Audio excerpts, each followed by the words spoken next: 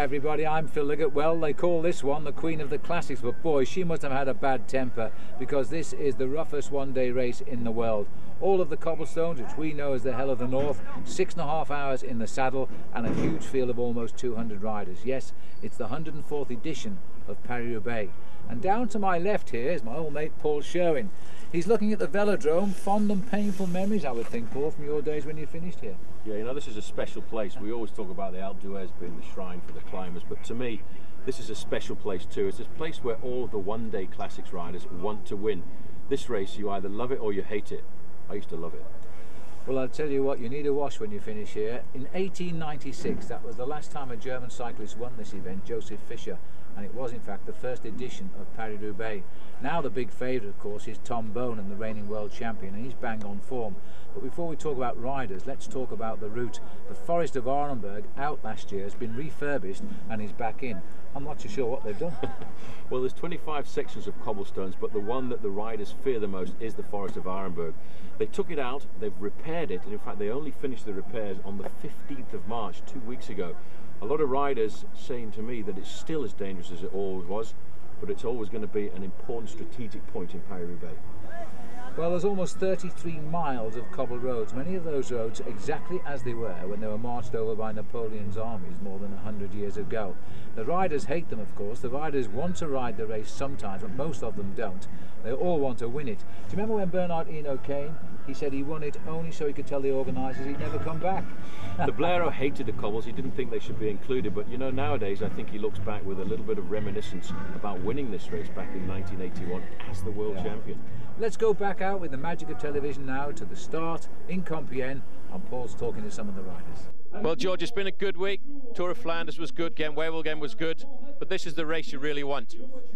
Yeah, no, I feel uh, good. Uh, Wednesday I wasn't quite recovered from a hard Tour of Flanders, so I was uh, a bit tired there, but was able to stay up in the front. That's a good sign. I took the day off on Thursday, and Friday I feel better than ever, even better than uh, before Tour of Flanders, so I'm confident for tomorrow. You've been and had a look at the Forest of Arenberg? Yeah, it's it's uh, not any better than I remember. It was pretty rough. Uh, in fact, my fingers still hurt from riding it yesterday, so I can imagine what they're going to feel like after tomorrow's race. But, uh, you know, that's not something that we're scared of. We're going to go there and attack it. Everybody says that to win this race, you have to take responsibility and not wait for one of your teammates to attack, wait for Boonen to attack. Have you changed? Have you changed your approach since winning a stage in the Tour last year? Yeah, I, I, think uh, I have a lot more confidence in my ability, and uh, I know that if, without any uh, bad luck, that I will be there amongst the leaders, and I just need to take advantage of uh, my experience and attack and uh, go for the win. Second and third uh, won't be good for me anymore. Tom Boonen reckons that if he comes to the stadium with you, he's going to win because anybody else in this race is riding for second. Yeah, that's good that he uh, thinks like that because maybe he'll make a mistake. Uh, Tom's obviously riding great and he's the guy to beat, uh, but in Paris-Roubaix you need luck just to get to the, the stadium. And um, you know, hopefully I'll have that and, and uh, great legs, and I, I, think that I can beat him. Um, in fact, I'm going in knowing that I could beat him, uh, but uh, he's not the only guy to worry about. I'm sure there's going to be lots of other guys there tomorrow. Your dad's been to Paris-Roubaix for a number of years. He comes here to see you win. Are you going to help him to do that and realize that dream? Yeah, I owe, I owe my dad that, and I owe, Fred comes from New York. Uh, I owe so many people a win at Roubaix. Um, so that's what I'm dreaming for, and I hope that comes tomorrow. We want to see you win too. Thanks, Paul. All right, thanks. Good luck. Roger, this is a race that you love. It's an important race for Discovery Channel. George Hincapie's probably got the best form of his career, and you've pulled yourself back from injury to ride. Yeah, definitely. I mean, it's it's the one race I've been thinking about again for since you know when I started training October, November last year. So uh, I put a lot of work in, and if there's if there's any possibility of riding, then for sure I, I want to be on the start line to give it my best. Um, initially last Sunday, I, I, thought it wasn't going to happen at all, but um, you know, it's I think it's just because we're really fit at this time of the year. You know, we've, we've trained hard, and our condition, well, our actual condition of our body is in really good condition. So uh, the knee's repaired much, much better than anyone had thought. So uh, stitches are, are, very clean. There's no no inflammation at all. So um, you know, it's it's it's not going to affect me at all unless unless there's a problem when I crash on it again in the race. That's that's the only thing I'm a little bit nervous of. But the team wants you to be here. You want to be here because Hincapie's probably got one of the last chances of his career because he's in such great form. Yeah, he's riding really well. I mean, but the thing with George is, uh, name a year where he hasn't been good in his career at, at Paris-Roubaix. He's been you know, it's just a numbers game with George. Really, it's just so good. But uh, it, like you say, this year he seems to be a little bit uh, just at maybe half a percent better than other years. So yeah, I think uh, I mean he really does stand a good chance of winning tomorrow. I mean, I mean if I was a betting man, I wouldn't bet against him. That's for sure. And uh, if you say that in any bike race, then you're pretty confident of your leader. But they also say nobody can beat Tom Boonen. But Tom Boonen has respect for your team. He reckons, apart from his team, Discovery Channel is the best team for these kind of classics. Yeah, um, well, I think it's nice that Tom recognises that for with us. I mean, I think we've shown in, in all of the races this year that we've been uh, omnipresent in every single race. So, uh, and I think our advantage is we've got strength in numbers, and you know, we we also have a, a super champion as a leader. So. Um, you know, it, we're, we're in a very similar position to Quickstep, and I think that frightens him because he sees a lot of similarities between his own team and ours. And, you know, uh, if we can be there and, and, and have a few guys in the front like we did in Tour of Flanders, it didn't quite work out for us at Tour of Flanders, and Tom won, but, you know, there was we, we certainly showed that we're a team definitely to be reckoned with, and there's not only one guy that can be uh, up there in the final. Thanks. Cheers. Dirk Demol, you're the team manager of Discovery Channel, former winner of Paris-Roubaix. You have a good team this year with George Hincapie looking straight into the win. No, uh, I can say I'm very happy uh, with the strong of the team this year, uh, and especially towards Roubaix. We did a good, we've got a very good preparation. We did some stage races, uh, but all but just uh, with one thing in mind: uh, Paris-Roubaix, Paris-Roubaix. And the last couple of weeks, we had our win already in De Panne, two stagements, the overall, and in Flanders we were very very close, second, third, and um, yeah, I can say we have a very strong team. Do you get more motivated for this race than any other races because you're a former winner? Yeah, that's yeah. I can't hide that uh, because uh, is, is, was already as a young rider my favorite race, and uh, it stays my favorite race. And when you have uh, a rider as George Hincapie in the team, uh, it's it's it's just normal to have a big motivation and uh, that we worked hard towards this, this one. Can George actually beat Tom Boonen? I hope so. Uh, the thing will be, for me, uh, it's hard to say, but uh, he won again uh, Flanders, and it's hard to believe that he can do again uh, the double like as last year, uh, Flanders, Roubaix. It's so hard to do that once in your career, and if you do it twice in a row, it's, it's almost a mission impossible. And he cannot win every race. And again, George was he got never better, better legs in Flanders, and that's always good for for mentally. And I think um, I should say it's, it's tomorrow never for George. What can you do to beat Tom Boonen? What tactic can you adopt? Isolate him? Yeah, isolating him. So uh, we have to uh, see that we make the race hard. And uh, if you have, if there are five favorites, we have two in, in those five with uh, George and Leif. But on the side of that, we have we also have Hammond, we have uh, De Volder, we have uh, Gusev, all strong guys. And I think um, we have to send them an early break and try to to blow up the team of Tom. But it's not going to be easy because um, one thing is sure, he has a, he has a very strong team around him. Thank you. Good. Well, Robbie, a very good start for the season for you in the Tour of Qatar and races like that, but now this is when it really counts, races like Paris-Roubaix. Um, yeah, I think I've started off the season pretty good. Got sick after California actually, and uh, the last three weeks I've been, you know, coming better and better day by day. Flanders and Wevelgem, I was okay, nothing special. But um, I've used them more as uh, more as preparation, and hopefully tomorrow I have a good day. Feeling pretty good, so. Everybody's talking about Tom Boonen being the man to beat. Is he unbeatable? No one's unbeatable. Um, Tom's obviously in really good condition at the moment, but um, a race like tomorrow's anything can happen. I mean, obviously he's got so much strength on his side at the moment, but uh, like I said, I mean, there's anything can happen. If you punch, uh, you know, you crash. Uh, it's happened before. With Van Petegem's been the best. He's crashed and the race has been over. So anything's uh, anything's possible tomorrow. What will your tactic be, a team man like you? Will you try and go for the early break, or will you think about concentrating on the end? Um, I'm actually going to concentrate on the end. Uh, I've been in early breaks twice before. It's, it's, it's, not a bad idea. It gets you close enough to the finish to you know ride a good result, but um, not good enough to you know unless you really got super form, you can get in the top ten. Otherwise, it's better to concentrate on the finish. Weather's nice. I hope so. Seems like it's okay, so it's better for me. Good. Thanks, Paul. Peter, this is a very special race for you, but uh, it's very difficult to beat Tom Boonen and his team. Uh, I think he is the strongest man uh, for this moment, and uh, Paris-Roubaix is a special race. Uh, you have to ride first, and then uh, we see on the track how it's how we're going to beat Boonen. We will see. But it's also a race where you need an awful lot of motivation. And you, for some reason, seem to love these races, Tour of Flanders and Paris-Roubaix. I like them uh, very much, so I'm really motivated also. So we go for uh, tomorrow. Do you think the only way to beat Tom Boonen is maybe to react with another rider like George Hincapie or somebody else to try and outwit Boonen? As the most uh, as possible uh, with other riders uh, from Discovery or other teams. Uh, when you're all alone with Boonen, uh, it's not so easy. So it's better with four or five guys, and then we fight uh, each other. But in Paris-Roubaix, it's also a race where you need to have the experience, and you have the experience of the cobblestones. After 15 years, uh, I have a lot of experience. So. And still a motivation? For sure. Okay. okay. Thank you. Well, Steffen, these are the races normally you're a man to watch out for, but the last couple of days you've had a little bit of sickness.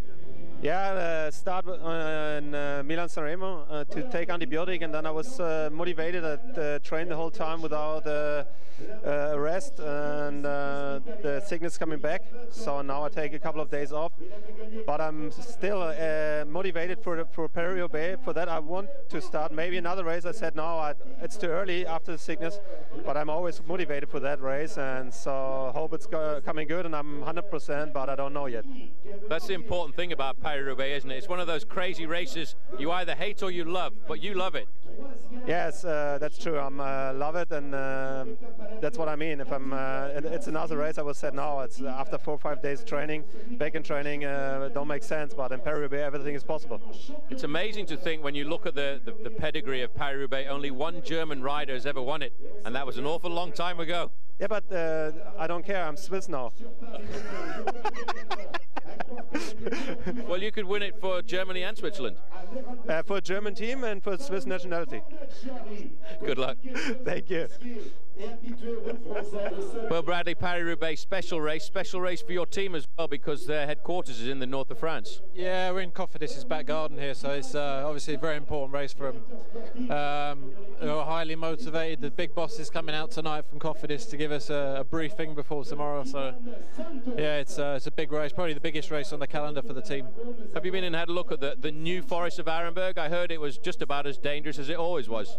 It is, but it's uh, it's a lot better than it was. It's dry. It's not. Uh, it hasn't got that mossy film on it now, so it's uh, it's safer in terms of it being not as slippery, barring it doesn't rain. But uh, it's still as hard, and I think it'll still be the, the, main part of the race where the selections are made. So. Somebody was telling me now that there's no longer the, the, the grass problem, but the big problem now is the sand problem. Yeah, the sand, and if it rains, then uh, I don't know. It's going to be quite tough. But uh, as ever, it's, it's the crucial point of the race. You know, you hit it at 60k an hour plus, and uh, you know it's always the biggest spectacle, as they say in France. So it's uh, crazy. Yeah, it will be.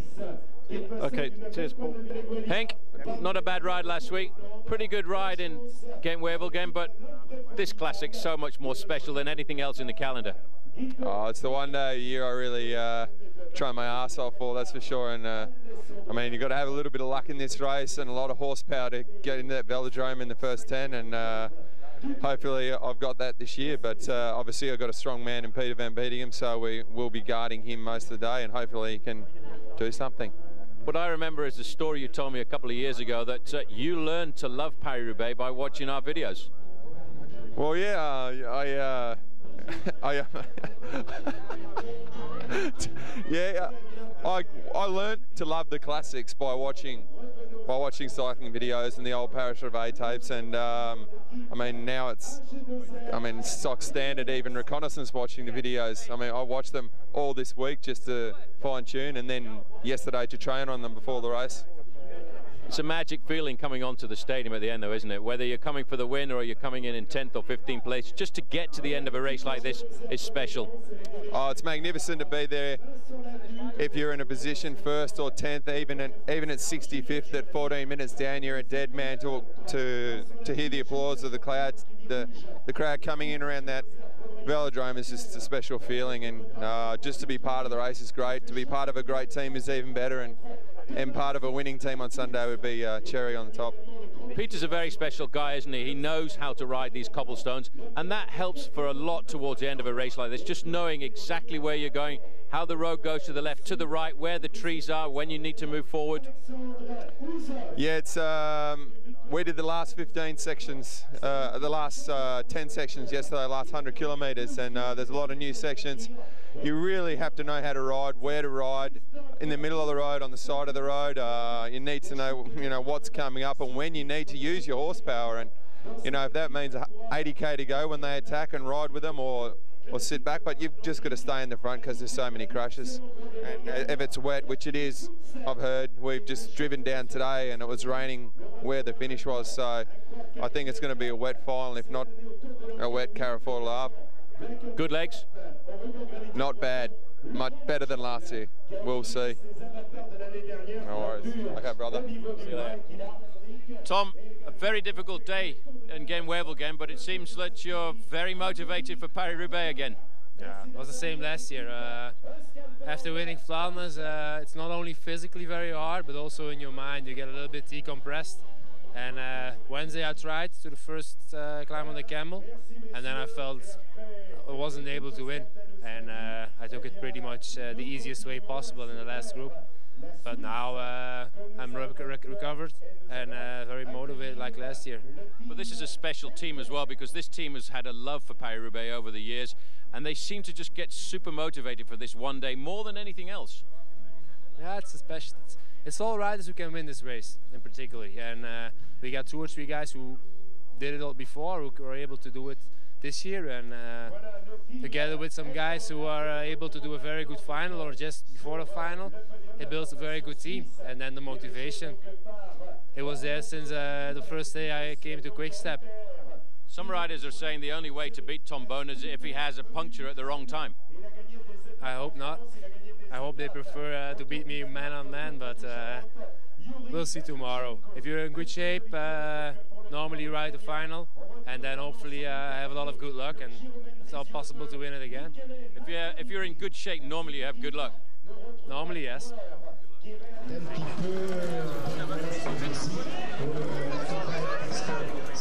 Well, there's been a few little falls this morning, but none, as far as we know, have been serious. But one of the race favourites, George Hincapie, was an early faller.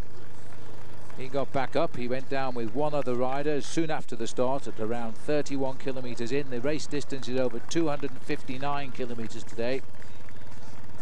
It may look a very nice uh, early summer's day in Europe, but I can tell you it isn't. It is actually quite chilly, some 10 degrees. Yeah, this is the feeding station. The riders were just going through there at uh, the town of Solesmes as we head now into the next section of cobblestones. And this should be the sector of cobblestones known as Vertin-Saint-Martin. is the 23rd section to go, and it is a fairly rough section. But I think everybody very worried about the Forest of Arenberg here this afternoon. This is sector 23 to go. It's 1.9 kilometers in length. It's given three stars. The most difficult section stones of stones are given a five-star rating. As you look here, you can start to see the time gaps. We're looking at a leading group of four riders. There are three chasers at two and a half minutes, and one man just behind them riding on his own, Frankie Hoy, and I'm not quite sure what he's doing there because he's been caught in no man's land, and the main field, Phil, are back at four minutes and 10 seconds. I think it's a case of getting down to a little bit of work on this stretch of cobbles right now as these riders start to put the teammates up there of Tom Boonen. Quick step, it's all for one as far as they're concerned, but they do have a second uh, powerhouse in Filippo Pozzato, winner of Milan San Remo, if things go a bit wrong for Tom. He is in the breakaway, and Nick Nuyens, the friend of Tom Boonen, also on the team.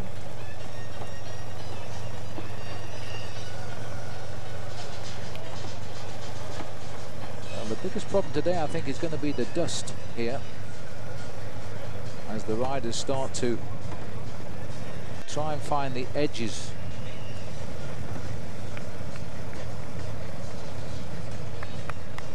of the of the gutters there. 135 kilometers two and a half minutes to a handful of chasers who've more or less got themselves together. Our cameras can't get to show them to you but the peloton it's going to be an interesting uh, tactic this they're allowing this breakaway a little bit of a lead as it slips out to almost five minutes.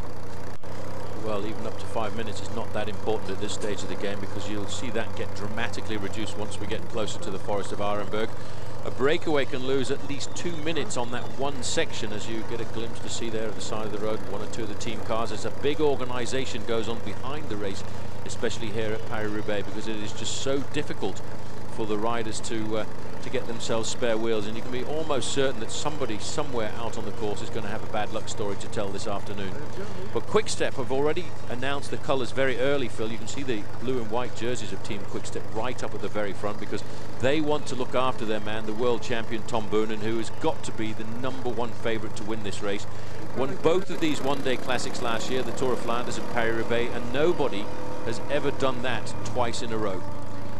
Well, there's an interesting move coming from the Skill Shimano team here now. They're becoming quite a force to be reckoned with on the circuit. They're not a Pro Tour team, but they've been getting wild cards into these races and they've been making an impression because in the Pino Cerami event, which was on Friday, two days before this race is taking place, Sebastian Langeveld, uh, in only his second professional race, got a victory there and that's made everybody sit up a bit and as a result of that win he's riding in the, the race today so, and they're managed by an old wise owl in Rudy Kemna, who's uh, only just retired from the sport with a string of victories, a former champion of Holland. Yeah, very talented bike rider, and he's definitely motivated these guys to do great things here because they have been aggressive in most of the races we've watched so far this season. A little move here, but it's a, a bit of a crazy move, especially when you know that there are two breakaway groups in front might get himself a little bit of publicity, but they've come off that section of cobblestones now, and they've got around about eight kilometres to ride before they get to the next section, which is a long section. That is the cobblestone section of a boost, and that is 22 sections to go. Well, really, uh, when you attack like this, it's a case of hope somebody joins you because it's just trying to, to alter the tempo of the peloton. The gap is still a big one, nearly four and a half minutes back to this group we're looking at here and they're trying to organise a chase. There's a lot of teammates trying to sort of get in amongst the pacemakers here and slow them down because they've got teammates in front. Quick-Step, they're the boys in blue and white, are just trying to keep the pace reasonable uh, because when the cobbles get really hard and the big chase down will be coming into the forest of Arenberg, once we enter the Arenberg forest, there's still 163 kilometres to go then that is when the race, so rather 163 kilometres gone at that stage. So there's still 100 kilometres to go, which means that that's when the riders, the big men who've got ambitions to be first into the stadium here in Roubaix, will start firing. Gerolsteiner Steiner being very attentive at the front end of the main field as well see them in the pale blue jerseys just over to the right hand side but I do feel that the team that has prepared itself specifically for this event and as they have done in different forms and different sponsors over the last few years our team Quick-Step because they were originally the formation known as the Mapei team Mapei Quick-Step and they were the first team in history to get first second and third in this event and everybody thought that was an impossible thing to do and an impossible thing to repeat but they actually did it on a number of occasions They've got themselves all back together here. The dark colours on the far right, by the way, they're the new colours of the Spanish setup now, the Caisse d'Epargne Illes Balears team, and they have a man up front in a Frenchman, which is unusual for a Frenchman to be on the Spanish squad.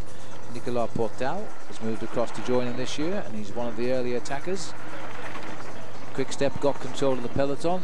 Just trying to see if I can see Tom Boonen. I think we've got Robbie Hunter peeping into the left of our picture, the South African in the race for Phonak and he's uh, looking to do a ride today. He'll try to stay near the sharp end of the race as we get down to the forest and then it's a case of see how you traverse the forest. Now they've rebuilt the... Oh, there's been a fall right in the middle. What a bizarre crash that is and what a terrible place to fall and the peloton amazingly, Paul, appear to have gone round him. Well, that was a crazy move. I think he just touched the wheel in front of him, but he went down very rapidly indeed. In fact, he was the man who started that move and uh, that's just how attentive you have to be because the danger here in Paris-Roubaix is not just just have a look at it again. What happened that was a real amateur mistake I have to say there Phil. What happened was he was looking back and as he looked around he just touched the wheel of the rider in front and he went down pretty hard there. Absolutely amazing that nobody in the peloton appears to have fallen here and he's sitting there probably frightened to death of the way the riders are coming at him. They've all gone round him couldn't recognise who it was. He was certainly a member of the Landbouwkrediet Rider uh, team, so it was a Belgian cyclist, but I don't know which one it was who went down. Went down very hard. You can see uh, T-Mobile moving up to the front. I think for the moment everybody just wants to stay in the first 15 places to keep themselves away from accidents like that. I've just caught a glimpse of Erik Zabel over to the left-hand side. He's riding for Team Milram. He must be one of the leaders here because normally the leader of Team Milram is Alessandro Petacchi, but he's not riding the Paris-Roubaix Classic here this afternoon. He's decided to go back to Italy and get himself ready for the big Giro d'Italia, which is up and coming in the month of May. Well, there are enough crashes in this race, I can tell you, with the cobblestones, but uh, when you get a crash like that, no one would have expected that on a straight road, so it could have been a very serious fall, that. Anyway, it looks as though everybody's safe and sound as they continue on the way here. Tell you what, a lot of the lads will give him a bit of stick for that one because that was a real amateur crash. I remember actually Phil Anderson doing that a few years ago on my back wheel, and uh, Anderson kept chasing down in uh, a break in a race we were in, and he kept looking over his shoulder to see if we'd got the gap, and then all of a sudden he touched my back wheel. I have to say he wasn't very happy with me because he thought it was my fault. Ah, well I wasn't there, so I'll stay neutral on that one. Uh, looking over, Steffen Wesemann is the rider third from the right of our picture there. A T-Mobile rider, now he used to be a German, he's changed his nationality because he has a Swiss wife, so he's riding here for Switzerland. Well, the last Swiss winner of Paris-Roubaix was Henri Suter in 1923, so it'd be nice if he won for uh, Switzerland today. Mind you, if he won for Germany, we haven't had a German winner of this race since the very first event in 1896, so either way, he'd be on a winner. He certainly would, and he was feeling reasonably confident. He's a rider who gets motivated for this event. He's one of those riders who really enjoys racing over the cobblestones. He's one of the biggest winners of a race called the Peace Race, which in the old days used to have an awful lot of cobblestones in it. But certainly, if he could get the win this afternoon, I think it would be a bit of a surprise because he's been on antibiotics for about 10 days since Milan San Remo. Well, we're just hearing that Nico Mattan had a flat tyre, the winner of last year's Gent Wevelgem. Shouldn't be too much of a problem at this stage. As the peloton itself packs together here, racing down a narrow stretch of cobblestones. Nobody attacking, just good tempo riding. It's having uh, no real effect on the breakaway just now. There's the velodrome, that's where we're coming to. We obviously got a little bit of a problem with our pictures on the motorcycles out there just now, but the velodrome looking very, very splendid today. It's resurfaced in the last couple of years. The riders, when they come in from the right of our picture, they'll do a lap and a half and then uh, finish the race. And the crowd, well, there aren't many people here yet, simply because they're out on the course, but they know all the shortcuts and they flood in here uh, before the riders themselves arrive. Huge crowds out here this afternoon. A lot of Flemish people come down. There were over a million people watched the Tour of Flanders just one week ago, and I think most of them will probably come down to the northern part of France here to see if Tom Boonen can make a historic double victory once again. It's very rare for riders to win Tour of Flanders and Paris-Roubaix in the same year. Tom Boonen did that last year, and he's looking to do it two years in a row. Well, he's in an incredible situation. If he were to win today, then he would have uh, done the double two years in succession, and no cyclist has ever done that. So uh, that would be a nice claim to fame. Here we are back out with the race now on the narrow sector of Pavé. Well, the time gaps are starting to stabilize out a little bit, Phil, because uh, we're getting a time check now of around about 3 minutes and 55 seconds between the leading group of four riders and the main field. This is the next section of cobblestones at uh, Capelle sur Ecaillon Le Boit, and it's a three-star section. As you can see, it's uh, a little bit of grass down the middle and everybody's trying to ride on that section of grass because that's actually the smoothest part of the road. These cobblestones, many of them go back over a hundred years and they're probably worse than they were then. Well, this is uh, taking us to 126 kilometres into the day of 259. And it's on the cobblestones where, of course, the strong men will push on to the fore if they can. Tom Boonen trying to get up there on the right too amongst his teammates now. The cobblestones will all be dry basically today. There's not been much rain this week here in France, in this region. It is quite cold. Uh, the dust can be a problem. But apart from that, there shouldn't be too much mud on the course. I think everybody's been watching the weather forecast over the last week. The riders always worried about how the weather is going to develop as we look down there on the whole of the main field now charging through that section of cobblestones Remarkable pictures here brought to us by French television as we can see these riders making their way through the old farmlands of France. Discovery Channel. There's Tom Bohnenfeld already riding right up near the front of the main field. There's the time gaps. The leading group of four chased at three and a half minutes by a group of three riders and the main field. They're actually starting to nail back that group that was caught in between the two. Yes, that group of Righetto, Stefan Berge, Frank Høj and Iker Flores are about to be picked up by the peloton. Well, it's a very big, long, straight line there. As you can see at the front, it's nice to see Tom Boonen there moving up there. He's actually there in fourth position.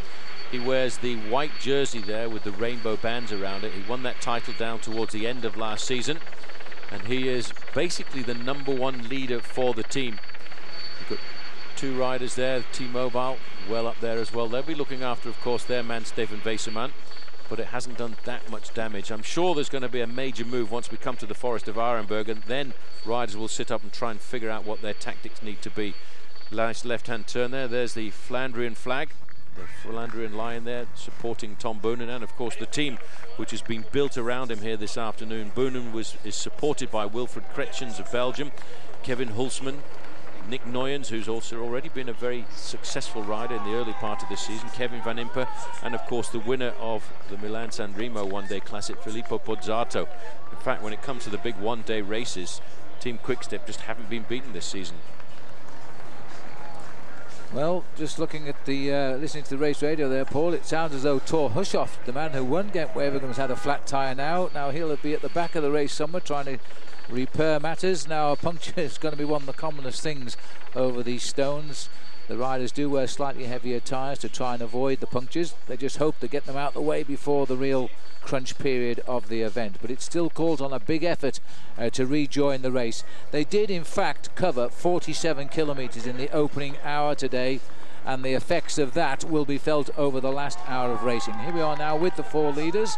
Joost Posthuma, Nicolas Portal, Stefan Schreck and Dmitry Konyshev. They're riding pretty regularly, but they are losing ground a little bit now, and the others behind are almost all swept up. They're just 45 seconds ahead of the peloton. Four minutes the spread well, fairly normal tactics for this race because nearly always in Paris-Roubaix you get this early morning breakaway which goes out and tries to get to the cobblestones first. And that's why the first hour of racing was run off at such a rapid average speed 47 kilometers an hour. Once the breakaway forms then the race stabilizes for a fraction but it's always important to try and get a man into the leading breakaway because that mine either the Rabobank rider there or the T-Mobile rider once they get caught down towards the end and I'm absolutely certain they will get caught towards the end can actually help the team because this race very much different to other races. It's all about elimination from the rear once we get to these cobblestone sections. Well, here's Joost uh, Posthuma, Nicolas Portal. They're riding, they know what's going on behind them. They're trying to get to the Forest of Arenberg ahead of the field, and if they can do that, then they have a chance of still being ahead of the field when they come out the other end, because the forest itself is always seen as the first big challenge of the day. Nicolas Portal speaking with the cameraman there. This is back in the bunch with the Unibet team setting the pace at the front. Could well be. Uh, just looking at the riders at the front there from Unibet in the green and white colours. They're saying, in fact, Paul, the faller was Tom Steels there, but I'm not so sure it was. Well, there's Peter Van Petegem in the Lotto jersey, just uh, with the white stripe down his shorts that says Davitamon one of the most experienced bike riders in the field and just above him you can see the world champion in the white jersey with the rainbow bands around it Tom Boonen riding a little bit further back. The sensible thing and the clever thing to do with Paris-Roubaix is to, to try and recuperate on these smoother sections and this is a fairly long smooth section of road. It's about 10 kilometers before the next section of cobblestones. But as soon as you know the cobblestones are about to approach you have to move up very quickly and that's not always an easy thing to do but something that riders like Van Petegem and Tom Boonen have learned how to do over the years. Little bit of attack from the Unibet.com team here Marco Serpellini trying to move clear of the field. Try, he's a little bit fed up of being bumped around by the peloton on the cobble, so he's trying to get a little group clear, I would think. Peloton, when you see them in a big pack like that, there's no real anger because if you've got the front of the peloton and you get your riders across the road, then there's nobody can make any progress. So you don't have to race to hold position. I must say the peloton down now. 194 officially started the race today. And it looks now as though that bunch is already down quite considerably. Marco Serpellini, not normally a rider for this sort of race. He'd be a more valued teammate, perhaps for somebody like his team captain, the Australian Baden Cook, who's in the race and wears number one today as the team leader. Yeah, Cook has had a very good start to the season. A bit of a risk, I think, to move away from a Pro Tour team, but I think he probably thought that Unibet were going to get accepted. And Unibet, I think themselves felt that they were going to get into a lot of races, including the Tour de France on a wild card. Well, that hasn't happened. Jeremy Hunt, also the British rider in Unibet, has had a good start to the season. He's been so close to the win on a number of occasions, finishing second in three big races in Belgium. And he said to me just yesterday, he says, I've just got to get a win under the belt. Well, I don't think it'll be today. I think it might be just a little bit too difficult for Jeremy, and he probably will use the majority of today's race, dedicating himself to help the team. Well, we see. He's got good form. He knows the course very well. He had a 20th place finish, which was absolutely superb last year in Paris-Roubaix. Britain's best ever finishers have been Barry Hoban and Roger Hammond. They've both finished third in this event. And Hammond riding today with 14 stitches in a knee injury received exactly a week ago in the Tour de Flanders. Horrific uh, cuts. In fact, he's got no feeling in the knee at all because he severed the uh, nerves there, he said. But he says apart from that, it's feeling okay, and he was very anxious to ride this. He's based his whole season on a performance in this event, so he's determined to get on the start line, and he has done. He basically said since he started training again towards the end of November, this is the only thing he's been thinking about. Finishing third a couple of years ago has motivated him very much for this bike race. I think today, though, Phil, he's be, he'll be dedicated to looking after George Hincapie because Hincapie's the number one man on Team Discovery Channel. They believe that he's got the best form in his career, especially at this part of the season. So I think Hincapie will be certainly looking to try and get the win. He said in the press this morning he's fed up with finishing second and third. He wants to win this race finally. Well, he's shown us he's got the quality, that's for sure. Number one, the world champion, riding right on the front now so he can see what's coming first. It takes a very strong man to hold those positions. But uh, that's Tom Boonen, who is the world champion, became the first winner of the Tour of Flanders for more than 30 years as world champion. Eddy Merckx the previous one, and this time around, if he wins, he will take a record away since uh, what Bernard Hinault in 1981, I think, was the last world champion to win. That was right, 1981, and even Bernard Hinault had a little bit of bad luck out on the road there because he crashed in one of the final sections of cobblestones when a dog ran out into the field. There's Henk Vogels over on the left. He too was looking forward to the race there. You recognise Vogels because he's got the gold and green stripe on his jersey, indicating he's a former national champion of Australia. His job today, though, I think very much to look after Peter van Petegem. He reckoned that Van Petegem has got the ability to win this race. He's certainly got the motivation. Maybe a little bit long in the tooth. Mind you, Johan Museeuw was fairly old when he won this race for the last time. Robbie, uh, Robbie Hunter, rather, is not riding this race. Robbie Hunter over to the left of South Africa, just peeping into our picture in the gold and green. And also in the dead centre in the quick step colours is uh, Servaas Knaven, the last Dutchman to win this race uh, back in 2001. They're about three kilometres away from the next section of cobblestones. It's a very long section of cobblestones too. It's the section that goes between Verchain and Quérénaing. It's the 21 zone 21 to go. It's around about 1.6 kilometres, fairly nasty cobbles. But in everybody's mind, Phil, I think the race really begins once we get to the forest of Arenberg because those cobblestones there, despite the fact that they've been relayed and they were relayed only 15 days ago, the, what the job would taken to finish them. Was about three months, and I have to say that most of the riders still believe it's the most dangerous section of cobblestones in the race. Well, all the roads are narrow here, and uh, the riders even taking to getting the feel of things on the on the rough side of the, the uh, pavement there. By the look of it, these are the four leaders, and they're coming down all of the time, but they've still got themselves a nice lead as we're in the narrow streets. This is the chase group here. Iker Flores is the rider in the orange jersey. Righetto here from Liquigas. So they never got caught, but they can't be that far away. This is the first time we've seen them. Frank Høj is, uh, this is Stefan Burgess and Frank Høj in the middle there. Four riders quite getting down to business despite all that. We've got uh, the gap is somewhere just under four minutes now to the peloton and about half a minute or so to these four riders to the peloton. So it's going to be a fragmented leading group, I think, that gets onto the forest first. Next uh, sector of Pavé, there's 27 in all. We're looking for sector number 21 next up. Frank Høj finished 10th in Paris-Roubaix a couple of years ago. He's a bit of a madman, but he's got a great sense of humour, and he will be thinking, Phil, of uh, trying to get onto the cobblestones just in front of the main field, because what most of these breakaways hope for is that the break, the main field actually breaks up once you get onto the cobblestone sections, and they get caught by a group which starts to form at the front. But the fact is that they're all grouped together there. They're they're trying to get themselves up to the next section of cobblestones, which is probably not much more now than two kilometres to go. And that's probably why we're uh, looking down from a helicopter. They try and keep the motorbike as far away as possible. There's Boonen in the middle. Amazing the concentration this man has. Looking at his face there, a little bit concerned because he, uh, when he rode and won uh, Tour de Flanders the other week, he was such a dominant personality in the race. He tried to do the same midweek in Gent Wevelgem, another small classic race, uh, not quite so far as this, just over 208 kilometres. And uh, in fact, he said he was feeling pretty rough, and he dropped, uh, didn't drop out, but he dropped right away from the action. And uh, we won't know just yet just how well he's going. There's the banner on the road there. Next sector of cobbles is approaching. This is about as steep a hill as you will find in this region of France. Uh, just uh, Great Britain is over to the left by some considerable distance, and straight ahead is Belgium. Well, Stefan Schreck will be very happy with the situation here. We're looking at 120 kilometres to go to the finish. They're on the next section of cobblestone, section number 21. They don't get very much respite because there are two sections very close together here, making a total of almost four kilometres of cobblestones, Phil, in the space of five and a half kilometres.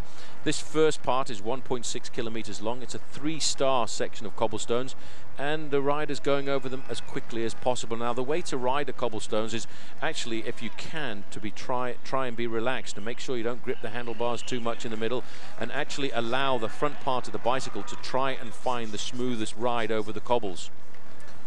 And the bottle has jumped off one of the bike riders at the back there. Always danger if you're in the big pack. Just take a look at the chain there. As you can see, they ride a, a big gear too, right round the big chain ring there to try and use strength and speed at the same time, and also give the chain something to bite on. Otherwise, it tends to jump off the bike altogether. Well, they're riding well. Three stars. It's the the worst cobblestone stretches are five stars. All of those are still ahead. Uh, these three stars, one is just a bumpy old ride. The five stars, I think sometimes there's no cobbles there, just holes in the road. Yeah, there can be some nasty ones, but at least today the weather is good. It's been good for the majority of the week. Uh, your man there taking a few risks over to the right-hand side, and uh, that's a pretty scary thing to do. That's Dmitry Konyshev. Now, he's a very experienced bike rider. Was uh, one of, I think he was the first Russian rider ever to win a stage in the Tour de France. That was a long time ago now. That was in the streets of Pau. He's actually losing contact here with this group. He's now riding for a very small group. The, the small professional team called uh, Team LPR, which is uh, a team uh, which has signed up an Australian rider by the name of Gene Bates. And I didn't see him at the start this morning, but he definitely did start the race. Yes, well, Konyshev's in charge of that team, and at 40 years of age, uh, he keeps on retiring and coming back, and he shows the boys he looks after on Team LPR that he is still a pretty good bike rider, to say the least. Sud Kanimani was certainly the first Russian cyclist ever to win a, a world medal it was a silver medal in the World Championships when uh, they became professional cyclists. In the old days, of course, it was the Soviet Union and there was no professional cycling, but that's all changed. Well, the gaps are changing, though, because that uh, second group on the road is now just at 2 minutes and 50 seconds, and it's three and a half minutes back to the main field, and that will continue to reduce because a lot of the big teams, Phil, are starting to take the chase a little bit more seriously as we get into this very repetitive nature of the cobblestones. So they're in the next part now, as we look at these lead these guys. As you can see, the main field still, I think, uh, everybody nervous, everybody trying to be at the front, but the hammer has definitely not yet come down. I must say that uh, the two Russian cyclists uh, who are 40 years of age, the other one is Vyacheslav Ekimov, who rides on the Discovery Channel team. It's quite remarkable to be able to compete at this level of professional sport at 40 uh, when the best riders are between 25 and 30 years of age tremendous tribute to the riders and their preparation, how they've looked after themselves to do so well. Konyshev, he's won 39 races in his career, but he's been a professional since 1989. Amazing thing about uh, Vyacheslav Ekimov, who rides for Team Discovery Channel, is he can still be dedicated to the sport at 40. But it's probably more in, in interesting is the fact that he actually started racing when he was 13 years old and went through the Russian School of Sports He was world champion. He held uh, more than 15 world records at one time in his career, and he still wants to participate in the Tour de France. Never loses enthusiasm at all, and he's a great uh, ear for the youngsters who come through into the pro teams. Just looking down at the pack here, Peter Van Petegem nosing his way in here now to third place. Another big man who's won this race before. He's got himself in front of Tom Boonen here now as we battle our way down sector 21, shortly to join almost immediately sector 20. And they, the big guns starting to move to the front now, try and keep out of trouble. Where you ride in the peloton, just look at the big group there is very, very important. You do need the strength, but you also need the, the canniness to know exactly where to place yourself. And as they get towards the Forest of Arenberg, they'll want to be near the front. And it looks as though the Lotto team here, dedicated to Peter Van Petegem, third man in line at the moment, Van Petegem, a very clever rider. You were talking about being clever and canny. Well, Van Petegem knows this course like the back of his hand. He knows where every tree is, he knows where every cobblestone is placed, and he knows even the buildings which indicate where the cobblestone sections are going to start. And that's an important thing when you come to a race like this, to have prior knowledge. A lot of the riders have said they, they like to watch uh, the the old videos and the replays of Paris-Roubaix to get themselves back into the feeling of this race leading up to the week before so they know where things are going to be. They get it back into their minds as we go a little bit further up the road now to the four leaders. They're now on section number 20 to go. It's two and a half kilometers long, but they are good cobblestones, these. They're only bad, really, when we get the bad rainy weather. But look at the gaps now starting to come down. For the first time in a number of kilometers, it's come inside of the three-minute mark steady tempo riding that's all that's caused the descent. They're not actually physically all out catching these boys. They're not worried yet. They've got plenty of time to reel them back in. And now you're getting some feel of the crowds here in northern France as they found their way out into these most remote roads.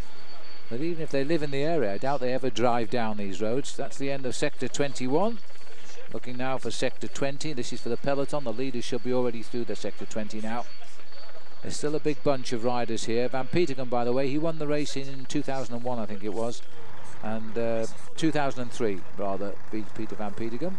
There he is, dead centre, behind these two leading riders. Leon right Van behind him, Tom Boonen. There's Steffen Wesemann over to the left-hand side. I asked him yesterday if he wanted to win this race for Germany. He said, no, no, not for Germany because I'm Swiss now. He's actually changed his nationality. He participated in the World Championships last year for Switzerland, and the reason for that is because he got married to a lady from Switzerland. So he decided to change his nationality. I'm sure it was pretty good for his tax returns as well. 116 kilometres still left to ride here. There's 100 left when we get to the forest. So we're just 16 kilometres from entering the forest of Arenberg. It was a very rickety old road and it still is banned to all traffic except for the days of Paris-Roubaix because it's a quiet country road with barriers either end. It's a very pleasant place to go and have a picnic and enjoy the natural reserve there. Uh, but they open it up for the passage of Paris-Roubaix. It was closed to it last year because they rebuilt the road, especially for this race. There's a huge uh, club here, the Velo Club Roubaix, who actually uh, are called the Friends of Paris-Roubaix and they get money together to preserve the roads in the region and they get extra money from the local municipalities and between them they're keeping these roads as they were uh, when Paris-Roubaix first traversed them in 1896. And one of the reasons they're keeping them is to keep this race, to keep the race with at least 50 kilometres of cobblestones because they believe this is part of the heritage of the north of France and it certainly is. It's a real race. It's a man's race and you've got to be completely motivated to come here. There's George Hincapie up at the front. Tom Boonen not too far away either. Starting to get just a little bit more nervous in the main field now as you can see the teams and the different coloured jerseys riding together. That's because teams want to look after their leaders as we go now to the start of section number 20. Yes, well, the men who've got ambition have made sure they've got themselves up or near the front here now. This is the sector 20, two and a half kilometres, three stars. And we enter it with 118 to go. The, lead, the main field's got 100, the leaders are the 116 or so from the finish now. T-Mobile have got the whole squad on the front here, so Steffen Wesemann must be feeling frisky today, the team leader. There's Hincapie up into fourth position, Boonen in about eighth position. This is the situation that you have to adopt now, Phil. That's the, why this race is so very different to all the other races in the calendar, because you have to be at the front from now all the way to the finish. Not necessarily on the front, but at least in the first five or ten places.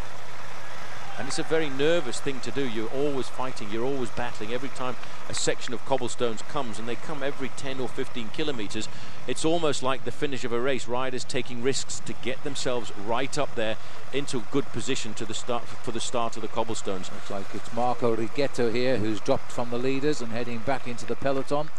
So he's the first of the breakaways to get swept up, as far as we know. This is a very difficult race for our television motorbikes to cover because they can get blocked on these narrow roads very easily. They do an incredibly good job. We do have the advantage of helicopters when required, but it is an incredibly difficult race to bring to your screens. Hats go off to the motorcycle cameramen who have to hold on to their seats there quite literally over these cobblestones and still swivel around carrying a camera.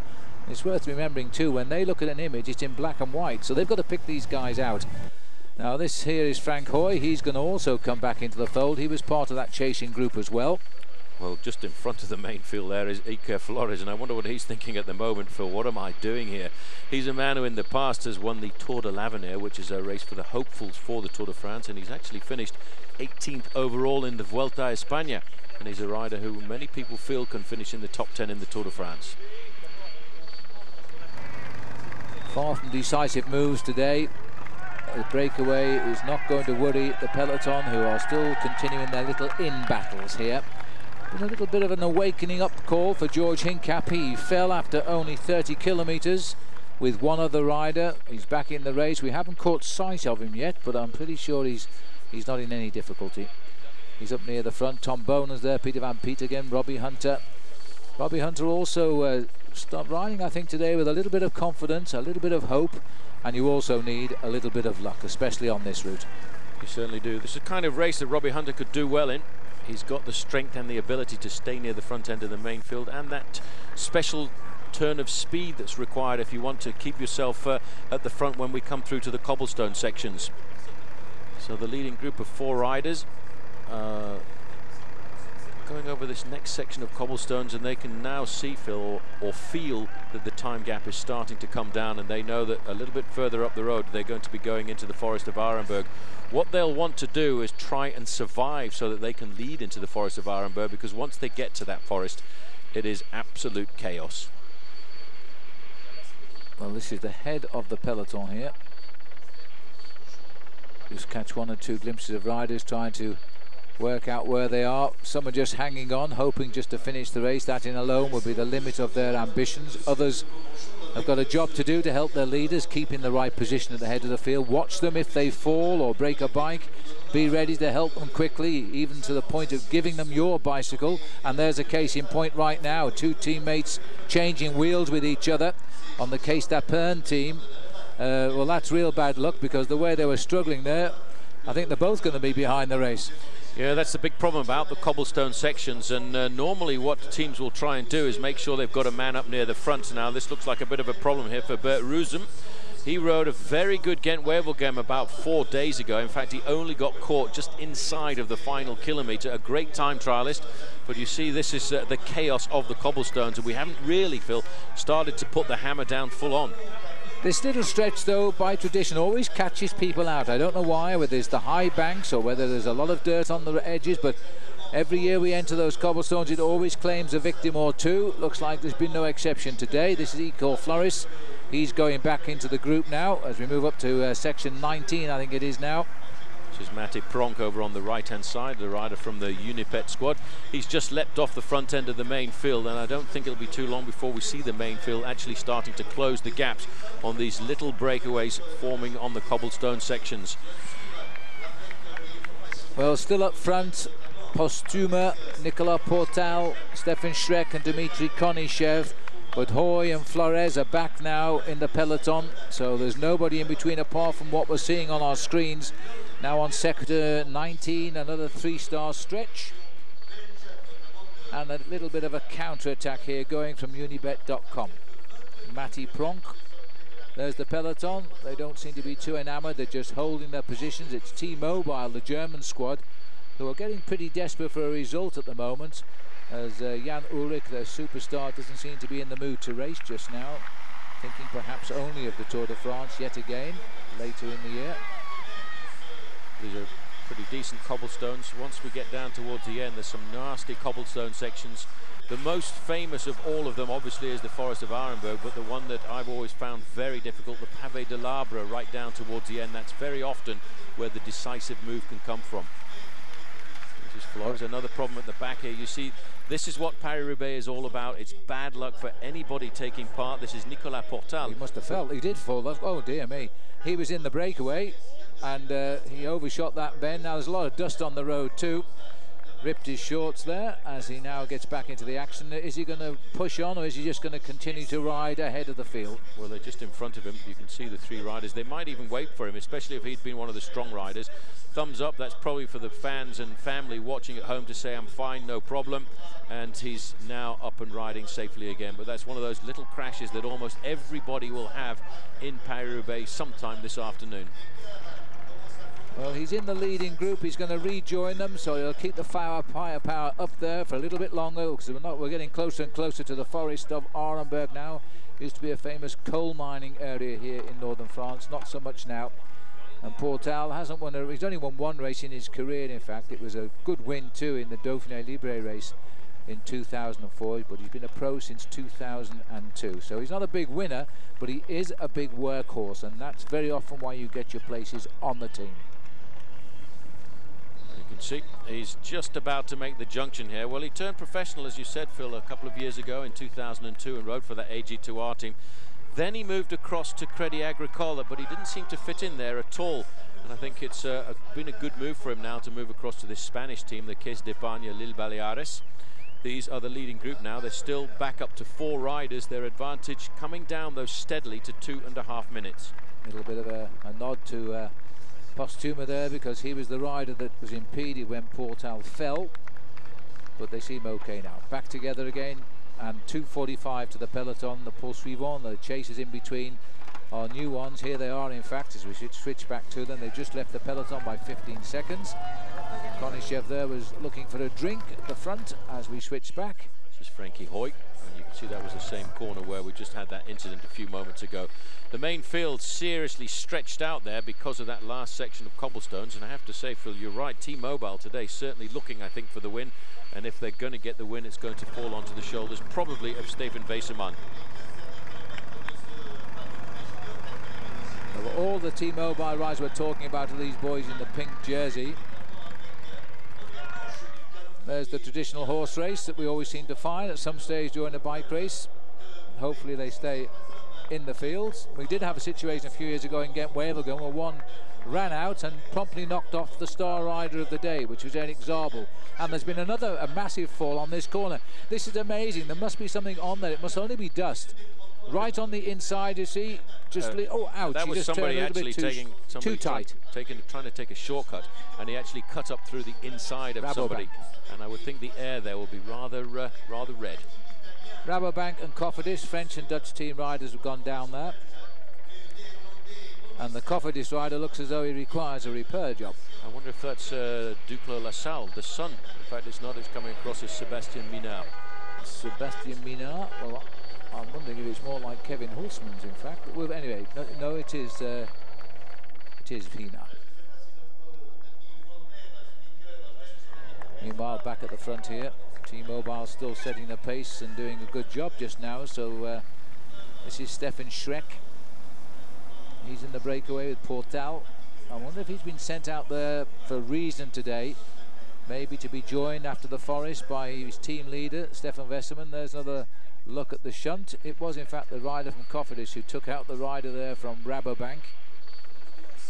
It's a tough little corner this as well actually because it changes halfway around. You can see just on Posthuma's right arm as well that he's got himself bandaged up and that's probably from an accident uh, earlier in the week in the big race against Wevelgem. This is Dmitry Konyshev, one of the oldest riders in the race at 40 years of age, Stefan Schreck. And I think there is a move this afternoon by T-Mobile. They're looking for the big win. The big one-day classics so far have been dominated by one team.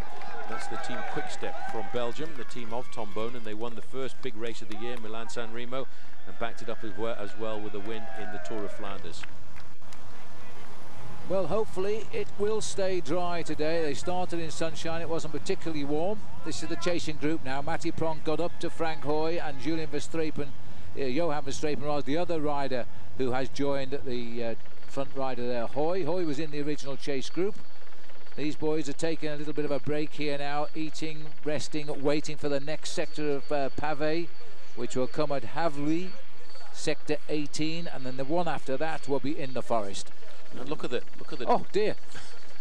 We got one well, of the riders from CSC there has decided I want to go to the front now, any which way that I can, and the police are trying to do the same. Police use special motorbikes to escort this race. The motocross machinery, because they spend a lot of time in the fields and it was pretty useful there. But the rider from Telecom almost took out that rider from CSC as he came onto the same stretch of grassland.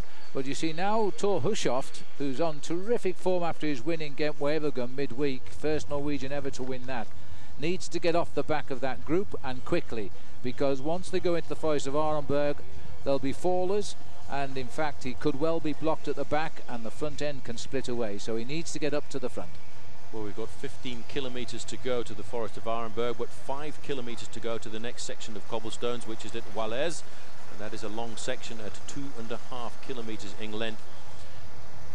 So these guys now getting themselves nice and sorted out. They're going to hope to survive, Phil, but the gap is starting to come down to two and a half minutes. And you can see the chaos that that last section of cobblestones created because there's a lot of riders actually starting to ride back up into the main field. Yes, some are taking a chance to go back to those cars.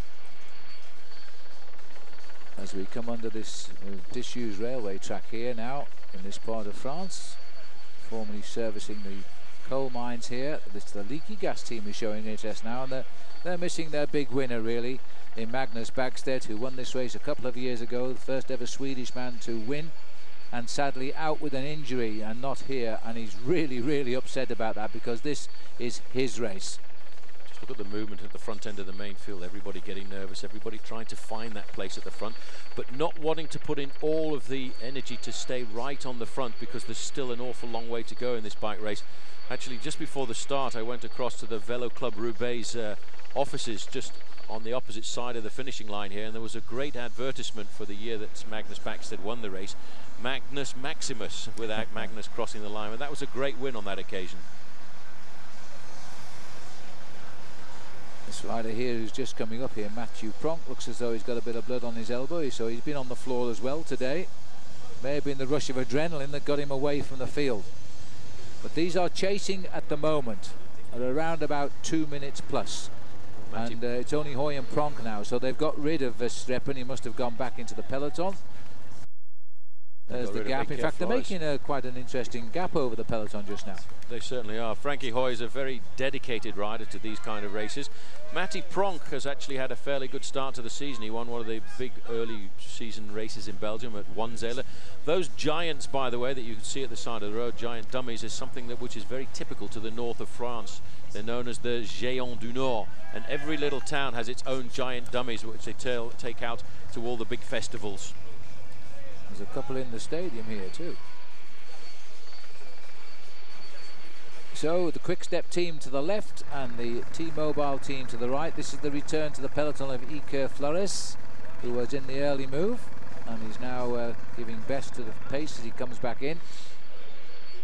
Been a big he's experience. More at home going uphill, I think, rather than over the cobbles.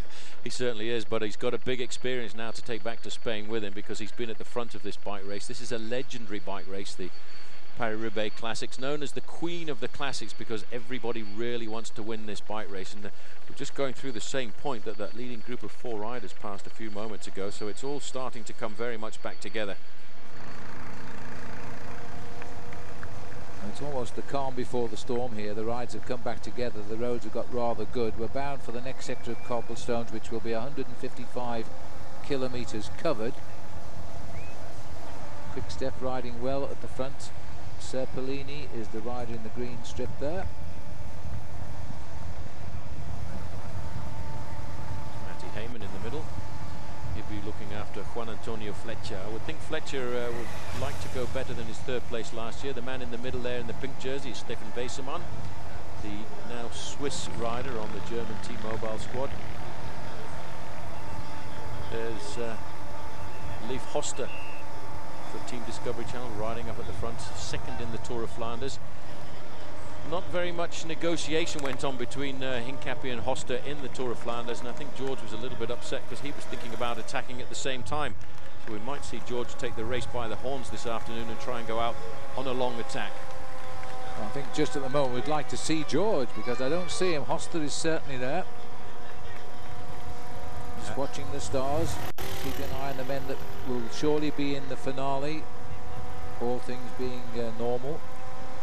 This is the Arrière de la Course, the back end of the race. They're coming into the small town now of Denain. And uh, will indicate that they've got about two kilometres to go to the next section of cobblestones known as Wallers, before they then ride for 10 kilometres to go and find the forest of Arenberg. Well, there's another one of the giants of the north. Best seat in the house, that one. It certainly is. See the little bit of chaos at the back. There's Iker Flores has gone from the front to the back.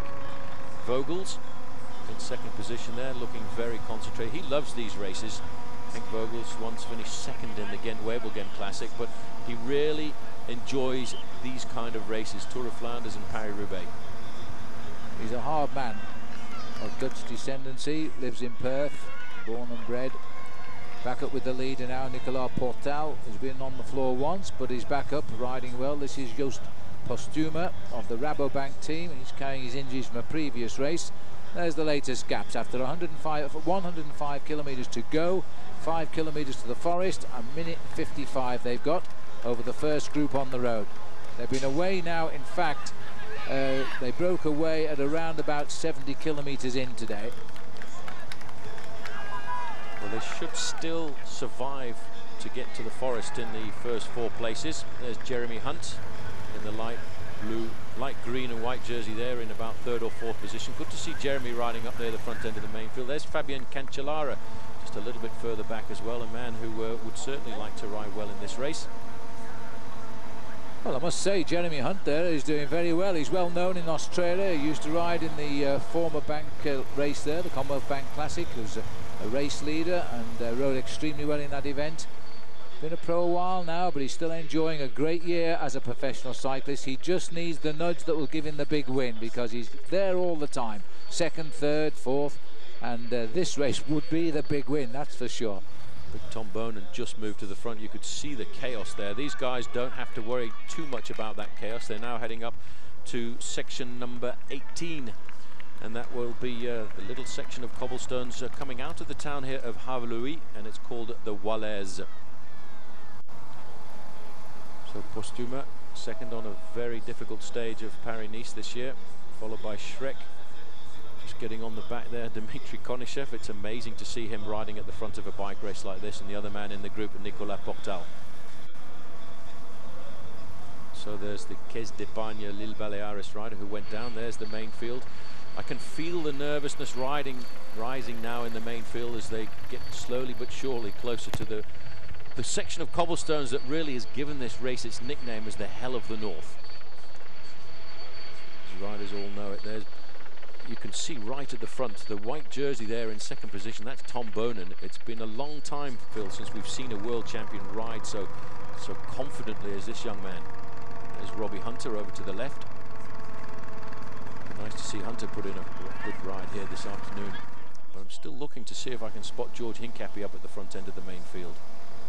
So the peloton making the way towards the forest now. We nip round the tortuous streets here. The giants of the area enjoying the best view in the house and all the villagers out here watching uh, goodness knows how many of these events they will have seen. This is a traditional route now as we head towards the forest of Arenberg. This is the second, uh, this is the penultimate stretch of cobblestones before we go into the forest itself. And these are the four early pacemakers today, and they're doing pretty well. They're hanging on, 103 kilometres to go, three kilometres in the forest. Sector, sector number 18 here. Four stars, little bit harder than we've seen for a while. Hard to believe there's still 103 kilometres to go to the finish. That's 65 miles of racing. There's a lot of cobblestones as well before the riders get to the finishing velodrome here in Roubaix. The gaps are starting to come down. Now 1 minute 55 back to the two chasers, 2.25 back to the main field. But the main field, I think, Phil, not really worried about these four men here. What they're thinking about is their approach to the forest of Arenberg. Dust is a major problem here this afternoon. Paris-Roubaix has different conditions every year. Some years it's the mud which makes these roads almost impassable. Other days it's the dust that comes up into the riders' faces. These are the two riders who were caught in no man's land. They're just about to get picked up by the main field. Who'll come around that corner any moment now. And there they are. So Frankie Høj is going to go back into the pack. They're going to fight for the holding their places now. This is becoming the crucial sector. First big decision time of Paris-Roubaix today. And the leaders of the pack are going to race hard to stop anybody moving up and spoiling their fun. These two riders get swept up here now as we head out to Haveluy. And they've got to watch those nasty splits in the centre of the road, you see, because those directional islands, as they call them here, have sent half the field the long way around. And they've lost all the... And there's a crash there. The cameras haven't spotted it, but there's quite a few riders gone down. There's two down at the back. Well, that is a shame there because the rider from Phonak who's gone down is Uroš Murn, one of their sprinters. But I know that the South Africans uh, will be pleased. It's not Robbie Hunter here. The other rider is Sebastian Siedler of the Gerolsteiner team. So, and he looks a little bit hurt there. Nasty fall right on the corner. Well, those guys were trying to take risks to get up to the front. This is actually Sebastian Siedler of Team Milram, and he really does look pretty hurt. There's Gerard Porte, the race doctor. Gerard has been the doctor at the Tour de France for many, many years, and he's picked up many a good bike rider at the side of the road and encouraged them and helped them to get back into the race. But now you can see the difference in the speed, Phil, because we're getting ourselves organised on the front end of the main field because these are real sections of cobblestones. And I would have to say, I have a feeling that Hincapie is right up there. We're now looking across the fields of northern France here. We're on to sector 18 of the 27 sectors. We count downwards to one and this sector of Haveluy is heading towards the forest now. This is a four-star sector, which makes it one of the most difficult. Five stars is the most difficult. There are four riders setting the pace up front. Joost Posthuma, Nicolas Portal, Stefan Schreck and Dmitry Konyshev but they've got about two minutes and no more and at one stage it was a bit more than that. And the leaders now are beginning to split up because this is Konyshev and on this sector of Pavé he looks as though he may have cracked well, at 40 years of age, he certainly should. Well, that's not a big surprise to see Dmitry Konyshev in difficulties, you say, Phil. 40 years of age, a very experienced bike rider, but these younger men are feeling just that little bit more frisky as they go onto this section of cobblestones. But the main field behind is really now starting to pick up speed and take a lot more interest in the race because very shortly after this section of cobblestones, they have got the horrendous section known as the Forest of Arenberg.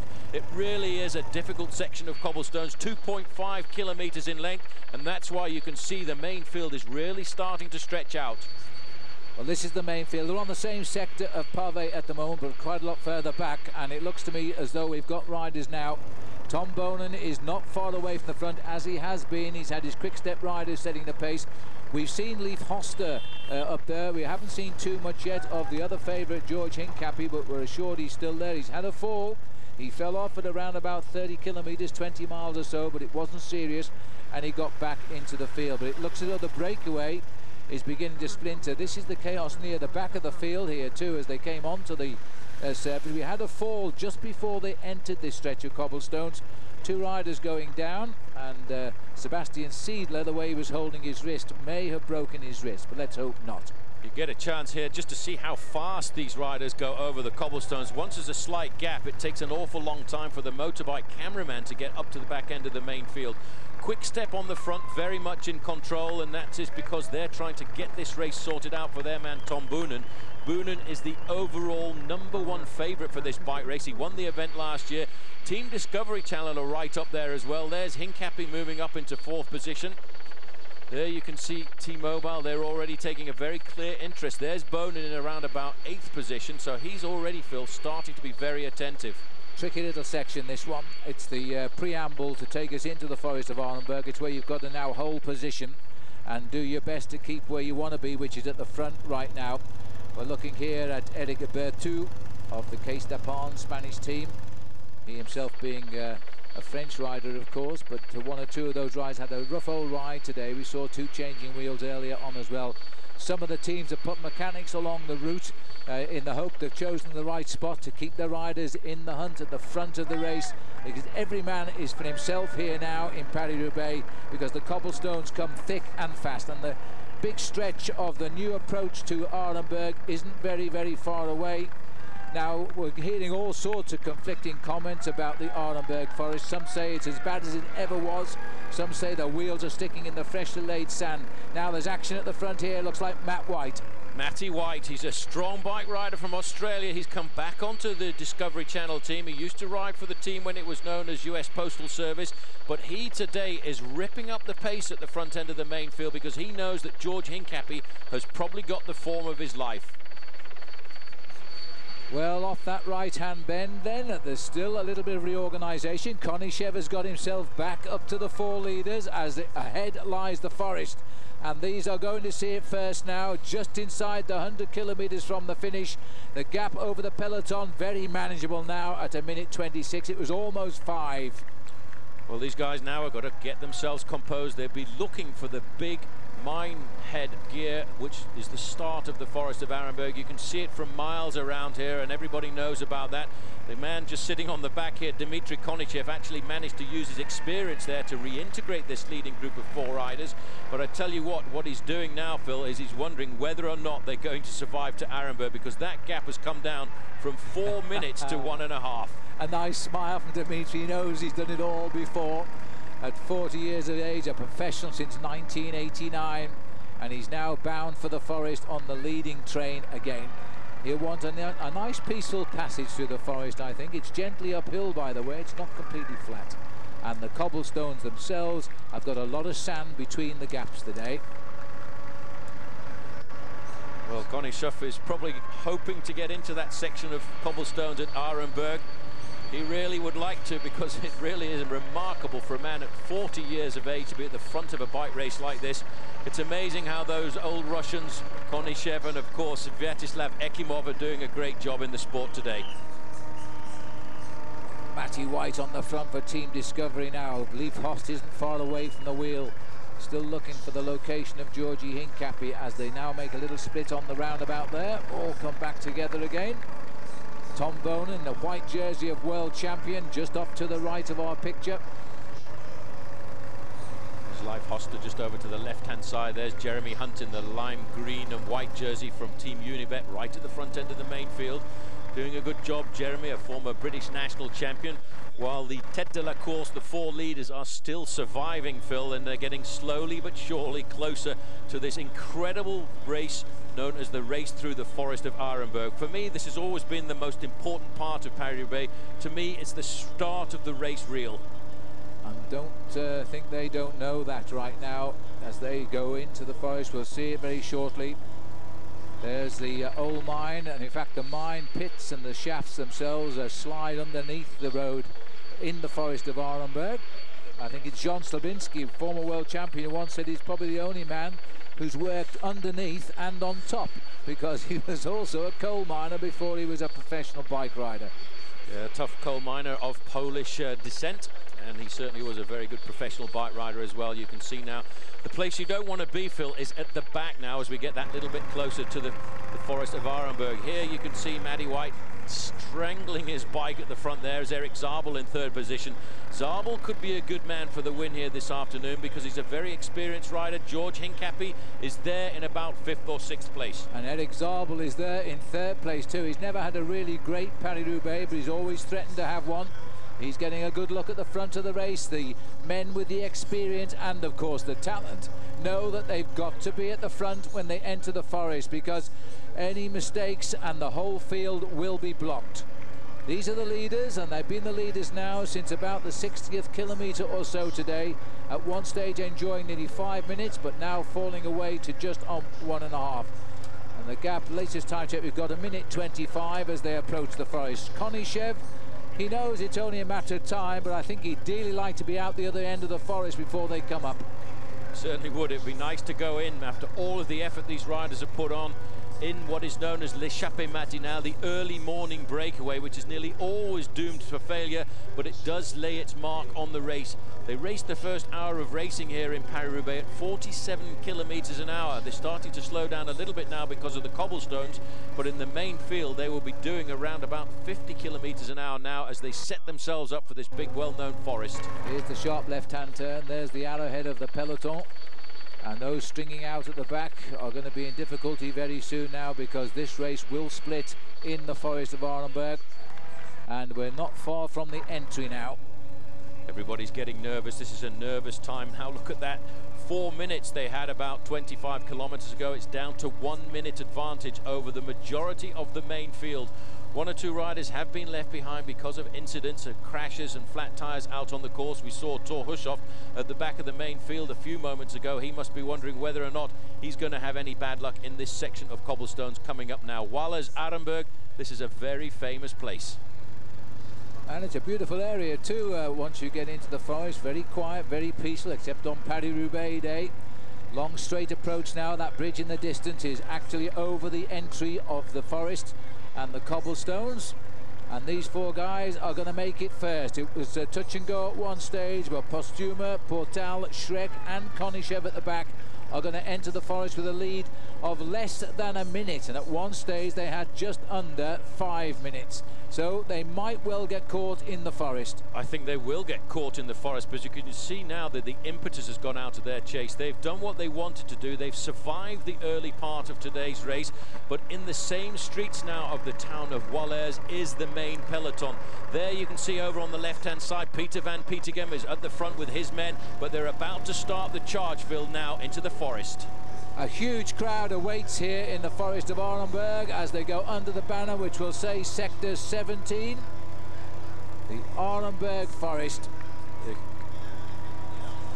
The four leaders here of Paris-Roubaix, they are now entering the five-star section of the Forest of Arenberg with a lead of 53 seconds over the whole main pack of riders here. George Hincapie has moved up to the front, so too Leif Hoste, Tom Boonen, this is going to be a real battle of the stars now over this new stretch of cobblestones. We'll see how they might manage to ride it now. Well, it might be a new section of cobblestones, but you look at the way those bikes are bouncing around all over the place. They've managed to keep the barriers and the crowd away to make it as safe as possible for these bike riders.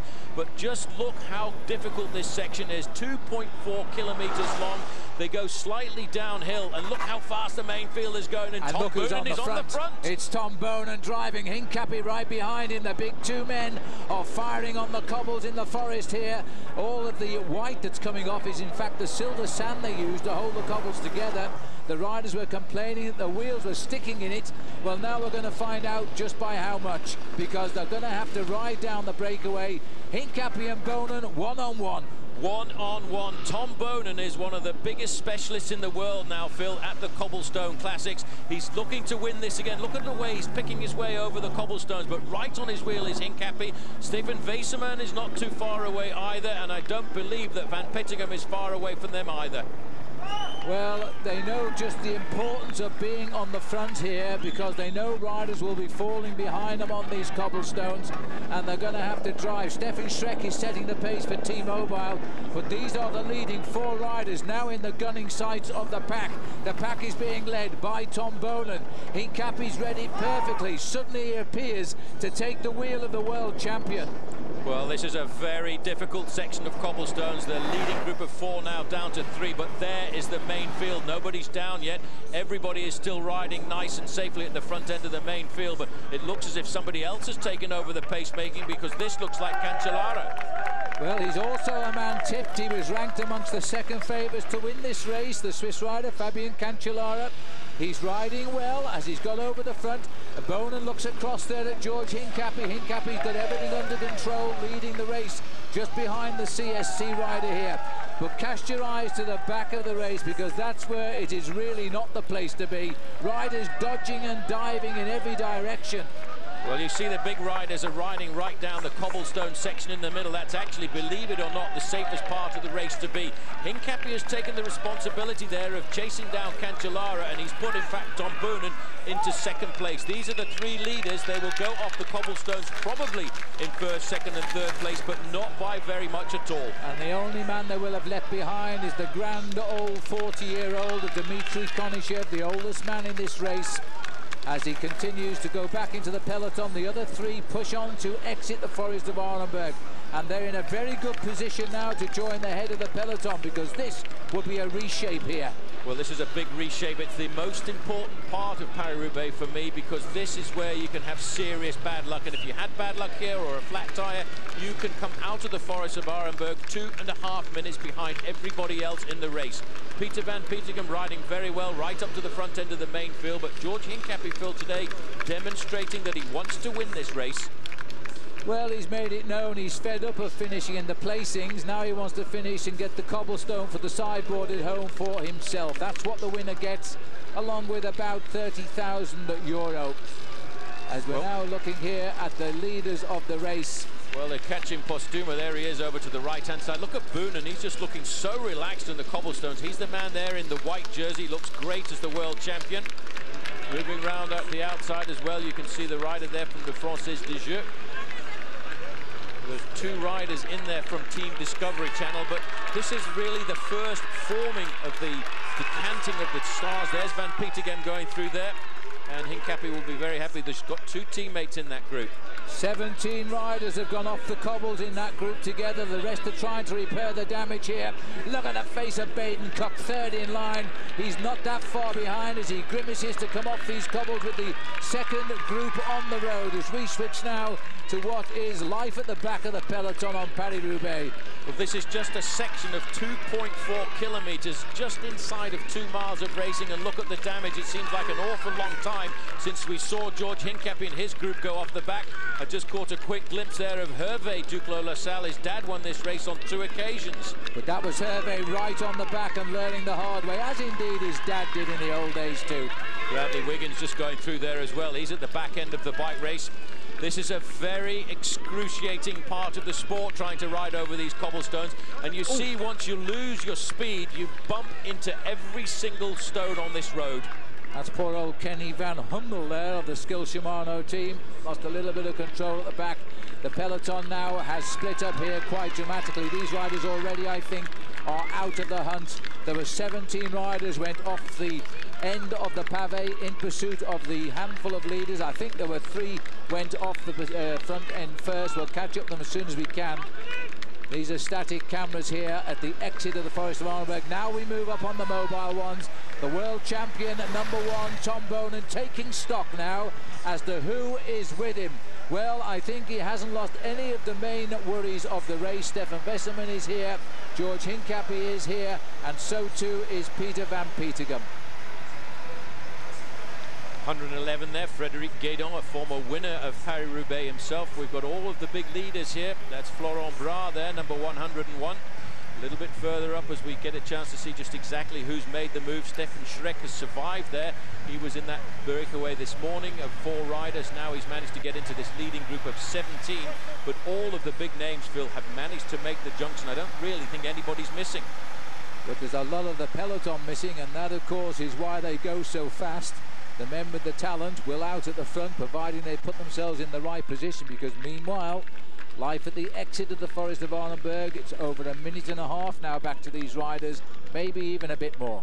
You get a chance now just to see why this Forest of Arenberg is so important in this race, because you go in at the same time as everybody else, and you go out of it two minutes in arrears. There's George Hincapie, third in line here. Now, when the picture goes still like that, it means the camera's correcting with the shake, so you don't lose the image, but uh, it'll come right in the end. There is a very select front group. Shades, perhaps, of last year, last week's Tour of Flanders, Paul, when Boonen attacked, got 15 men clear of the field, the rest never saw them again. And all of them big names on that occasion, big names on this occasion too, because right at the front I caught the glimpse of the best placed Spanish rider in this race last year, Juan Antonio Flecha, the arrow man himself. As the helicopter camera pulls back, that is a huge gap already. A select little group here contains, among others, the Australian Baden Cooke.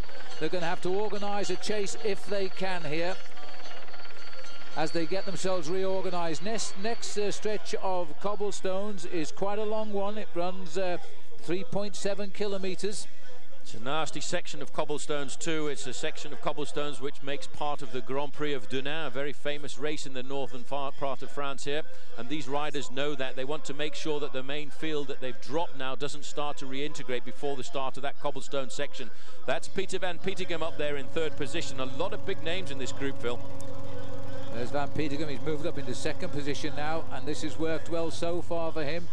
It's good to see that the riders who have been rather crushed by the amazing publicity that Tom Boonen has been given this last few weeks, and well deserved, I might add, that they are not losing any confidence and still prepared to take him on.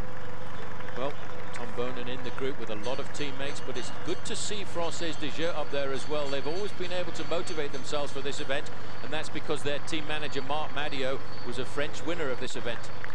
17 riders then, they've picked up the three leaders, are now going forward at 90 kilometres from the finish. So Hincapie's name is crackling over race radio now just to uh, let us know that he's definitely in the group.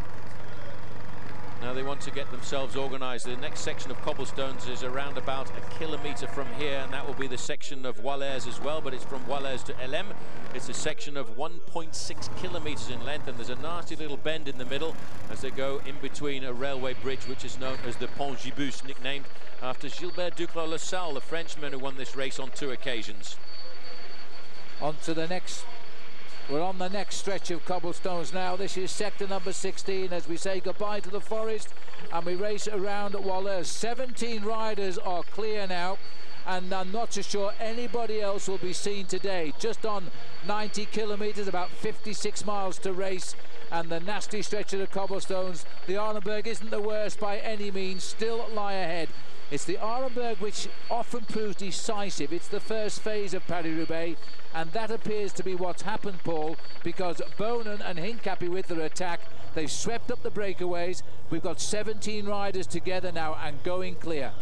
But it's interesting this year to know that it's all of the big riders seem to have made the group. The man who may well have missed out, and I haven't seen any green jerseys in this group for the moment, is Thor Hushovd, the recent winner of Ghent-Wevelgem. He was looking to ride well here, but I think he might have had just a little bit too much bad luck this afternoon. I agree, because I think the problem was he was off the back with a teammate just before they came into the town on the outskirts and got back, but I don't think he had the legs to get up front before the split happened. It could have been a, a, badly timed bit of bad luck for this man there. You can see Discovery Channel are actually dictating the pace at the front end of the main field. But of course, this is going to be very tactical now down towards the end. The important thing is to make sure you've got as many teammates around you as possible because that's maybe got to be the deciding factor of Paris-Roubaix here this afternoon.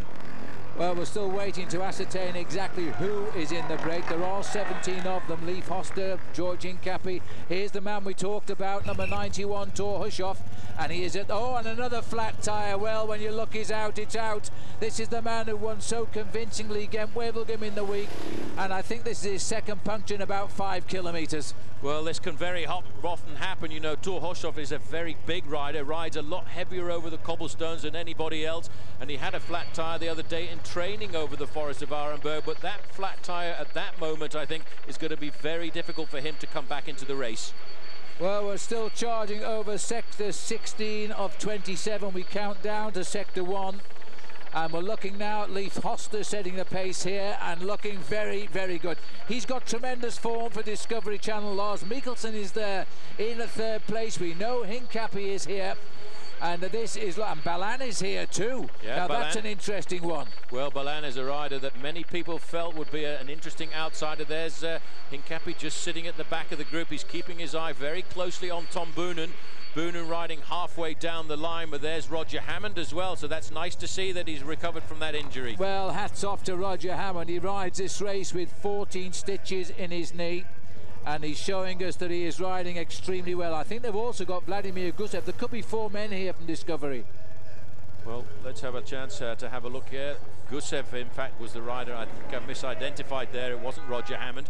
He's a tough bike rider, but let's have a look at the rest. Posthuma still survives. Ljungqvist is up there for CSC with Lars Michaelsen as well.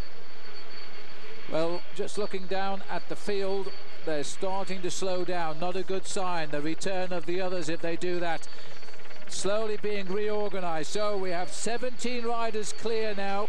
The first phase of Paris-Roubaix has been played and George Hincapie and Leif Hoste, Tom Boonen and Van Petegem are all in the move.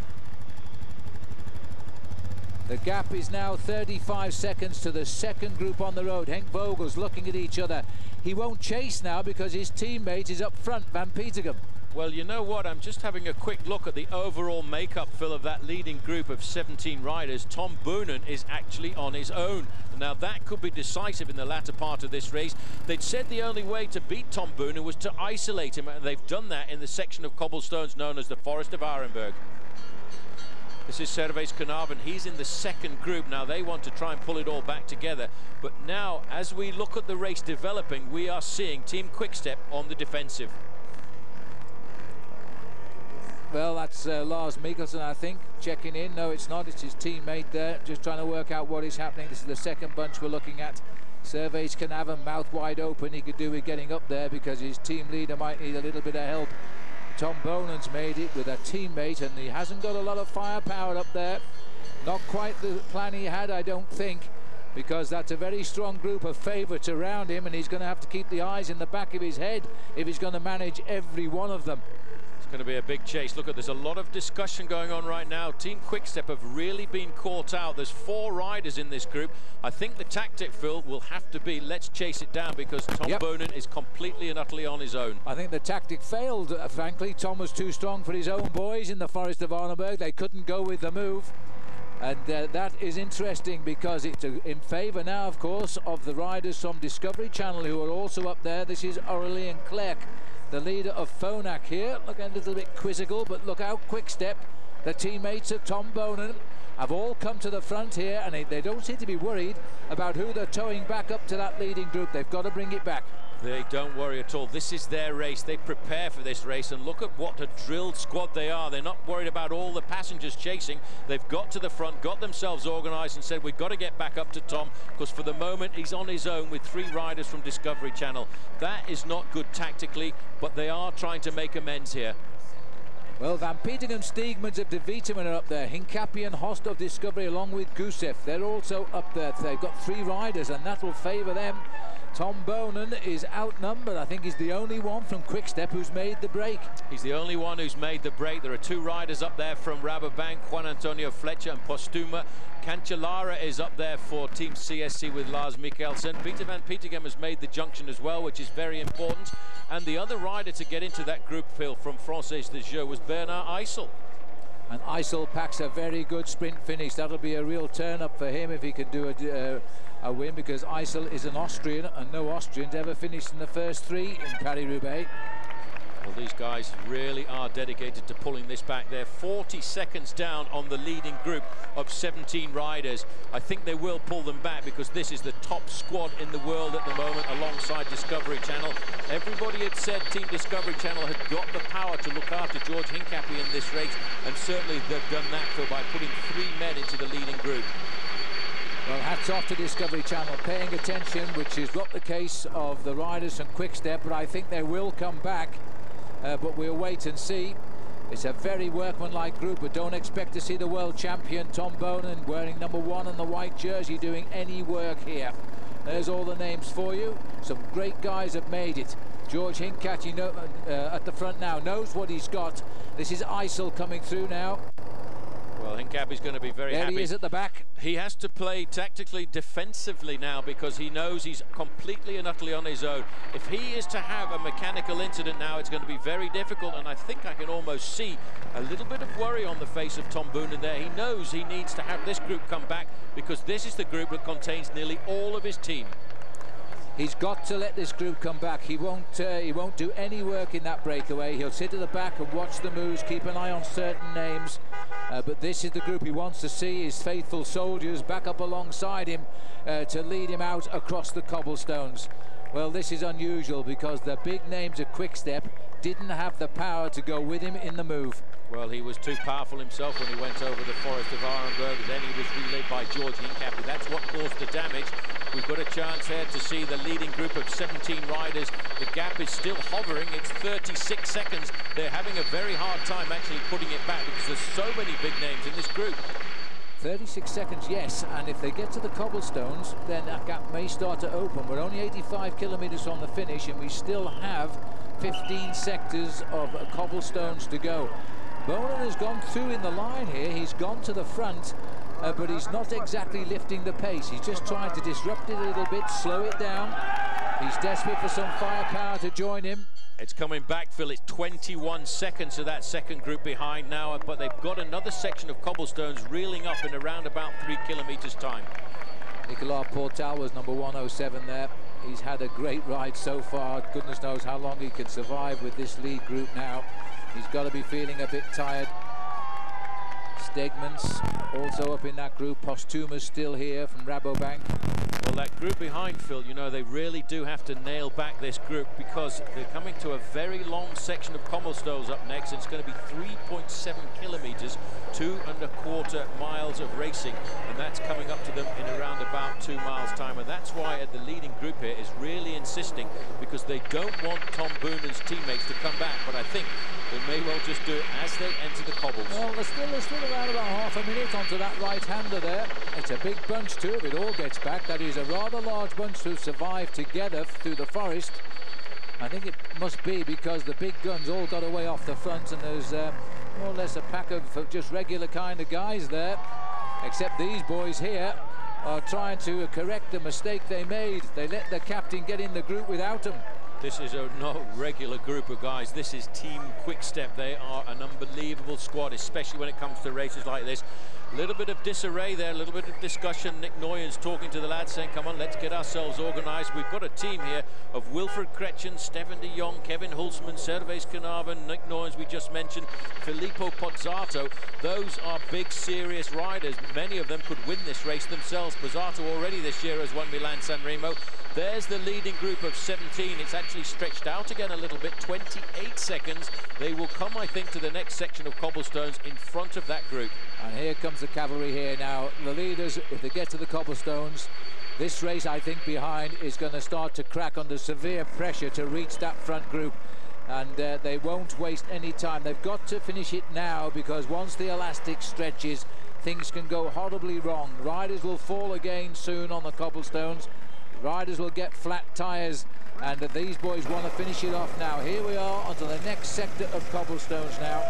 Long section of cobblestones this. It's known as the section of Hornaing. It's 3.7 kilometres in length and it is a very hard section of cobblestones. Really made difficult because of the length. It's two sections sort of brought together if Team Quickstep have got anything under the bonnet at the moment, what they need to do, Phil, is try and rip the place apart on this section, and then they might just be able to catch up with the team leader. Well, the worst worsting scenario now will be a problem for Tom Boonen. He's got nobody to help him here. I wouldn't recommend riding amongst those cinders on the left either. These tyres can blow very quickly. A lot of the riders have changed bicycles or wheels off camera, but they've had mechanics there uh, with reduced pressure to try and stop the blowouts on the cobblestones. But they're making pace down the cobblestones. It switches around a little bit. Huge crowd enjoying a chilly day to say the least. It's only about uh, 10 or 11 degrees Celsius and in Fahrenheit that's about 55 degrees. A bit of chaos. This is the second group now. Team Quickstep trying to rip it all to pieces. We've got to get back up to Tom. That's what they're thinking. Our leader is on his own, but he's going to need us at least sometime during the afternoon because there's still 50 miles of racing, 80 kilometres to go to the finishing line. There you can see the acceleration, 27 seconds now between the leading group of 17 and the chasers behind. And the leading group of 17, Phil, are actually starting to lose themselves one or two men. Well, don't forget the breakaway is here. The man that's dangling now is Joost Posthuma. Not surprisingly, here comes Stefan Schreck. These are the men who've been in the lead all day. The other one is Nicolas Portal. I think he might just be playing last man. So we can expect those two to go back, uh, but the rest are going forward and uh, turning the screw a little bit tighter. There's Portal, still uh, living dangerously in amongst the grass between the cobblestones. And this is the sort of speed they're riding over the stones. Around about 43 kilometres an hour, they're bouncing their way to Roubaix. You have to ride the cobblestones with power, with a big gear. Keep it rolling over there. You can see just about to go pop off the back of the group there is Portal. That's not a surprise, really. He was in that early morning breakaway. He did a great job opening up the roads of Paris-Roubaix this afternoon, but now he can see that he's with the big guns, and they're going over these cobblestones at a completely different speed. Well, he's just trying to hang on in there. It makes you want to lean over and give him a push. He's had such a great day of racing, Nicolas Portal. Coming down now too is the Lampre rider here, but it's not Ballan, it's his teammate who's uh, being unhitched off the back just now. This is uh, Fornaciari, I think it is. It's Enrico Franzoi. Oh, he was go out it? to the back, yep, and he's having a very difficult time. There you can just see hanging on there for grim death as well was Vladimir Gusev. He wants to stay in contact as long as possible. He's the Russian rider on Discovery Channel, and he is up there for George Hincapie this afternoon. They say he's a real star of the future as well. He's a hard man and uh, they say he's a pretty good disco dancer too. Well, he's going to do a bit of disco dancing on these cobblestones, that's for sure, as uh, he tries to hang on to the back for that little bit longer. Hincapie will need him later if he can survive. And Lars Michaelsen, who's setting the pace right now, his teammate is also here, Fabian Cancellara. They are very strong riders in this breakaway, and they want to keep this big bunch from catching them up. Well, you know, I spoke to Lars Michaelsen the other day, Phil, just before the start of Ghent Wevelgem, and he said to me, I just am um, a little bit too old for these races these days, but he seems to be riding fairly well this afternoon. It's amazing how a man can raise his game when he needs to look after a teammate. We're looking down on the leaders now. There were 17. They're down to about 15. The three breakaways originally. Two are certainly gone in the shape of Posthuma. He's dropped back. But I'll tell you what, the fact that Tom Boonen has made this break without any teammates, they are driving the chase group and they've made little impression at the moment because they're desperate to get up alongside. And the reason being Discovery Channel have three men here and they're getting a lot of help from the other riders too. There's Posthuma, he's now back with the group here. Steven Schreck is back with the group, so these two riders have gone, leaving now only 15 men up front. This race really is all about elimination, but it's not elimination from the front, it's from the rear of these groups. Every time they come to a cobblestone section, one or two riders will get dropped. They will never get back to this race. Over to the left-hand side, a quick glimpse there of Baden Cooke. He's riding a great race here this afternoon, but he's actually in the second group on the road. Section 15 we are on of 27 sections of cobblestones, and these are the leaders a bit further up the road. Uh, but no, these are the back of the group, so these aren't the leaders at the moment. Uh, but in that leading group, still Peter Van Petegem, Lars Michaelsen, Fabian Cancellara, George Hincapie, Leif Hoste, the big names who are taking on Tom Boonen. And Boonen now, well, he's got to have a little bit more than just the average ability because they're all going to attack him. Roger Hammond was in that second group. I just caught a sign of him. Uh, he's the man who's riding along with the bandage on his knee after a nasty accident. The pressure is on here. This looks like Steffen Wesemann now is trying to put a little bit of time between himself and Tom Boonen. Boonen, the only way they could beat him, they reckon, was to isolate him. They've done that, Phil, today, with 80 kilometres to go to the finish. And the irony was it's Boonen who did it because he was the one that ripped the field apart and none of his teammates could go with him. There is Boonen. Well, we've got seven kilometres now before we come to the next section of cobblestones and this may well give the riders in that second group a chance to reintegrate but that depends on whether or not these men here have decided to work together. In fact the gap has gone out to 45 seconds. That was Juan Antonio Flecha. And this looks like Portal trying to get back on. Yes come on suffer that little bit more now. We're off the cobbles for a section or two. Try and get onto the tail of the breakaway He's been a star all day, Nicolas Portal. He's a Frenchman He used to ride on Crédit Agricole. He's now riding for the Spanish team. He's just rejoined. Now he wants another drink. So we've now got uh, 15 riders in this leading breakaway. They have prized open a gap to 45 seconds uh, from just a few seconds. And Tom Boonen looking over his shoulders there. He is, as some people often say, in a spot of bother. 50 seconds now, Paul. 78 kilometres to go. Well, you know what? It's rather interesting to see that this group, despite the fact it's got a large number of big names in it, they've all decided to come to the front. I think today, Phil, they they've got feel to. they've got the advantage of having isolated Tom Boonen so far from the finish. They've Quick Step are on the back foot. They've realised they've got Boonen on his own. They have just got to get rid of the team, and this is their best chance, and they've got to work together to do it. Vogels. Now you see this is rather interesting because Quickstep now, Phil, have actually turned off. I think they've decided, forget it, we're not going to get any help from anyone in this group. We might as well bury them as well. If anybody wants to chase, come up to the front and do it now. The next time check we get is going to be closer to one and a half minutes. Well, this is an amazing turn of things in the Tour, in the Paris-Roubaix rather, because here we have a team that's got the leader in the breakaway, but on his own, and all of the strong men can't help him now. It's down to the man with the ultra talent, Tom Boonen, to see what he can do here, because I don't think the main field's going to come back. What an amazing turn of events, and the irony is it was Boonen's own attack that left his own team in the slipstream. 50 seconds it says, but I think it's more than that now because these boys have turned off. And there's some, well, most of the huge names of the Paris-Roubaix are down there in that group of 15 riders. We're heading now to what will be Sector 14, the next stretch of cobblestones at uh, a length of 2.4 kilometres. There was a desperate chase to try and get them before the last long stretch of cobblestones. They failed, and the gap instead opened up a little bit, and there it is. It's out to a minute now at 77.3 kilometres to the finish. Tom Boonen's going to have to start rethinking his uh, plans here. This looks like it might be a move by Baden Cooke as he tries to get the field to start to chase again but I'm not sure that uh, there's a lot of firepower here because there's a lot of teammates who don't want this race to regroup now. Number five here is Servais Knaven, who's the last Dutchman to have won this race, but he was in the service of Tom Boonen. You can see by his face that he's really struggling. Number eight wants a bit of advice. That's Kevin Van Impe, another man on the quick step team. They desperately want to see this race get itself going again, but I'm not so sure that they've not uh, missed the boat as far as they are concerned. And they're going to be pretty annoyed about that now. We're out to a minute and five seconds. And they're trying to reorganise themselves. 76 kilometres to go. There's the boys who may have Paris-Roubaix in their uh, eyesights here. One of 15. They could be the boys to go to Paris, go to the finish all together. Well, it really is a remarkable sight, and that's all because of the Forest of Arenberg. George Hincapie now must be feeling rather confident because he's got two teammates in this group alongside him, and that could be the important thing at the end of today's stage because that time gap, a minute and five seconds, is now starting to look very solid for these 15 leaders.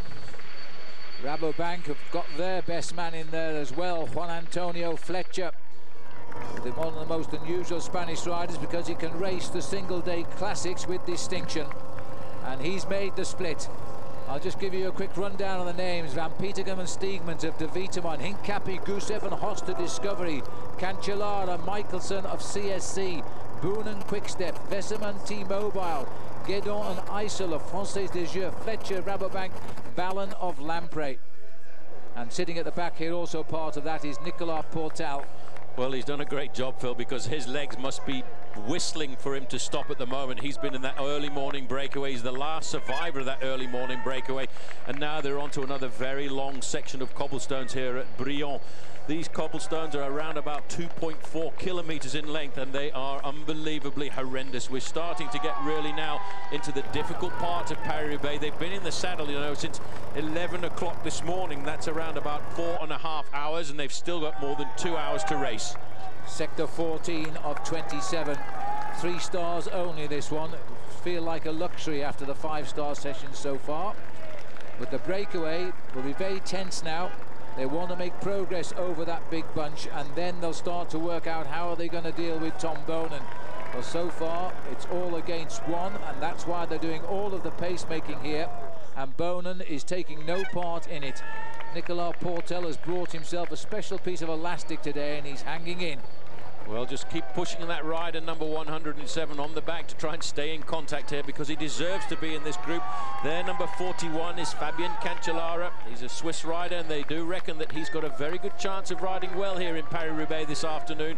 But the team that's done the best operation over the Forest of Arenberg is Team Discovery Channel. They've got three riders in this group. Well, let's hope Cancellara doesn't like statistics because the last Swiss rider to win this race was in 1923.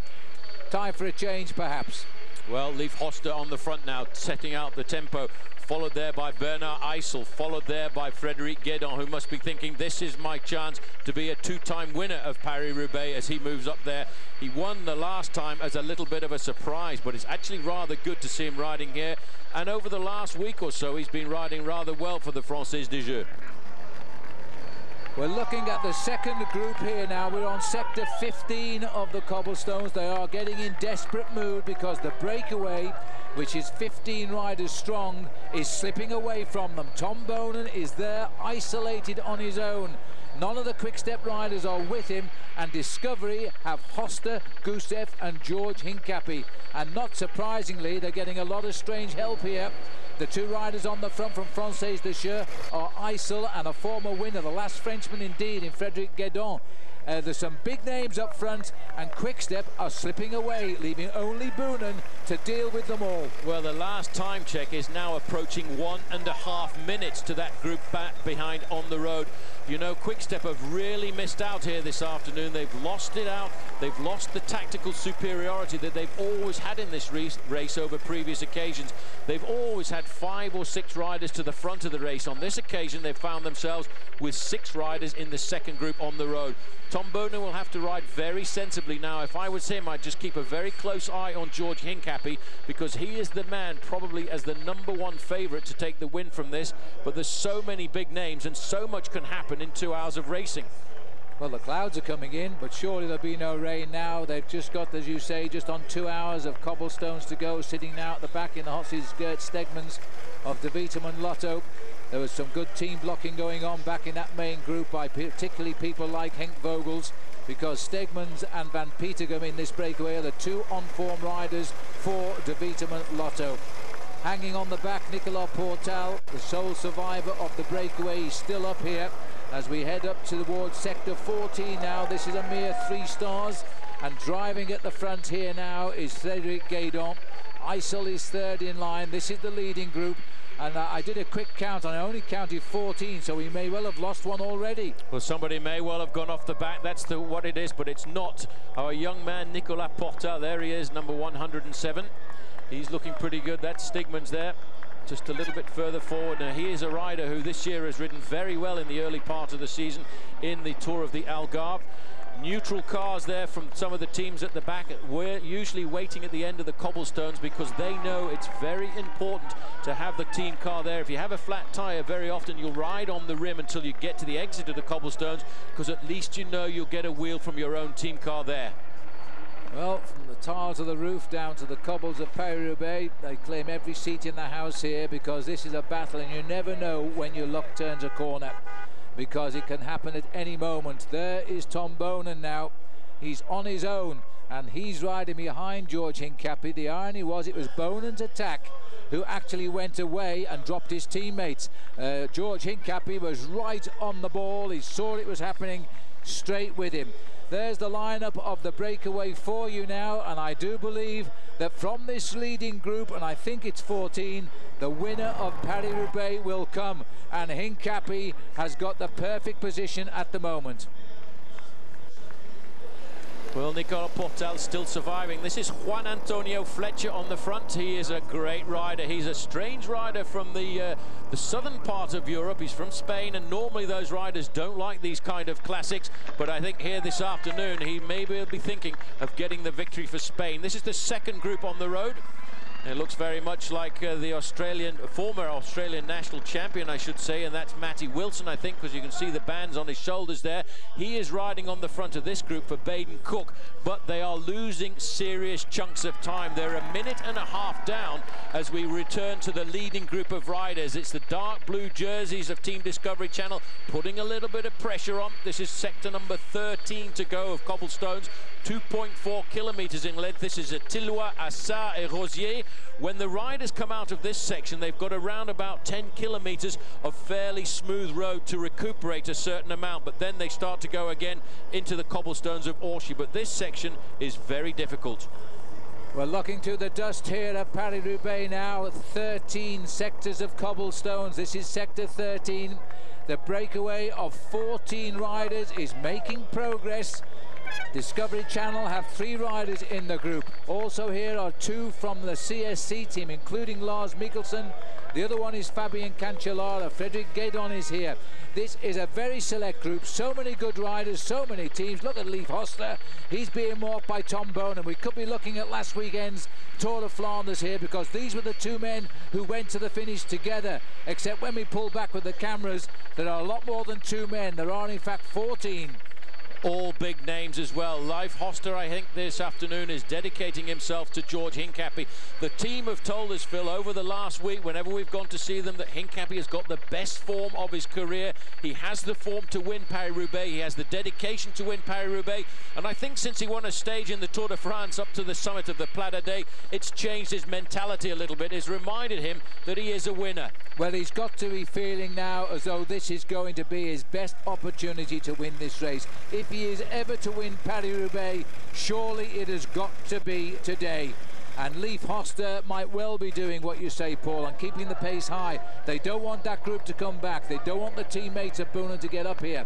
And where this man is finding the strength from to hang on to the back, hats off to Nicolas Portal, who's been away since about the 60th kilometre and we're just about 70 from the finish. Well, he's taking a few risks there to stay in contact, but I'll tell you, Nicolas, from experience here, if you can get off this section of cobblestones, you've got about 10 kilometres, so you can have a good ride at the back of the group and try and recuperate a fraction. There's a different name on the front now going round the corner there. It looks like Lars Michaelsen. He will be trying to set this race up for Fabian Cancellara, his teammate.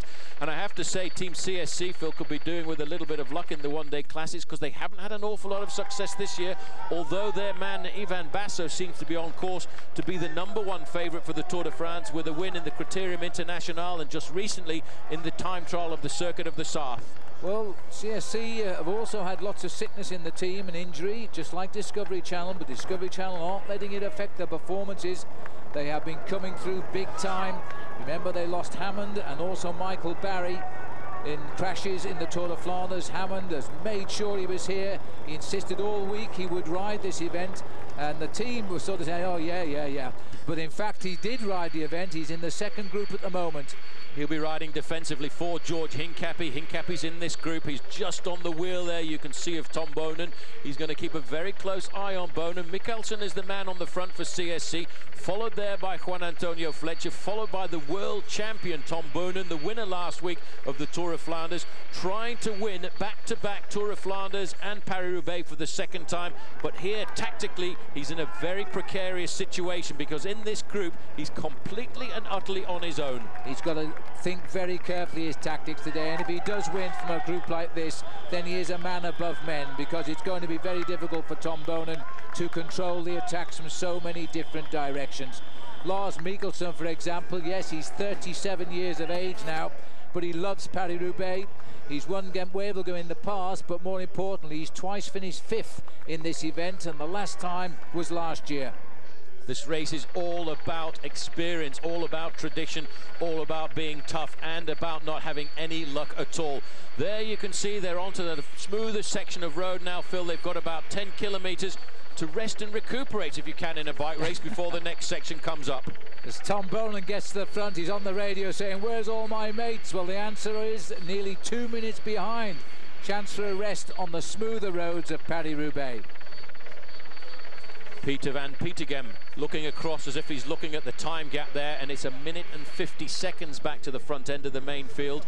This is a serious move, a long way from the finish of Paris-Roubaix, just like it was a week ago in the Ronde van Vlaanderen in Belgium, not too far away from here. That's Guesdon on the front. He must be thinking this is a great chance. It was a surprise win for him in Paris-Roubaix a couple of years ago. Now he's riding like a very experienced professional. Leif Hoste at the front. He's a great bike rider to have as a teammate.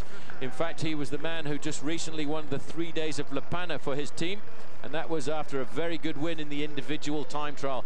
He today, I think, is trying to pay George Hincapie back for his second place in the Tour of Flanders last year. It's good to see that Team Discovery Channel this time are in superiority in numbers. Number 11, that's Hincapie. 61, Van Petegem. Number one, Tom Boonen, 121 just in front of him, Steffen Wesemann. He told me this morning he didn't think he had the form to ride well in Paris-Roubaix. He'd been on antibiotics after a slight illness, but I tell you what, when you love this race, you can find a little bit of extra motivation. There's Boonen, keeping himself topped up with energy. Doesn't look like a man under pressure. He looks like a man who's relaxed and enjoying his bike race here this afternoon because he is still, even though he's isolated from the rest of his team, man, he's still the man to beat. Well, 2003 winner there just went through, having his lunch too on the 2005 winner. That was Van Petegem passing Tom Boonen. The breakaway, though, is full of so many stars representing so many teams. It's uh, getting a little bit unthinkable that anybody can actually close this gap, but they are holding it, Paul, at a minute and 50. Well, they won't give up behind. You see, initially it was Team Quickstep who tried to nail it back, but afterwards there are still a number of teams that aren't represented in this leading group, so what they have to do is chase from behind. And one team that seemed to be taking a fair amount of responsibility, in fact, was the Unibet team who were trying to pull it all back together for Baden Cook. 67 kilometres remains of the 2006 Paris-Roubaix. It's been a great race so far. All it's done, though, is project all of the race favourites into one group. And they're going to have to think, how are they going to outwit the other now that there's only 14 of them together here? We're making our way slowly but surely, well, not so slowly, actually, uh, towards Orchies, which is a feared section of cobblestone sector number 12. Tom Boonen looking calm and collected now. He knows he's in a little bit of difficulty, but he needs to ride sensibly. There is the former German rider Steffen Wesemann, who's now switched his nationality across to become a Swiss rider. This is Steegmans. He will be an ally for Peter Van Petegem down towards the end. It's amazing that there's so many teams have got multiple riders in this group and the team that we've regarded as being the number one team in the world, Team Quickstep, have been really caught out here this afternoon. I can't really understand how they got caught out quite so badly as they did. I would have expected Filippo Pozzato at least to have moved across he, he must have known that uh, Boonen would have attacked there, but clearly he didn't read it right and he's back in the group. But Italians often don't like riding on this road. The Italians have won this race uh, on 11 occasions out of a possible 104. Well, the country that's dominated, we have, to say, as in the Tour of Flanders, although this is a French race, this has been dominated by Belgian riders over the years. It was, was been won 51 times by the Belgians. They really do love this race. They get super motivated. After all, this part of France is known as the Flandre Artois. It's the French, the French part of Flanders. Yes, and they're racing towards Belgium, so a lot of the spectators will be speaking Flemish here. This is uh, Flecha taking a drink now. And uh, no shortage of firepower to come through. Gusev moves through, looks over. Young man of just over 21 years of age. Big future ahead of him. He's a national time trial champion in his own country. He's a very talented bike rider being brought on board this team by Johan Bruyneel to develop for the future. That's Lars Michaelsen. Nicolas Portal, I tell you what, what a great ride Fabulous. by this young man. He's been in the breakaway since this morning. He's recuperated, and now he wants to go to the front to show these guys that I'm still here. I'm not going to sit on. I want to stay with you. Never seen him ride so well. He's not a newcomer to the sport, but he's not a big winner. He's only won one race, but he's riding superbly today. Steph, Steffen Wesemann, nearest camera here, used to be a German. Now he's a Swiss man and he's in the breakaway. And that was the T-Mobile's performance early on today was to get him up there. That worked at least. Peter Van Petegem experience he's a really good cobble rider. This is good to see George Hincapie looking good here. He must be thinking that all of his numbers have come up in the lottery because he's got a very good chance of winning from this group but he's got to beat some canny clever bike riders like Van Petegem like Steffen Wesemann like Cancellara like Ballan big names in this group. It's a great group.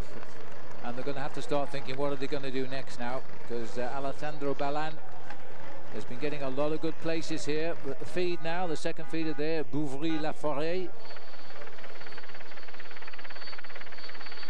12.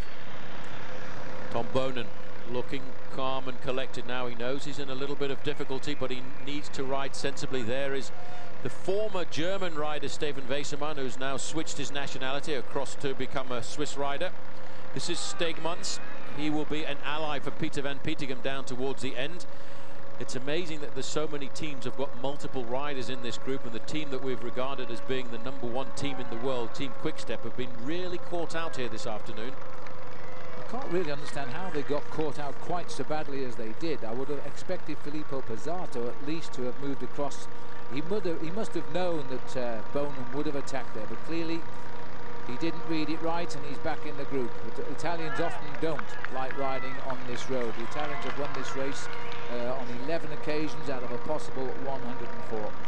Well, the country that's dominated, we have, to say, as in the Tour of Flanders, although this is a French race, this has been dominated by Belgian riders over the years. It was, was been won 51 times by the Belgians. They really do love this race. They get super motivated. After all, this part of France is known as the Flandre Artois. It's the French, the French part of Flanders. Yes, and they're racing towards Belgium, so a lot of the spectators will be speaking Flemish here. This is uh, Flecha taking a drink now.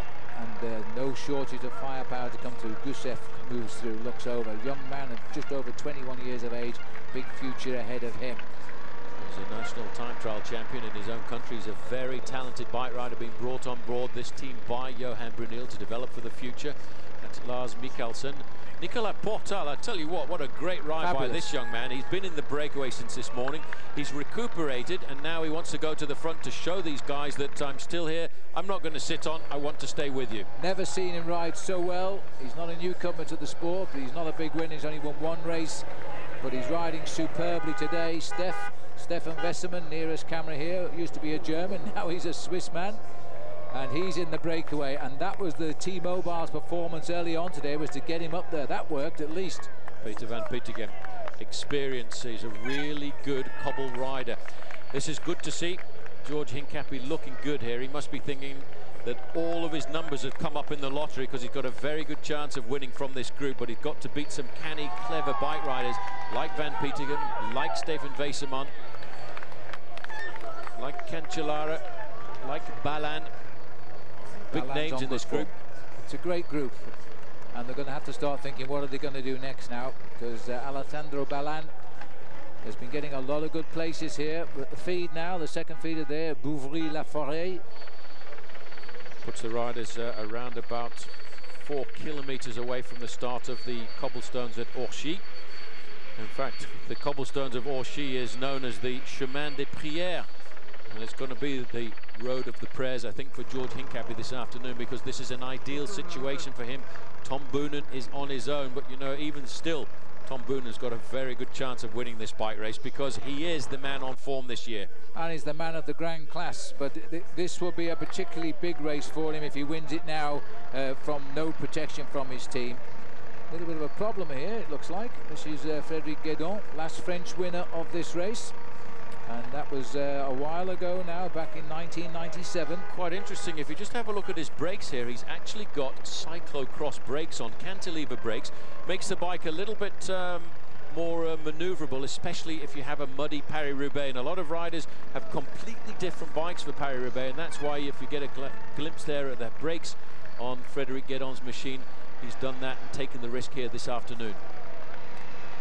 A few bottles coming in, have that little problem and uh, the professional adjustment of the rear brakes, I suspect, uh, as he comes closer to the group he was with. Uh, this is a serious problem here. In fact, uh, you can see that they're not taking advantage of pulling him up through the convoy here because the team manager is riding alongside his position in the line of riders. They're trying to fix that on the move. This is a very important moment for Frederic Guesdon, getting himself stripped down for the latter part of this race as we take a look now at the front end of the group. Still Team Discovery Channel have got the tactical advantage of having three riders. And look how everybody now, on the smooth sections of Paris-Roubaix, it's the important moment to try and remember to eat, because otherwise you hit the wall towards the end and go into glucose exhaustion. And George has heard those wise words from Paul Sherwin there. He's taking his lunch in, so too is Gusev. Then comes the world champion Tom Boonen. Just behind him is Bernhard Eisel. Steegmans. This is Cancellara off to the left of our picture. In comes Steegmans. These boys doing uh, very much the hard work. Through and off, as they call it, to keep the pace nice and high. Here comes Guesdon out. Back into the fold. Meanwhile, Nicolas Portal doing the ride of his life. Uh, sat at the back at the moment, uh, but deserves to be in that position, I think. He's riding superbly today. Needs a rest. Well, we're right now in the uh, streets of Orchies, and if you take a right-hand turn here and travel to the north for about six kilometres, you'll be right inside of the Belgian border. This is uh, at the back, uh, Leif Hoste, very strong bike rider, very convincing winner of the three days of De Panne, but in the group as well, just in front of him, Frederic Guesdon. He'll be thinking about becoming a, a two-time winner. Steffen Wesemann at the front looking over his shoulder, looking for some support for the rest of the guys in this group. Bernhard Eisel He's had a good season so far, the German on the front here in the white jersey. He's won three races, and one of those was in the Tour of Qatar, where he happened to beat Tom Boonen in the sprint. Stress big moment in this race uh, certainly came in 2002 when he finished second in the event. He desperately wanted the win. Had he won, he would have been the first German since 1896. And now if he wins today, he'll be the first Swiss rider since 1923. Um, I'm sure he's not thinking of things like that. But back in 2002, he was beaten by the then very much on form Johan Museeuw. Discovery Channel moving to the front. We're in the outskirts of Orchies. Very strange, if you ride in this part of the world as well, you will notice that there's a, an interesting smell comes through the air, and it's because in the area they actually make uh, chicory, and for miles and miles around you can actually smell chicory in the air. A couple more kilometres to go before they get to the cobblestone section. Steegmans will be thinking about his man. There's two very difficult sections of cobblestones coming up now, and they're very close together. It's the Chemin de Prière and the Chemin des Abattoirs. It makes a total distance of 1.7 kilometres of cobblestones. But once the riders come off there, they'll look at about 60 kilometres to go to the finish. Leif Hoste, Steffen Wesemann, Fabian Cancellara looking nice and collected here. It's going to be a, a, big aggression, I would say, now once they get to the next section of cobblestones, because what they'll try and do as they get closer to the finish is reduce the numbers in this leading group. So there we go, down to 14 men. Had a recent time check, but I would expect it's still up around about the two-minute mark. Race referee moving around there in the, the red car, and it is just inside of two minutes, a minute and 58 seconds. Lars Michaelsen, former winner of Gent-Wevelgem. Juan Antonio Flecha in the orange jersey there, the Spanish rider, had said he wanted to ride well in this race as we look at the composition of the group. Tom Boonen, for once this year, completely and utterly isolated from the rest of his team. Peter van Petegem, he loves this bike race. You know, this man, Phil, over the last couple of years, has made his career out of a week of racing. That's right. Comes from Brakel in Belgium at the end of this sort of spring classic period. He tends to slip back a little bit into the uh, bunches and we don't see anything of him. He doesn't ride the big races like the Tour de France too often. But right now, we're looking at the main pack here of chasers. They're still reorganised. It's still a very big bunch. That is not a good sign when it's such a big bunch, frankly, because the team Milram have placed nobody in that front group. Uh, they're now heading up the chase because nobody else is helping them. And it's almost two minutes. So I don't think these boys are going to contact now the 14 leaders of Paris-Roubaix. Well, there are too many riders in that leading group of 14 too dedicated to the success of that breakaway for the moment. I think what will happen in the next couple of cobblestone sections is that group will actually split into, into two and we get a much better working group. So these guys are actually riding on the front now for, of course, Erik Zabel. Zabel surprisingly missed out over the Forest of Arenberg, and that's why this chase has been on ever since then. Well, there's the little banner, so we're approaching Orchies now, and here comes the leading group. This is the next big challenge. Getting themselves organised. Uh, this is the right-hand bend. Here we are now. This will be sector number 12 here, the dreaded uh, Chemin de Prière with a passage of prayers here because this is Orchies. The breakaway still very much on here. 14 riders and almost two minutes ahead of anybody else. 60 kilometres remain now as Juan Antonio Flecha, a Spanish rider, can you believe? No Spanish riders ever won this race, drives at the front. Well, Juan Antonio Flecha here this afternoon is a man motivated, a man on a mission as he lifts up the pace here on the Chemin des Prières just outside of Orchies. But if he looks over his shoulder there, he won't see not only Lars Michaelsen, but he'll see the world champion, Phil Tom Boonen, who is riding very sensibly. He's on his own, but every time he comes to the cobbles, he moves to the front three or four places. It makes sense. He knows now he's got to control 13 other riders here and he's got to do it himself because there's no one else to help him. His team didn't make the gap and Boonen's attack itself has split them away. Nicolas Portal, the only survivor of the original breakaway, keeps yo-yoing, but the gap this time, Nicolas, is getting a bit far. Try and close it down. Starting to stretch out a fraction, that's because of the big acceleration, and sadly for Nicolas Portal, once they get to the end of this little cobblestone section here, they turn left. There's about 50 meters of nice smooth road, and you're onto another section of cobblestones known as the Chemin des Abattoirs. No shortage of workhorses here now. Lars Michaelsen drives for Denmark, fifth in this race last year. He's finished fifth on two occasions, tenth on another. He loves this race as well. And another former winner in this breakaway is Frederic Guesdon of Jeu. Another former winner is Peter van Petegem. Boy, this is a select break. This is a race that's all about tradition. This is a race that riders really get motivated for. There's two kind of riders in the sport of professional cycling. As we look down at Miss Piggy there, there's guys who love this race and there's guys who hate it. Every man in this leading group of 14 riders loves this race. It's a crazy race, it's a mad race, but it's something very special that motivates certain riders. And this little stretch of cobblestones here at Orchies is in the annals of one of the romantic sectors of the race as we've seen it covered in mud, in bad weather, in sunshine, in dust. And now we've got the Danish rider Lars Michaelsen here stamping out his rhythm on the front. He'd be happy enough to be there.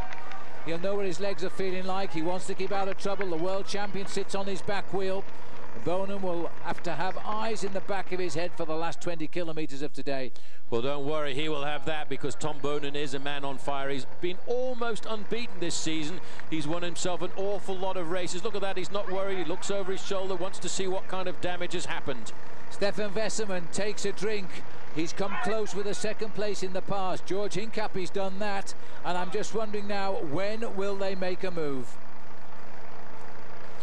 Steffen Wesemann looks over his shoulder. They're trying to ascertain who has been dropped off in this situation. They're all dropping to the back of the line. They can see that everybody's still dedicated to work. The gap to the group behind has reduced a fraction to a minute and 45 seconds. It's coming down slowly, but you know, the heat is really on at the front end of this race. Team Discovery Channel still looking pretty nice there, Phil, with three men in the group and the group is now down to 13 riders here at Orchies on this sector of cobble so I think Portal must have dropped off the back. There he is. That's a sad sight actually. He deserves better. He's ridden wonderfully today. He's He's met, back. Uh, oh, he's, oh, he's back again. Well, all those things I said just cancel, Nicolas. You're going fantastic. Well done. Well, it's good to see, you know, this man is going through probably one of the most emotional moments of his career because for a Frenchman to be at the front of Paris-Roubaix like this, Sunday afternoon, prime time television viewing for him, he will pull himself inside out to stay with this group. He will get dropped on almost every section of cobblestones now, but if he keeps fighting his way back, he's going to fight his way into the hearts of France. Steffen Wesemann almost a smile on his face there as they get onto smoother road again. The peloton has come back by five or six seconds there, 141 now, so it's not over yet, but 57 kilometres only to go. And Well- Portal sits at the back there now, thinking, uh, I can't believe it, but I'm still here. Well, he's got seven kilometres to recuperate on a fairly smooth piece of road because once they've gone across this motorway bridge, they'll head up now towards the very difficult section of cobblestones at Bersée. Another long section, 2.6 kilometres in length, as we look here at Vladimir Gusev over the motorway. And uh, this is probably the only place in the world where you can turn a motorway into a parking lot on a Sunday afternoon. Yes, the car's stopping to see the passage of Paris-Roubaix, and the, what they're seeing is a bunch of 14 real hot riders at the front here. All of the big stars have made it at a minute 45 ahead of a huge pack of riders, and they won't want to see that pack again today. That's Lars Michaelsen now at the front. Eisel just behind him. Now comes Flecha of Spain. A lot of riders in this group, Phil, are absolutely dedicating themselves to their teammates, sacrificing themselves for the cause, and that's what Lars Michaelsen's doing. On the other hand, I have to say that I'm very impressed with the performance of Juan Antonio Flecha, who is not shirking any work at the front. He also is isolated in this group. No teammates for him, but it looks as if the cobblestones of Orchies have created a little bit of a gap at the front end of the main field. Well, that's the only sure way to get across now is to get a working light group off the front. The big pack, I can't believe, will make it. But there looks to me to be a few Davitamon riders in this group. They're not going to push home too much an advantage here. I think they were just covering the move there to make sure that if anything did seem nasty, they would go across. But they're quite happy with the situation. They've got two riders in this leading group. Gert Steegmans, who's a very strong bike rider. You know, he really nearly did pull off the winning game, game four days ago. He did. And he's going to take great faith in the fact that Van Petegem, his team captain, is here too. Uh, because Van Petegem knows the way home. He's won here before. Portal sitting on the back, something about good chips though on the, yeah. on the banner. I wasn't too sure what he said. It was Boon and good chips.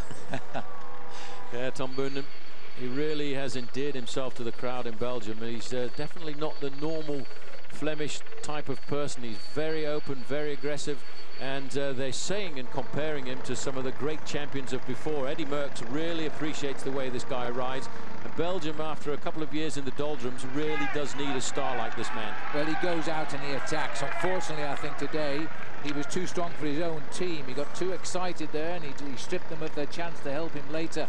So now it's down to him. And as I said earlier, if he does win this race, it'll be a very special win now because the odds, frankly, are against him. He's going to have to go with every move, and these boys won't take him to the stadium without testing him. They won't do that at all. They will wait until the last possible moment and then try and dislodge him. There will be a lot of attacks coming down towards the end, and probably the best way for Tom Boonen to win this race is to actually go out on the attack himself. Perhaps the only thing in his favour is there are so many top names in this breakaway that they won't want to put the first move in. They want others to do it, and that might work in the favour of Boonen. The second group on the road, and this is not really a well-organised chase. Obviously, Team Milram are trying to whip up the pace a little bit at the front there, and that's for their man Erik Zabel, but they're still losing a fair chunk of time, Phil, because it's still actually stretching back out to the two-minute mark. Well, Nicolas Portal making a big name for himself today. One win only in his career. And uh, this is the best we've ever seen him ride as he sits at the back. Everybody else in that early morning breakaway is back in the field or even worse right now, might be back in the cars because very often you get a lot of riders give up at the second feed. We've been through that. One minute 53 seconds. Well, the gap is growing again now, so this is looking good for the breakaway. George Hincapie setting the pace now enjoying life at the front. Now it's Leif Hoste here, comes through. Things look under control just now for these riders. Nobody giving anything away when you look at their face. Nobody's giving anything away. They're just trying to figure out what are we going to do with Tom Boonen. How can we get rid of Tom Boonen? Well, they need to wait till uh, a couple of the sections of cobblestones down towards the end. But there, are, there is a section of cobblestones that I'm sure George Hincapie is going to remember, and that's the cobblestones right down towards the end of the race at Confins en Pévèle, and that's where a couple of years ago he was with his teammate Tom Boonen at the time, and Hincapie ended up in the gutter, and he ended up having to chase and try and get himself back into the event, while Tom Boonen, at 22 years of age, climbed onto the podium in third place. And that was when we knew he was good, but sadly he didn't want to stay with US Postal and he moved across to Quick-Step and that's where he rests at present. As we now get on to gap, uh, sector number 11 of the cobblestones now. It's the cobblestone section at Auchy-les-Orchies at Bersée. It's a long section of cobblestones too. It's 1.7 2.7 kilometers in length. They're pretty nasty cobblestones here as well. And the way to ride them is just the way Gert Steegmans is doing it. Try and ride in the middle. Try and relax the front part of your body if you can, allowing the bike to find at least a slightly smoother road, road over these cobblestone sections. Long straight, only three stars this one, as uh, poor old Nicolas sits at the back there.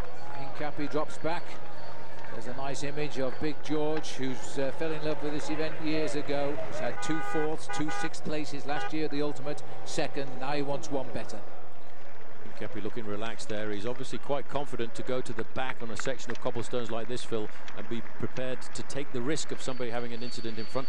Just look at the damage that these cobblestones do to roads like this. That's Tom Boonen, number one probably, I have to say, he's probably the, been the best world champion we've had in recent years. Oh, absolutely, no question about it. And uh, with his dozen wins this year, that is an incredible tally. Takes us back to the days of the great Irish rider Sean Kelly, who once came to this race with 15 wins already in the year before he took part and won uh, this event.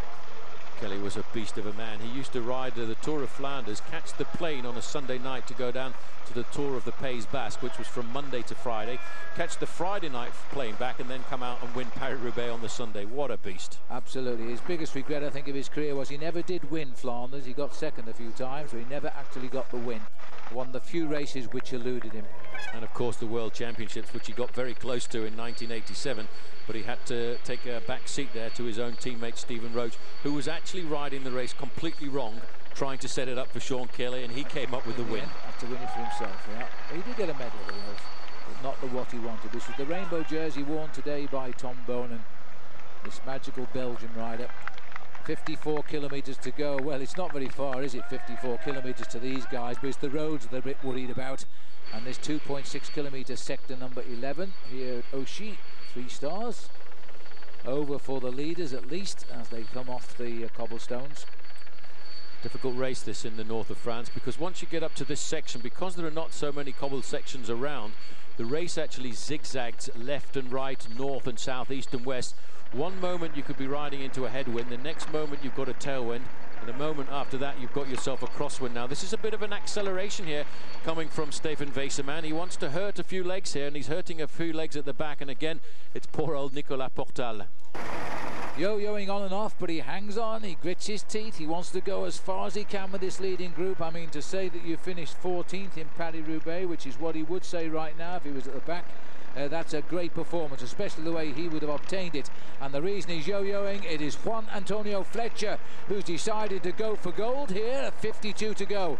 First big question for Tom Boonen to answer. Well, he's going to have to react to this one because this man finished third in Paris-Roubaix last year, and this is a very good move. It's a long way from the finish, but maybe that's the moment when you have to take the risk. Boonen has reacted, though. He's seen the danger and said, right, guys, oh. no messing about for me. What a powerhouse he is, the way he's ripped off from the front of that breakaway. Tom Boonen looks over his shoulder and just tries to reach Juan Antonio Flecha. Now this is the best answer, is to go away with one guy and then the others have got to rethink. But there's the reaction and it looks as though it's going to come back. Well, it looks as if it's going to come back, but that was a very good move. But did you see how easy Tom Boonen was there when he accelerated, came straight away across that gap? He hasn't quite got to the wheel yet, and Juan Antonio Flecha is not going to give up. Portal, despite the acceleration, still seems to be hanging on at the back of that group. I don't know how he's doing it. Here's Juan Antonio Flecha. But one man who was badly placed a few moments ago was George Hincapie, who was sitting just in front of Portal. That wasn't the place to be when this acceleration was happening. You can't afford to drop away from the leaderboard when you're on the cobblestones. You never know when they might get up and bite you. Now we're looking at Flecha. Now we're looking at Boonen. Just tagging on the back there. I think it's Lars Michaelsen who's come across. Big Cancellara, but they've got themselves a gap there. Now, this is a scary moment for George Hincapie. You can see the blue jerseys. That's Gusev on the front. He's decided to lift up the pace and try and nail them all back together for Hincapie.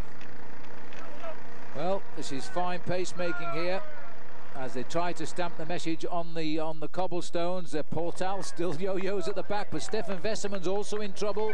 I thought it was the mauve jersey of T-Mobile unhooked at the back here, and the rest are going across. So that could be the first shakeout taking place now. Frederic Guesdon also in difficulty there from the Française des Jeux. This is a bit strange, Phil, because a few moments ago, Steffen Wesemann is the man who actually lifted the pace at the front of that group to put the pressure on everybody. But let's not forget Steffen Wesemann came into this race a little bit under weather because he, in fact, has been on antibiotics for about 10 days after Milan-San Remo, and that can really make a mess of the body. Gert Steegmans here now setting the pace, getting it back into a little bit of a reorganised breakaway. We'll see what happens when they come off the cobbles and see if they can push home the advantage. Boonen checking out who's survived the chase. Cancellara off to the right of our picture. Boonen finding all these boys still willing to work with him. And despite the way he answered that attack, this is Van Petegem here, also caught at the back end.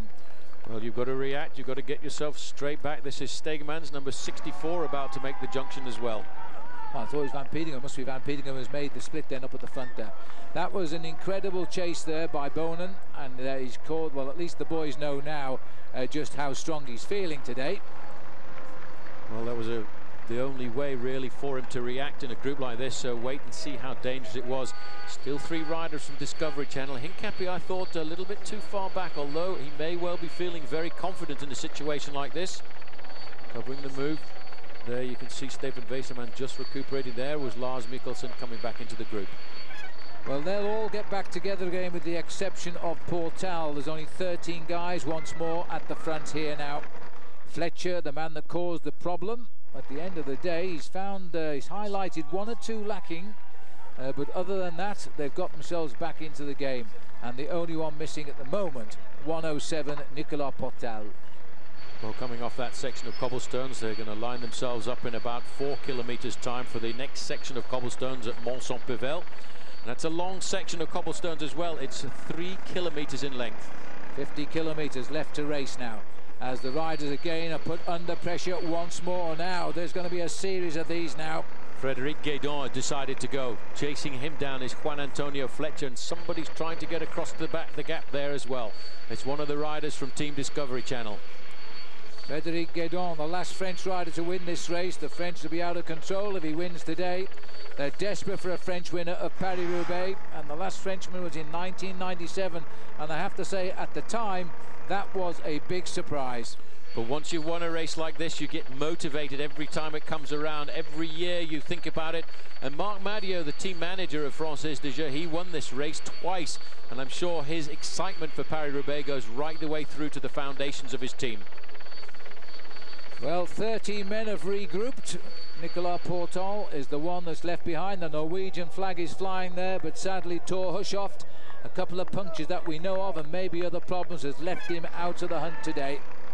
So Gusev, as they turn onto the road now, they're heading up towards the town of Mons-en-Pével, and that's where they'll find another very long section of cobblestones. 209 is the gap back down to the main field and uh, you can see that the, the group reforming on these smooth sections now they take a chance now to uh, get themselves organized just have a look at the faces of the other riders and just see exactly if they can read any signs of weakness we haven't seen any signs of weakness yet on the face of Tom Boonen. well, we're looking here at the front end of the group. Tom Boonen, who's answered one attack from Juan Antonio Flecha. The only damage done was the loss of Nicolas Portal. 13 boys here now. And if they slow down like this, uh, Nicolas might well pedal his way back up. We are now entering the next sector of Pavé here. This is Mons-en-Pével, sector number 10. 13 riders are together. Portal has gone. Cancellara setting the pace. Now it's Cancellara who is attacking. We well, have seen Flecha go, Paul. He got brought back. Now it's the turn of Fabian Cancellara. Well, Fabian Cancellara has seen the chance here to try and launch a little bit of an acceleration, and it's again put Nicolas Portal, who'd almost got onto almost. the back of group, into difficulty, but he's not going to do it this time. This is a three-kilometre section of cobblestones that we're looking at now, and Fabian Cancellara will be happy to see that the main field is at two minutes and nine seconds. A series of attacks we have had, it was started by Flecha on the previous sector of cobbles. Boonen was superb, he bridged the gap, the rest followed. Portal hesitated, but now we're looking here at a five-star section of cobblestones. The worst you can get today on the road to Roubaix. Fabian Cancellara, it's not often you see a Swiss rider ride like this in Paris-Roubaix, but Cancellara aiming at the uh, last victor 1923 Henri Suter who won in uh, Roubaix. Now there's an attack. It's Flecha again. This man is superb, and no Spanish riders ever won this race. Juan Antonio Flecha, we've seen him win stages in the Tour de France. He was third in this race last year, and now he is really putting the hammer down. But the old man of the breakaway, Peter Van Petegem, saw that. He was right up there. He's a very clever rider, Van Petegem. I'm a little bit interested to see the tactics, though, at the moment of Discovery Channel. They are sitting at the back and allowing this race to develop, but they still have three riders in the group. They are keeping together, keeping their tactical superiority, but they really need to have a man ride slightly closer to the front. Yes, because they could get caught out. Look how Boonen is riding. At the moment, he's up for it. He is riding superbly well today, isolated from his team. He has been hit twice now by Flecha and once by Cancellara. And still he comes back, Nicola Portal, the man who was in the first break of the day, clawing his way back to the breakaway. The only escaper of the day still up here with the top names of the sport. Well, it's a great, courageous ride by this young man, but the gap now, Phil, is starting to appear between him and the rest of this breakaway group because the hammer and the race is starting to unfold. This section, 1.8 miles, three kilometers, with Peter Van Petegem now dictating the pace at the front. Hincapie, for the moment, quite prepared to sit at the back, trying to save as much energy as possible. Team Discovery Channel have got the advantage of having three men in the group, but just look at the ease of the man in the white jersey with the rainbow bands there, Tom Boonen. He looks so calm and collected. He's responded to every acceleration so far. If these guys want to win the race here this afternoon, they've got to get rid of that oh, man. Oh, what's happened? Well, I don't know what happened there, but he seemed to start to ride no-handed. And then George, yes, it's Hincapie. George went down. I, I don't know what happened there. He came off the corner. He appeared almost to be riding without his hands on the handlebars, and that was a heavy fall, and it doesn't look at all good. Well, this is an absolute tragedy for Discovery Channel. They've had nothing uh, but injuries this year. They seem to have found their way out with good results as well. But George Hincapie is totally stunned. I don't know what's happened to him there, Phil. He just seemed to touch the wheel of the rider in front of him. He went down very hard indeed, but it's just he's halfway down the pack. He seems to have his handlebars snapped. His handlebars snapped. They're going to have to try and find a, a bike for him. And George is stuck at the side of the road. And the car, look at his handlebars. They just snapped off there. He's gone straight over the top. Very oh. hard indeed. That is bad news for George Hincapie. There's the team car up alongside him. Johan Bruyneel is there. The bike has snapped. That is very, very sad. It looks to be his extension has snapped off. The bars seemed okay. Well, there's no answer to that. He went down and it was a terrible shot because he wouldn't have expected to fall. His head hit the road and George, distress is the word because he has just seen his best ever chance go out of the window. This was his greatest moment in Paris-Roubaix, I'm sure of that. And now his arch rival, Tom Boonen, is driving the race away from him. Well, Tom Boonen is at the front of the group now. He's causing serious damage at the back end of this group. Riders are now starting to disappear.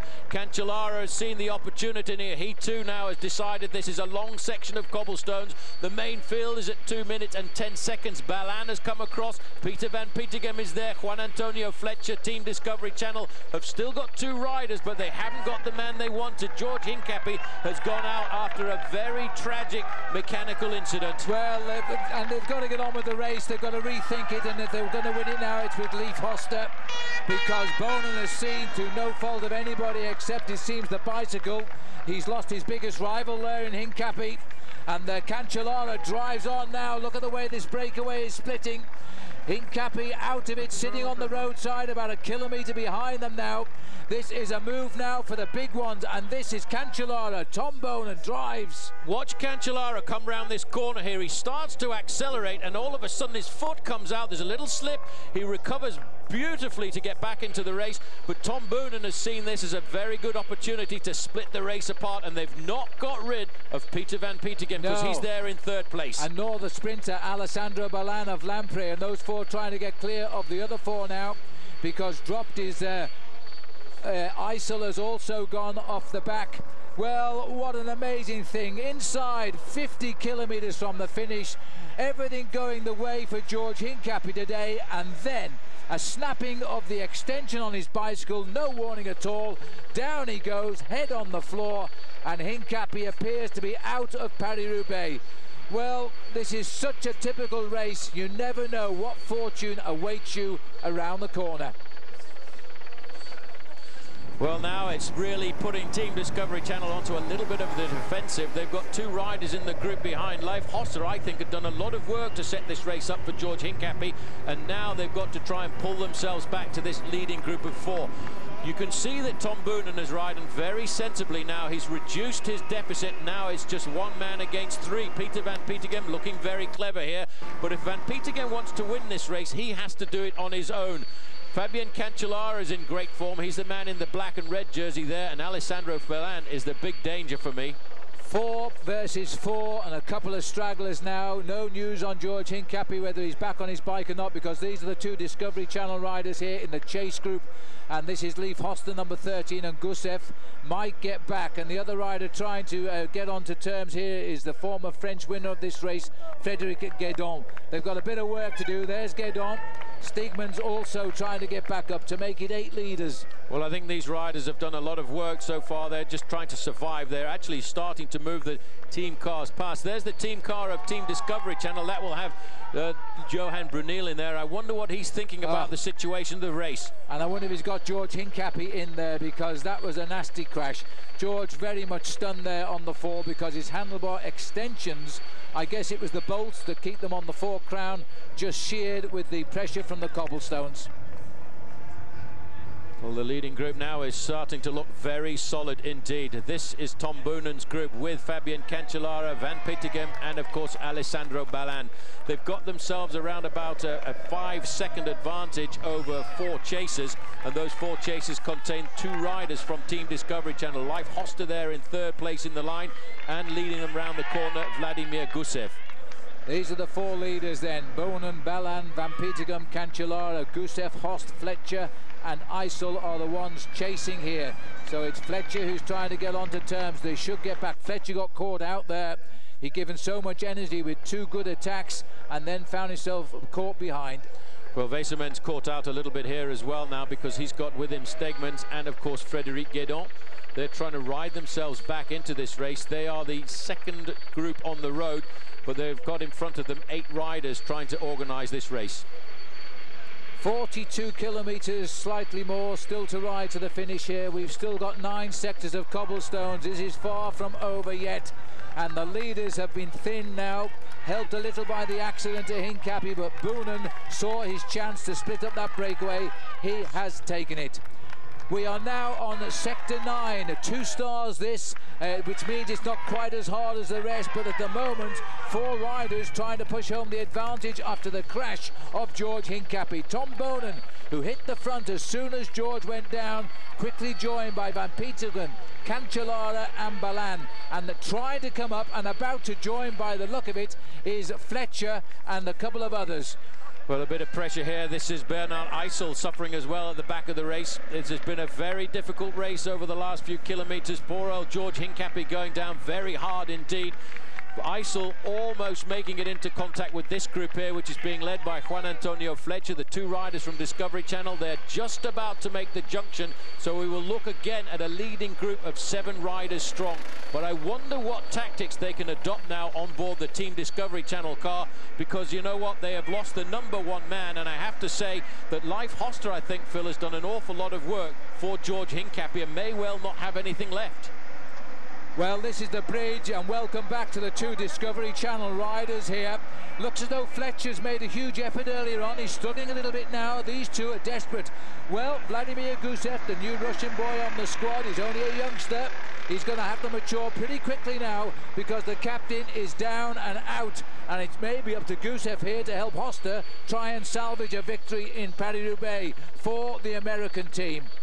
Well, they're looking over their shoulders now. They've seen the return of that leading group of three. I don't think they'll get a lot of help from the Discovery Channel boys for the next few kilometres because they will try and recuperate and they'll also have to try and figure out what tactic they can adopt. This is the next chasing group on the road. Wesemann, Guesdon and, of course, Steegmans. Well, these two riders may not get back now. They've been in a little bit of trouble at each time they've hit the cobblestones. Tom Boonen won't want them to get back. He wants to thin this breakaway out. He's lost his big man in George Hincapie. And uh, I don't think he would have uh, purposely pushed home an attack there. Professional riders don't attack when riders are down but he will have known something happened and that stretch of cobblestones was an ideal place to thin down the breakaway, which he's done. Well, after all, let's not forget it was a five-star rated section of cobblestones, three kilometres in length, and that's why he had to try and split the group. Sad for Hincapie, but that was a dramatic accident. He went down very hard. We still have no news over race radio as to whether he's got back but I think after a move like that, psychologically, George is going to be destroyed. Yeah, because this was the day, surely today could have been the big result for George. He'd read everything correctly. Uh, you can't account for mechanical failure like that. That's just the real look of a bad day out on the bike. These three riders may not get back now. We've got seven riders up front and Steffen Wesemann here in the pink jersey who's been riding pretty well. He's looking extremely tired now. We're going back down the road here, probably two and a half minutes. It looks like we've got Baden Cook here trying to, it is nearly three minutes in fact. Uh, this is Cookie here driving what would be the third or even the fourth group on the road. Depends on how many individuals are now in between. Well, this is a large peloton. This is Cookie trying to rip it up, but they're losing serious chunks of time. The leaders or the winner of Paris-Roubaix is almost certainly going to come from that leading group of seven riders. There's Tom Boonen taking on fluid for what remains of today's Paris-Roubaix. As riders fall around him, he's still there. Ballan looking over his shoulder, seeing if Wesemann is coming back. Not that he's that interested. Uh, Gusev, number 15 there, rides in front of Boonen. Just off our camera is Leif Hoste. Flecha looks as though he's got back into the rhythm. He's gone through to the front once more. Here comes the Lampre team car, just to say to Alessandro Ballan, this could be your big moment today because he packs one terrific sprint finish and he's still with the boys at the front.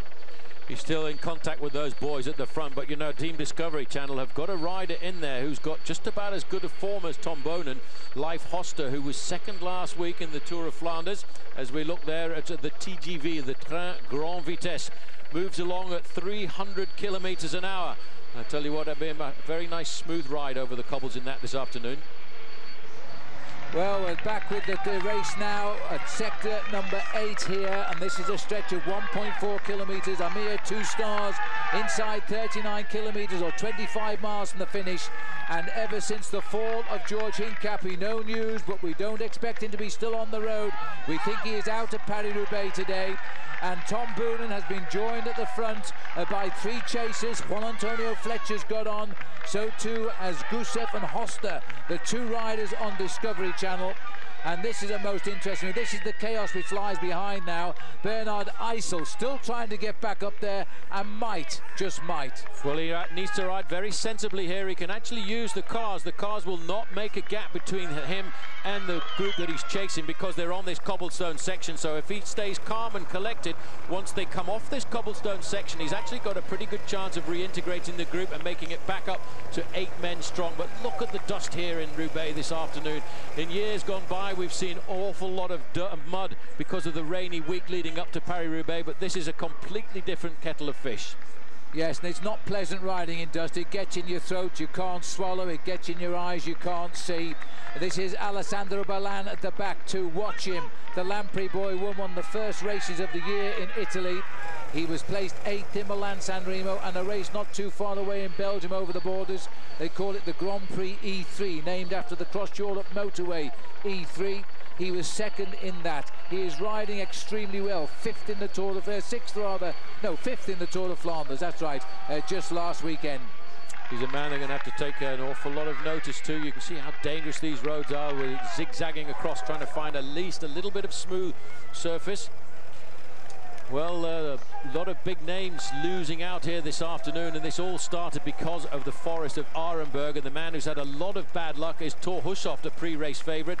We thought he was going to come up with the win here this afternoon, but we know that he's had two flat tyres, and he may have well had a lot more bad luck.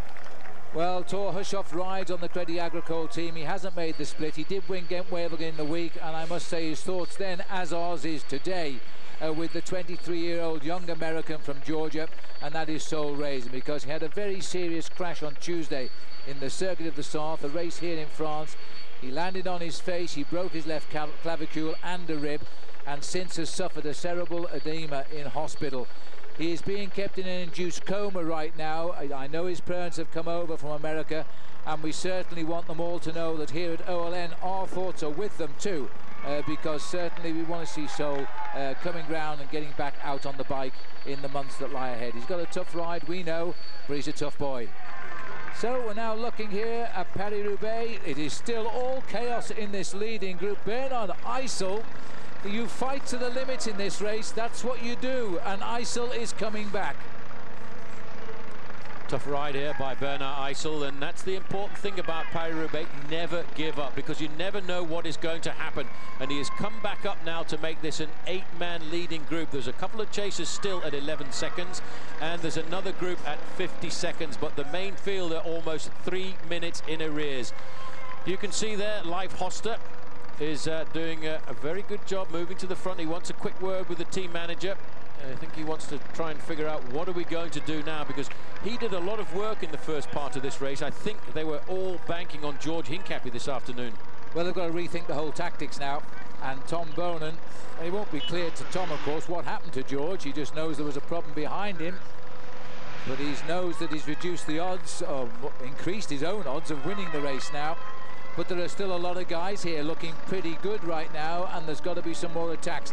They cannot afford to go with Tom Boonen onto the velodrome in Roubaix. As the velodrome, which is where we commentate from, well, it was empty about an hour and a half ago now. Now it's packed with people and watching a big screen in the centre of the velodrome. Ballan doing the best ride we've ever seen him do in Paris-Roubaix. I'm not even sure whether he's ridden it before, to be absolutely honest, but he is riding well this season. Number 13 at the back is Gusev.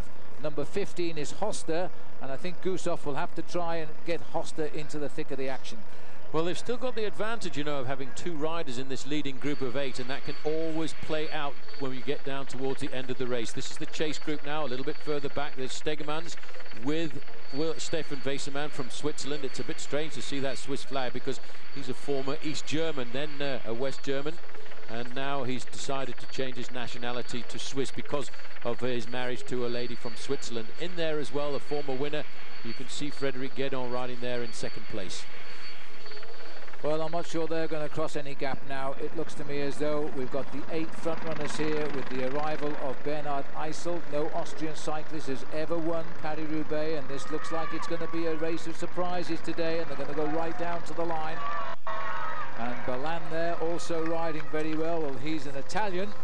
The Italians have only won this 11 times in its history of 104 years. The last Italian, by the way, was Andrea Tafi in 1999. He's now retired. Andrea Tafi loved this bike race, as did Franco Ballerini as well, who won this race on two occasions. Three Belgians in this leading group, and they will be thinking about the possibility of a win here this afternoon. That's Gusev moving across there. Boonen, I think, Phil, will try and reduce the numbers in this group when we get to one of the, the next section of cobblestones in about uh, 20 or 25 kilometres time. There's a section of cobblestones out of the small town of Cysoing. It's a very difficult section with a slight climb, and that's where we saw Tom Boonen really dominate in the Tour of Flanders. Van Petegem straight through the middle there. Very experienced rider. He'll be very happy with the situation here this afternoon. Uh, some Cancellara. A lot of people have talked about Fabian Cancellara long before this race began as a man to watch out for. He's been riding extremely well here in the classic races. Sixth in the Tour de Flanders, sixth in Ghent Wevelgem. Looks to me as though he might go a little bit better in Paris-Roubaix, but will he get the win? And will he get the win for Switzerland? No winner from Switzerland since 1923. This is the breakaway of the day now. I don't think anybody else is going to come across. We've got eight men shaping up the race now. 36 years of age, Peter Van Petegem. He's a very experienced bike rider. This might be one of his last chances of getting himself the victory here this afternoon. But I think, Phil, if it comes down to the sprint, nobody is going to get a wheel around Tom Boonen. They all know that, and that's what I think will be the tactic of everybody in this leading group. They will try and get away before they come down to the velodrome. But Tom Boonen just looks so comfortable. He's covered all the moves when he's needed to, and he's dominated on the cobblestones as well. Well, there's the face of Tom. He had a rough time in midweek in Ghent Wevelgem, said he didn't feel at all like it. Uh, tried hard on the first circuit of the Kemmelberg. It wasn't there, so he fell to the back of the race and he rode home. Uh, well, he's had a rest since then, and now he's looking extremely strong again. He's ridden a great race. He is the world champion, but he's riding a world champion season this year with a dozen wins already. He's been so dominant uh, in the early part of the season. He rode the Tour of Qatar, where he won four out of five stages and took the overall lead as well. And on top of that, he came up to Paris-Nice, won himself three stages, and allowed one of his teammates, Pippo Pozzato, to win the Milano San Remo. But here, he is reigning supreme. He's been on his own since the Forest of Arenberg, and he's controlled any situation that's been thrown at him. Well, Gusev is going to have to grit his teeth and hang on there. He was trying to turn a heavy gear, but we're now on sector number seven, 0.2 of a kilometre, but don't. You'll be just uh, a little bit more than just the 0.2. We go off and back on again for another half a kilometre of sector seven. As we're really in the farm tracks of northern France here now, a giant windmill to match the giants of the north of this country. Lost the race for the moment but down there today in Paris-Roubaix it is a duo battle that's going on and sadly uh, George Hincapie crashing out through no fault of his own. It was a really dramatic crash. He seemed perfectly set up to uh, attack the race a lot later on. Then all of a sudden, he had his handlebars in his hands. They'd become disconnected from his bike. And once that happens, there's absolutely nothing you can do. And he went down to the ground very hard indeed.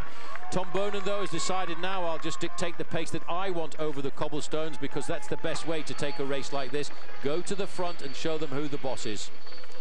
Well, so far for number one, it's been a trouble-free ride. His only concern has been the riders around him. He's had no problems with his bike, no flat tyres.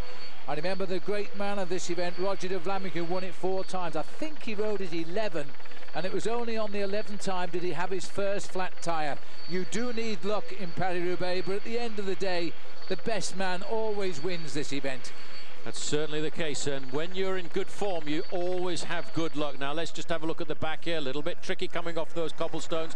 This is Cancellara at the back.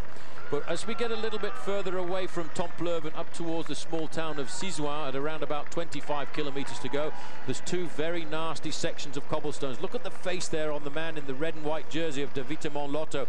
That is Peter Van Petegem, Phil. He's 36 years of age. He knows what these races are all about. He really wants the win here this afternoon. I thought he rode superbly uh, last week in the Tour de Flanders. Hincapie beat him in the sprint for third place, uh, but I thought his form was good and I would be very worried about his presence in this breakaway if I was one of the other riders. So we must watch out for Van Petegem today. He's won this race before. He knows his way into the velodrome. And Juan Antonio Flecha, who had the brilliant result last year in finishing third in Paris-Roubaix. And the best placed by a Spanish rider is second, by the way, and uh, that was Miguel Poblet a long time ago, about uh, over 50 years ago. I can't believe how time flies a long, long time ago, but I think Juan Antonio Flecha might equal that today, might even go better. That's what he wants to do. He was third last year. If he goes one better, he'll get up to second, but for him, what he's thinking about is actually winning this bike race. I do have to feel a little bit sorry, though, for George Hincapie, because he and his team, Phil, had done absolutely everything right, and to have that chance snatched away from him on the cobblestones at Mons-en-Pévèle Little acceleration now coming from Gusev on the front. Just 23 years of age, uh, Gusev, and he's a man who I think could be a star of the future. Here, he is certainly enjoying his ride over the cobblestones. Well, he's going to be a real star. He is a great talent. The Discovery Channel have recognised that. But boy, he's flowered today. He snatches a bottle there. His job at the end of the day is going to have to try a cheeky attack, I think, and try and slip away and cause a reaction that might set it up for Leif Hoste to profit from if they catch Gusev. It's got to be something like that as we run towards the finish. Tom Boonen there, neck of his racing jersey unzipped. Doesn't look like a man in trouble at all. Uh, Cancellara off on his right shoulder, gone now is Lars Michaelsen, Cancellara's teammate. He's been left behind, still chasing. Crossing over yet again, one of the autoroutes that take you between France and uh, Brussels in Belgium. Well, they're just going over that small section, uh, that small autoroute there. That will take them now into the outskirts of the town of Cysoing. Then they'll line up to a, the section of cobblestone, six to go. And that is the section at Bourghelles. It's a very difficult section. But I think if we see a move coming, it might well be the two cobblestones after that with about five cobblestone sections to go and that is the section at Camphin and Pervel and it's a very difficult slightly uphill false flat and that is where you could split this group and I think to decide Paris-Roubaix this afternoon you need to split the group because there still are too many riders here. I can't imagine eight men coming into the velodrome together we're going to have one terrific track sprint if it is 31 kilometres to go just over eight kilometres of actual cobblestone sections left now but there's some nasty ones hiding in amongst the woods around the area. Gusev looking rather cool, swings through. Boonen, the world champion, a couple of years older than Gusev, but no more than that. Then comes Leif Hoste, twice second in the Tour of Flanders, including last weekend. Yeah, he really needs to get his racing head back on because I think in today's stage, today's race, I should say, he dedicated himself to George Hincapie, but he's got the form to bounce back and maybe create the surprise down towards the end of this race.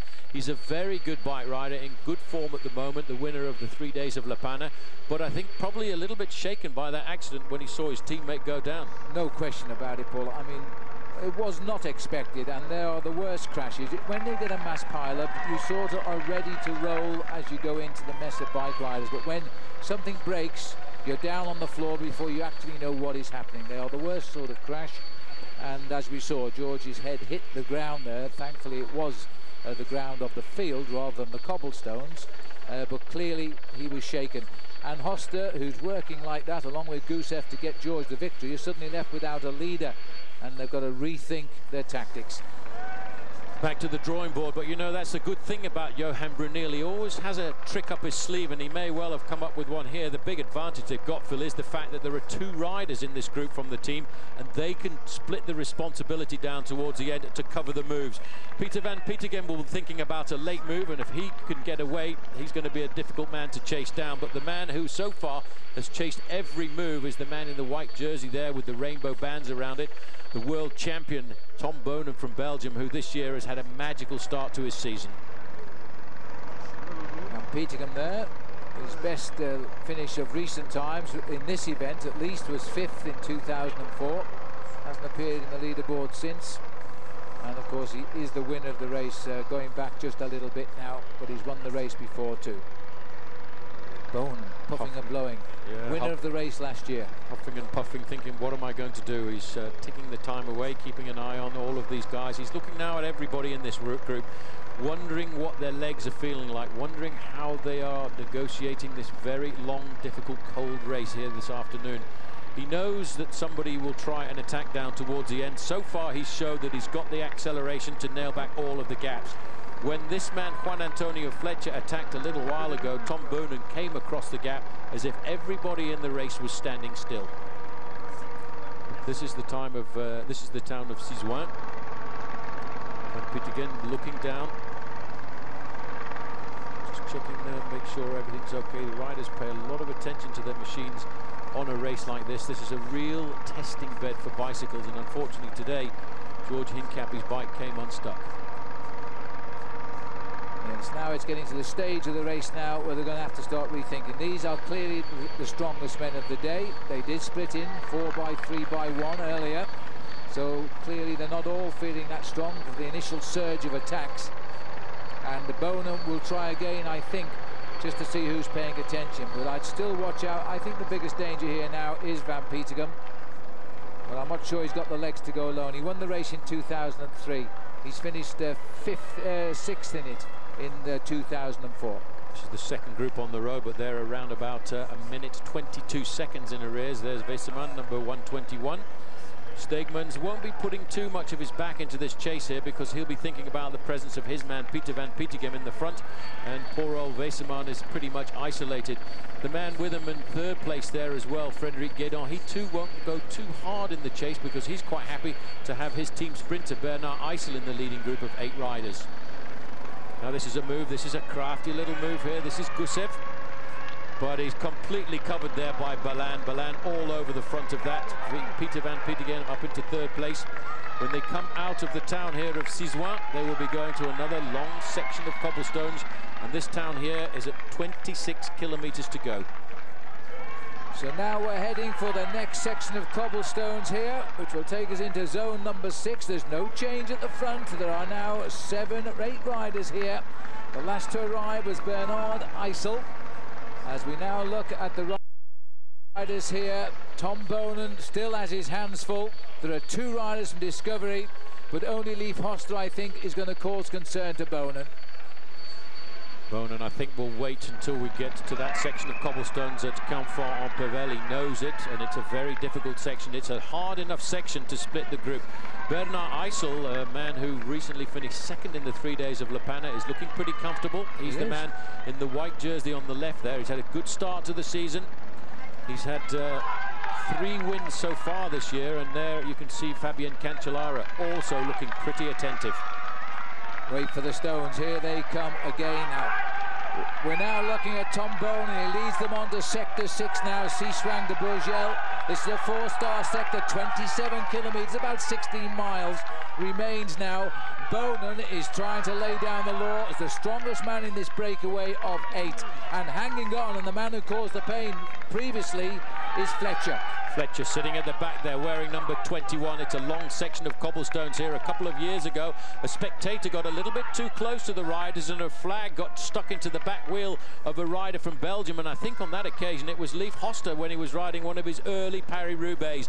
But this is the best way to defend. Go to the front, dictate the pace because you are the person who sets the tempo. You're not being set, set you're not being forced to accept the pacemaking of somebody else. The Belgian flag on the right, the flag of Flanders with the black line on it on the left. The man in the middle is the champion of Flanders, Tom Boonen, the world champion. He's watched riders fall like poor old George Hincapie and leave him lying on the cobblestones. He's answered the attack so far of riders of the quality of Flecha and also of the other riders in this breakaway like Van Petegem. But now he's doing what he does best. He's holding them all under control by setting the pace himself. Well, he loves this race. He loves the Tour of Flanders, and this is going to be rather historic if he can get the victory, Phil, because last year he won Tour of Flanders in Paris-Roubaix. This year he's already won the Tour of Flanders, and he's looking now like a man very likely to be the winner here as well. But this time he will win it with the World Champions jersey on his back, and look at the gaps he's starting to open. And there's trouble at the back right now because this is Ballan who's had a problem and he was in the group away. And I think that is also Gusev. Yep, this is how and it happened. It was happened. Gusev who went down. He slipped and Ouch. Ballan went right over the top. And look how Flecha just managed to get underneath that bike. These are very slippery cobblestones. The funny thing about the cobblestones is when they're wet, they're horrendous. When they're dry, they're even just as slippy. Well, it's the dust that does it, and Gusev was beginning to falter a little bit there. Is he's just maybe his wheel just got stuck in the middle of those cobblestones. That's quite a nasty fall for Ballan, although he seems perfectly fine. And Flecha dived for the left. He is an extraordinarily good bike handler for a Spanish cyclist. Yeah, Flecha's a great bike rider. Now you can see this is Gusev trying to pull himself back into the race. Very sad. You know, the thing about the cobblestones is the surface of the cobblestones just seems to be so much harder when you go down. Solid granite stones they are, and they do not give anything when you fall onto them. Well, this will be uh, Flecha trying to get... No, this is Ballan trying to get back now. He's going to pedal back smoothly. Now, that's an indication, Paul. This guy has still got plenty of strength left. Well, the way he got up, he bounced off the ground and immediately was straight back up onto his bike. A little bit of a scratch, but that's what Paris-Roubaix is all about. You know, the stories are here all of the time. And straight to the front is Juan Antonio Flecha. This man is fantastic. Yes, he is. And look at the way he's doing it now. I think that was possibly 25 kilometres to go. We've just seen on the side of the road there. This is Leif Hoste. I'm not sure whether Gusev will come back quite so smoothly. He was getting tired. I'm not sure whether that crash was due to fatigue. Getting a little bit desperate at this stage of the race. The face on the right of Van Petegem. Cancellara in the lead here. They're all just checking each other just to see if there's any hint of a crack in their armour. Eisel, Eisel's uh, had the ride of his life as he looks over here. He's had the start of his season to his life too. He's Yeah. a very good bike rider, very experimented, but you know he's also got a very good sprint. Look at the face on Peter Van Petegem though, that that is a face of concentration. He's thinking about those moves coming up. He knows what he has to do to win this race. To win this race, he's got to win it on his own. Well, we're looking at the leaders of Paris-Roubaix, the 104th edition. It is an absolute cracker. And I don't think the Discovery Channel boys will agree with me today because after the, the crash to George Hincapie, we've now got the crash to Gusev, who's gone down with Ballan. But Gusev is getting back. He's going to live to fight another section of cobbles. Well, that's an indication this is serious talent. So Gusev coming through at 1 minute 45, goes way back to the remnants of the breakaway now. Also, the clouds are here, but I think they'll survive. They won't get wet today. It should be dry. It should stay dry out on the roads of Paris-Roubaix here this afternoon. 23 years of age, that man who's just about to get on the back, the man from Russia, Gusev, a very strong bike rider. He is a man that is being nurtured, being brought up by Johan Bruyneel as possibly a star for the future. But the team, they must be thinking now, I wonder how George Hincapie is because he went down very hard on the cobblestones uh, a little while ago on the cobblestones of Mons-en-Pévèle. Sadly for him, it was a mechanical incident that's taken him out of Paris-Roubaix here this afternoon. But the team are back on the defensive. Their man Gusev here, wearing number 13, by the way, unlucky for some, is trying to pull himself back into the race. And the pressure now is coming from Peter Van Petegem. 23 and a half kilometres left to ride. We're still on Sector 6. This is the second sector of Sector 6, 6B. 1.1 kilometres, four stars this time as we head now to Wannehain. Well, that might be the nail in the coffin of Vladimir Gusev here, who's really suffering, trying to pull himself back. He's concentrating. Look at that face there. He's just looking at the riders in front of him, thinking, how can I close this gap? I'm full on at the moment. Let them just slow down for a fraction, then I can nail it back. There he is. It's not much more than 55 to 75 metres, but it can feel interminable. He's just got to hope and wait, and the slowing luck. Seven of them are here. They're more concerned with each other now. 23 kilometres inside 15 miles to go. Boonen goes back up to the front of the group, the world champion. Cancellara follows him. Hoste goes through in third place. Eisel's the boy in white off to the left. Just looking back, the fact that they've slowed down on the smoother surface road here means that probably Vladimir Gusev will make it back up to this group and increase the numbers again to eight, but he will have had a very hard ride to do it. Well, Hoste's trying to hold them back here. He's backpedaling. He looked over his shoulder. See, he's looking over his shoulder again. He's just trying to keep this pace until he sees his teammate alive. Flecha saying, who's he looking at? And he won't want the teammate to arrive. Well, look at Boonen now. He's starting to look a bit impatient to me, Phil, looking over his shoulder. He wants a bit more effort coming from the other guys in this breakaway. He's not showing any signs of weakness. This is Gusev, and he still hasn't quite Huge made effort. the junction. He's still pushing to get himself onto the tail of that group. 23 years of age, a lot of experience for this young man to ride Paris-Roubaix in the leading group, but I think that crash really hurt him. A huge effort required now just to close down that gap. It's not so far to go to the finish now. We're approaching 20 kilometres left of Paris-Roubaix. Still a few sectors of pavé, still some nasty ones that certainly will bite. That's the leading group now. They must be getting concerned too. Just who is the strongest man in this group? Well, Van Petegem looks good, he looks comfortable, he's got the experience, he knows about this race, but I have to say Tom Boonen now is looking more and more solid in this leading group. I have a feeling when we come to the next section of cobblestones that Camphin-en-Pévèle, may well think about a slight move there because it's a difficult section of cobblestones. And there's a section of cobblestones where he saw his teammate a couple of years ago, George Hincapie, go down and into the ditch. Hoste looking pretty cool and collected off on the right. Eisel having the ride of his life here. An Austrian, remembers, never won Paris-Roubaix. He packs a very fast sprint finish. He'll be fancying his chances if it comes down to that. Ballan, another fast sprinter too. He moves into second place. Cancellara, a little flick of the elbow saying, come on, give me a hand at the front here. So Ballan's, it's all down to him now. And the arrival very shortly should be of uh, Vladimir Gusev. Well, he's actually having a very hard time getting across that gap. There's seven riders now at the front of Paris-Roubaix. Peter Van Petegem at the pack, Leif Hoste going to the front. He must be now thinking, well, I'm the leader of the team. I've got a very good chance here. After all, he was second in the Tour of Flanders last week to a man by the name of Tom Boonen. Well, looking at the leading breakaway here, we are approaching 20 kilometres from the finish. There are five sectors of pavé to go. Surely the winner of Paris-Roubaix will come from this group. We're looking at the face here of Alessandro Ballan with his injured left arm. He fell as Gusev, Vladimir Gusev, went under his front wheel on the last sector of cobbles.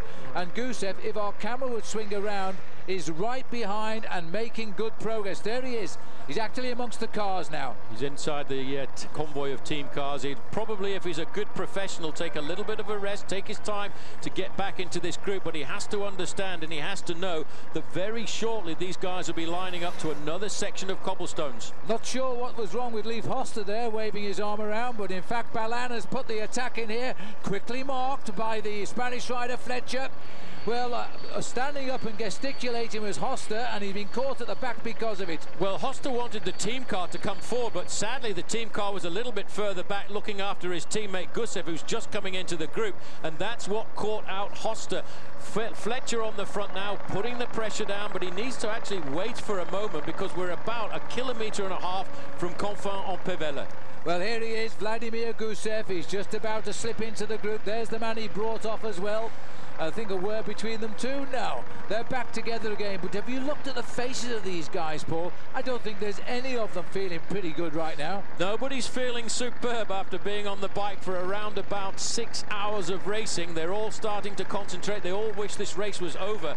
Every one of these riders in this breakaway, Phil, deserves to win. Everybody's taking pace at the front. Everyone shared the work in this group, but you know, at the end of the day, only one man can cross the line in first place. I'd like to see Juan Antonio Flecha win because he's been formidable here this afternoon. And no Spanish riders ever won this race, and he really has thrown it at them today. There was one stage I thought he'd overdone it, and here we go again now. The next sector of Pavé, sector number five, and this is where Sean Kelly once broke his forks. Well, Sean Kelly knows all about this. This is a very long, difficult section. This is a section where George Hincapie crashed out a couple of years ago. Flecha taking the, the, the move to the front here. That's the best way to dictate. You can see this is a four-star section of cobblestones, 1.8 kilometers long. Flecha stamping out the pace on the front here. Tom Boonen, for the moment, on the defensive. At the back of the group, Gusev, he got on just in time. Well, let's hope he can hang there now because that's what he's going to have to do inside 20 kilometers to the finish finish. Every sector of Pavé now, they've got to make it count, and Flecha's got the lead. And I think Flecha is feeling it a little bit more than most in this breakaway. And if you are feeling it, the way to control it is to get to the front and try and dictate the pace. Having said that, he can't hold it anymore.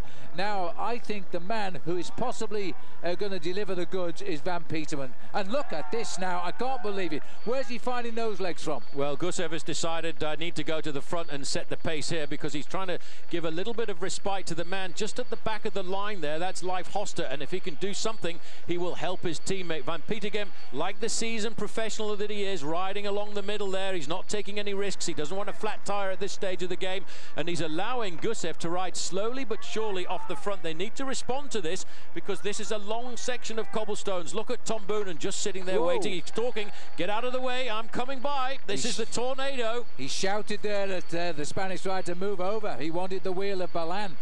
Well, you see, Gusev is going to be the least marked of this breakaway. They've seen his faults, they've seen he's tired, he's a young boy, and in fact, the first man to reach him is Cancellara, and Cancellara is a different kettle of fish. This is a man who could ride away with it. Well, Fabian Cancellara saw that as an opportunity. Gusev scrambling to get onto his wheel, but Tom Boonen is being caught out here. He was asking everybody else to lift the pacemaking. Peter Van Petegem is on the front of that group, but the gap now is starting to open a fraction as Fabian Cancellara has done what he said he was going to do. He's done, but Phil, they've shut it down. They've slowed it down. This could be the curtains for them if they allow this to happen. And Gusev, a moment ago behind the race, could find himself in the winning move. Well, that is unbelievable. That's what Paris-Roubaix is about. I've told you so many times. One minute you're up, one minute you're down. You must never give up in a race like this. It's about courage. This is a real man's race.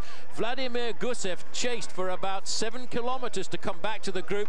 Launched a little scurry of a move off the front. He's been joined now by Fabian Cancellara. The man caught out is the world champion. He's a prisoner now in this group, Tom Boonen. Well, this had to happen. The riders had to throw their chances at Boonen. Boonen can't answer everyone. Now, this is the big effort by Fabian Cancellara. He's 25 years of age. He's won one race this year, but boy, he is a winner.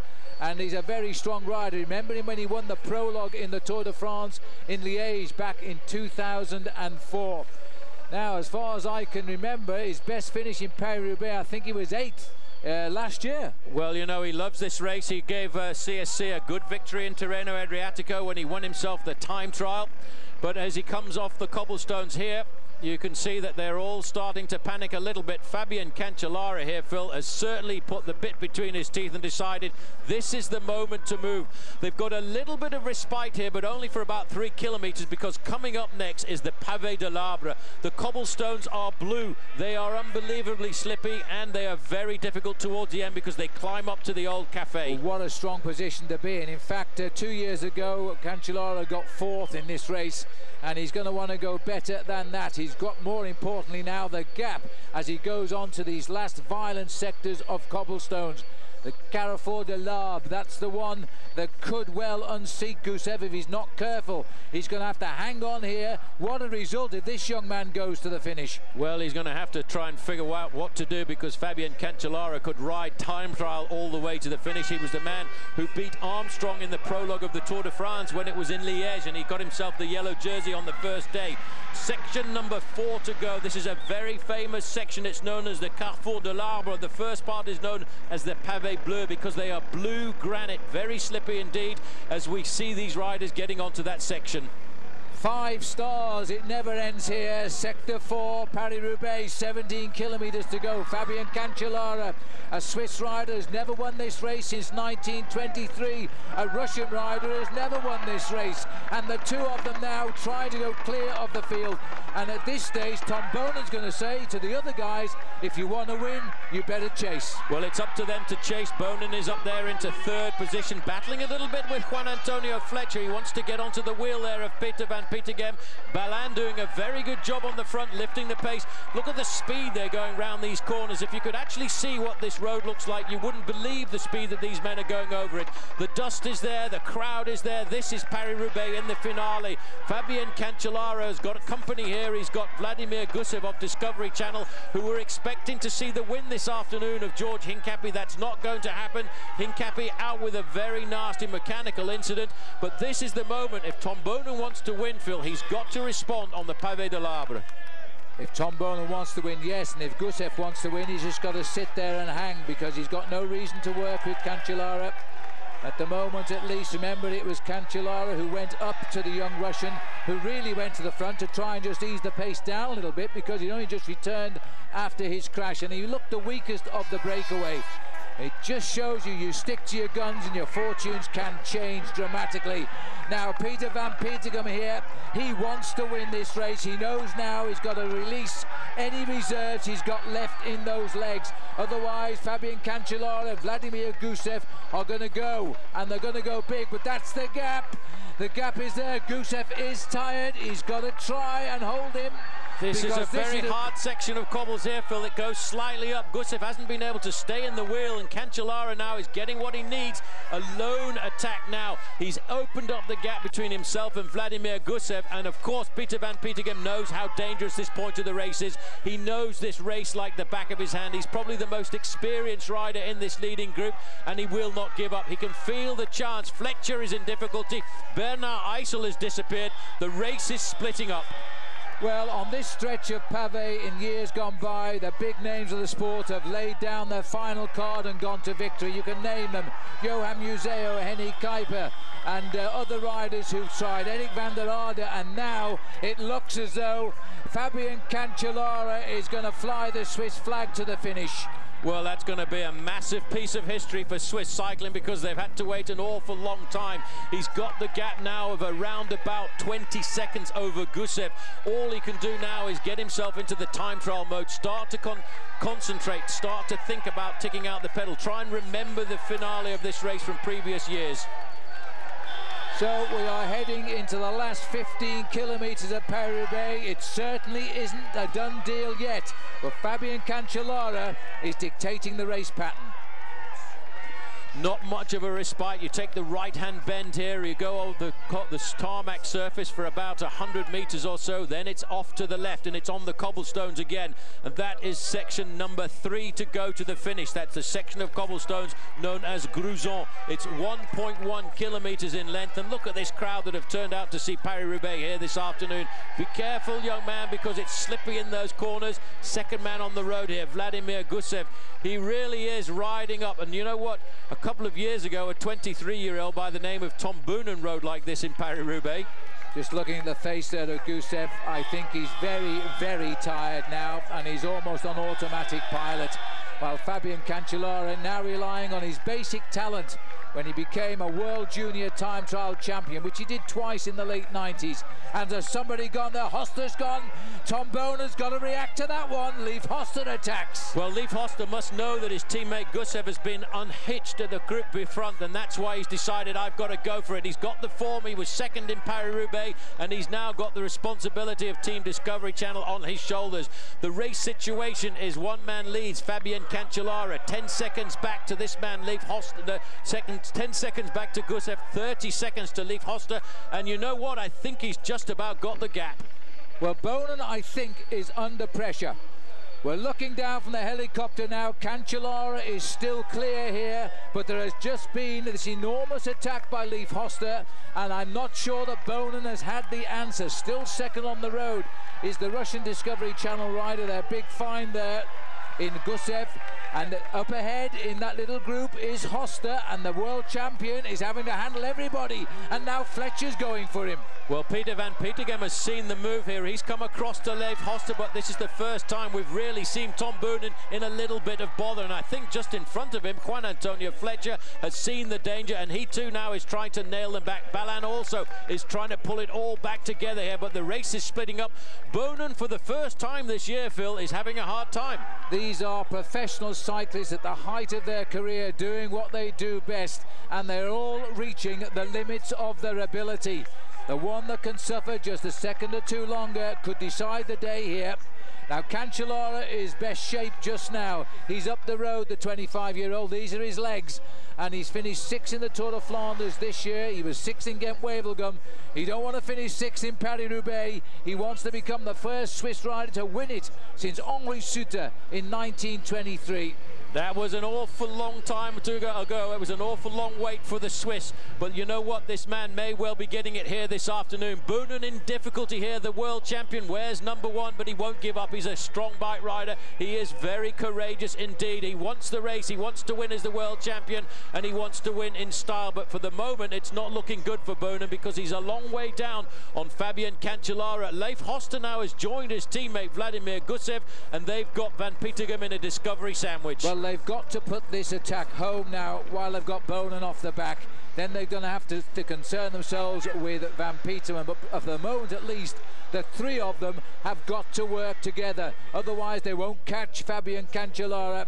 He hit them well, he hit them hard. Well, Ballan has gone as well. Ballan is just in front of these two riders, and he's trying to get across the gap. He could see that everybody's losing steam now as we head down to the, the next part of the road. They're going to go through the small town of Chéreng, and then they've got about four kilometres to the last section of cobblestones, which are not really very difficult because there's a good piece of tarmac down to either side of it, and you can get a bit of respite, but it's dangerous as you flick from left to right. We saw Hennie Kuiper come unstuck there a couple of years ago.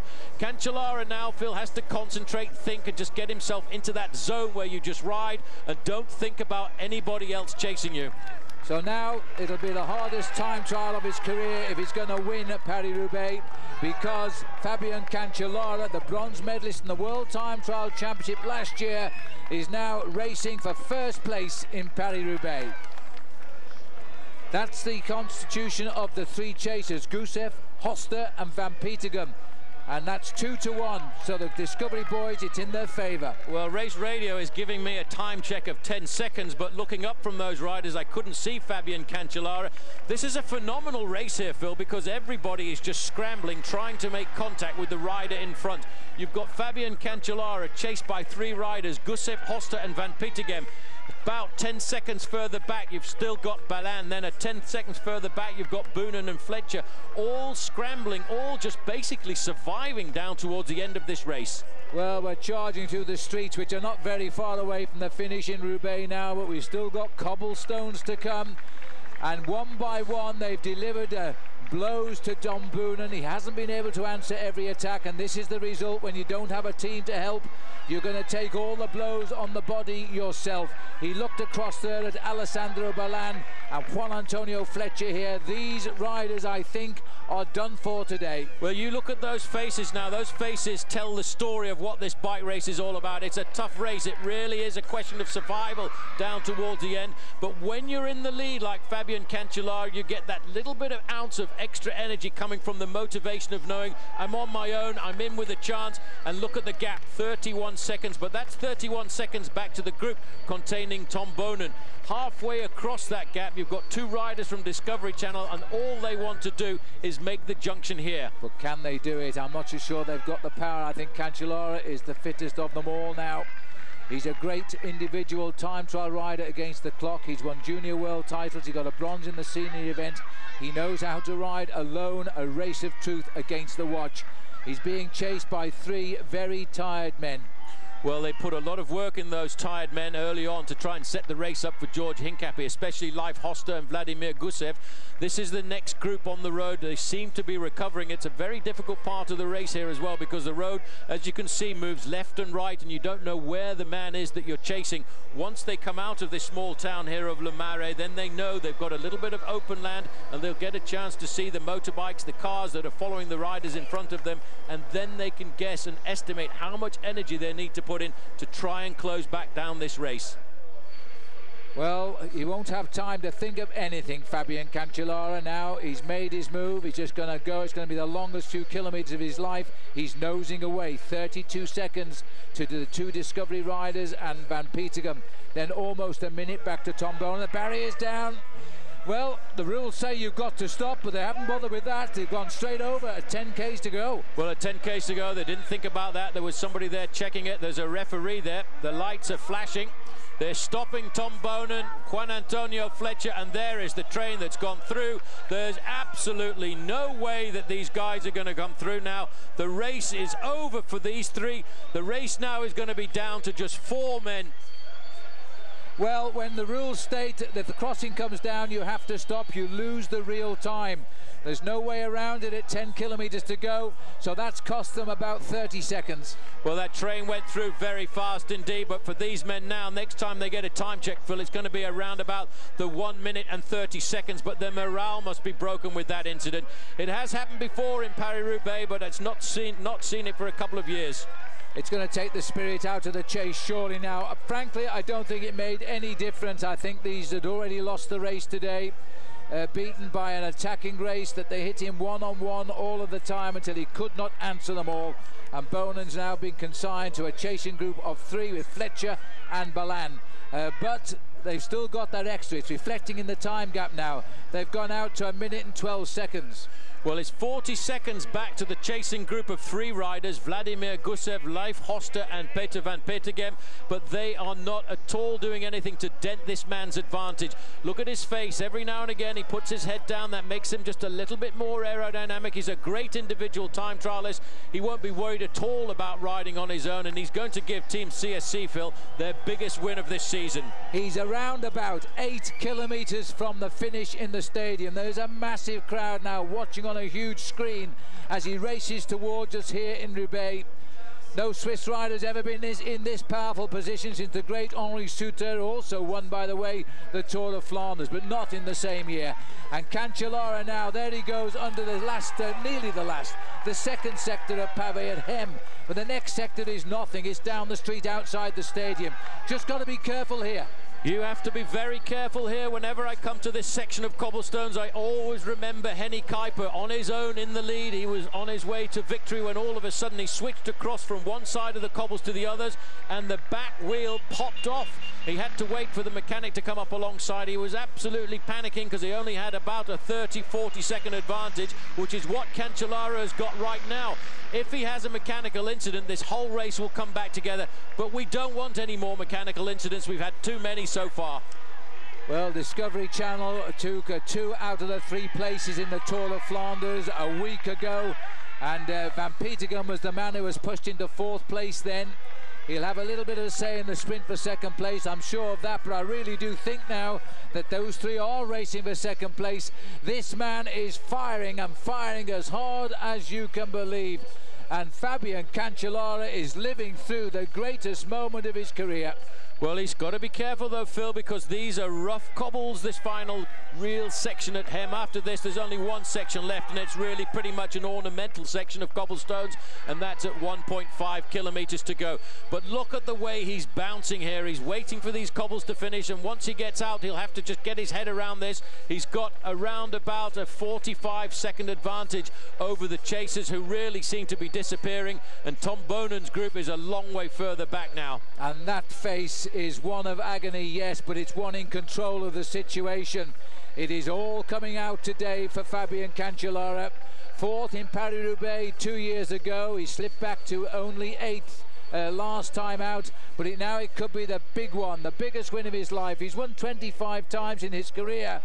I think he'd throw them all away for this one because this is the greatest single day race of them all and today has been one of the greatest races we've seen for a long time. It has been a brilliant race. It all started as it very often does with the Forest of Arenberg bringing 15 riders, the big names of the sport right to the very front of this bike race.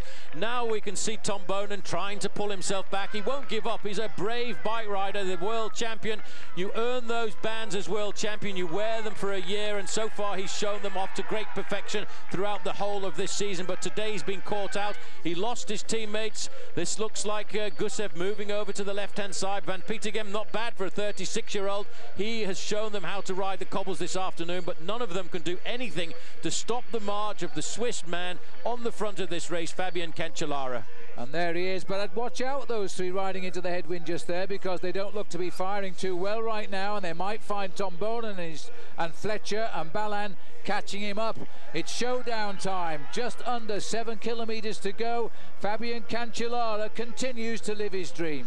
Well, he's living a dream superb dream for Fabian Cancellara here as he comes up. Team manager comes up alongside him, gives him a bit of advice, lets him know he's got 45 seconds. But you're right, those three riders seem to be losing gas, and Tom Boonen is only 30 seconds behind him, and that would be one of the big comebacks of the afternoon if he's able to catch them. Well, this will be his sixth year as a professional bike rider, Fabian Cancellara. He's won some good races around the circuits. He's never won a classic race. He's won a stage of the Tour de France with the prologue.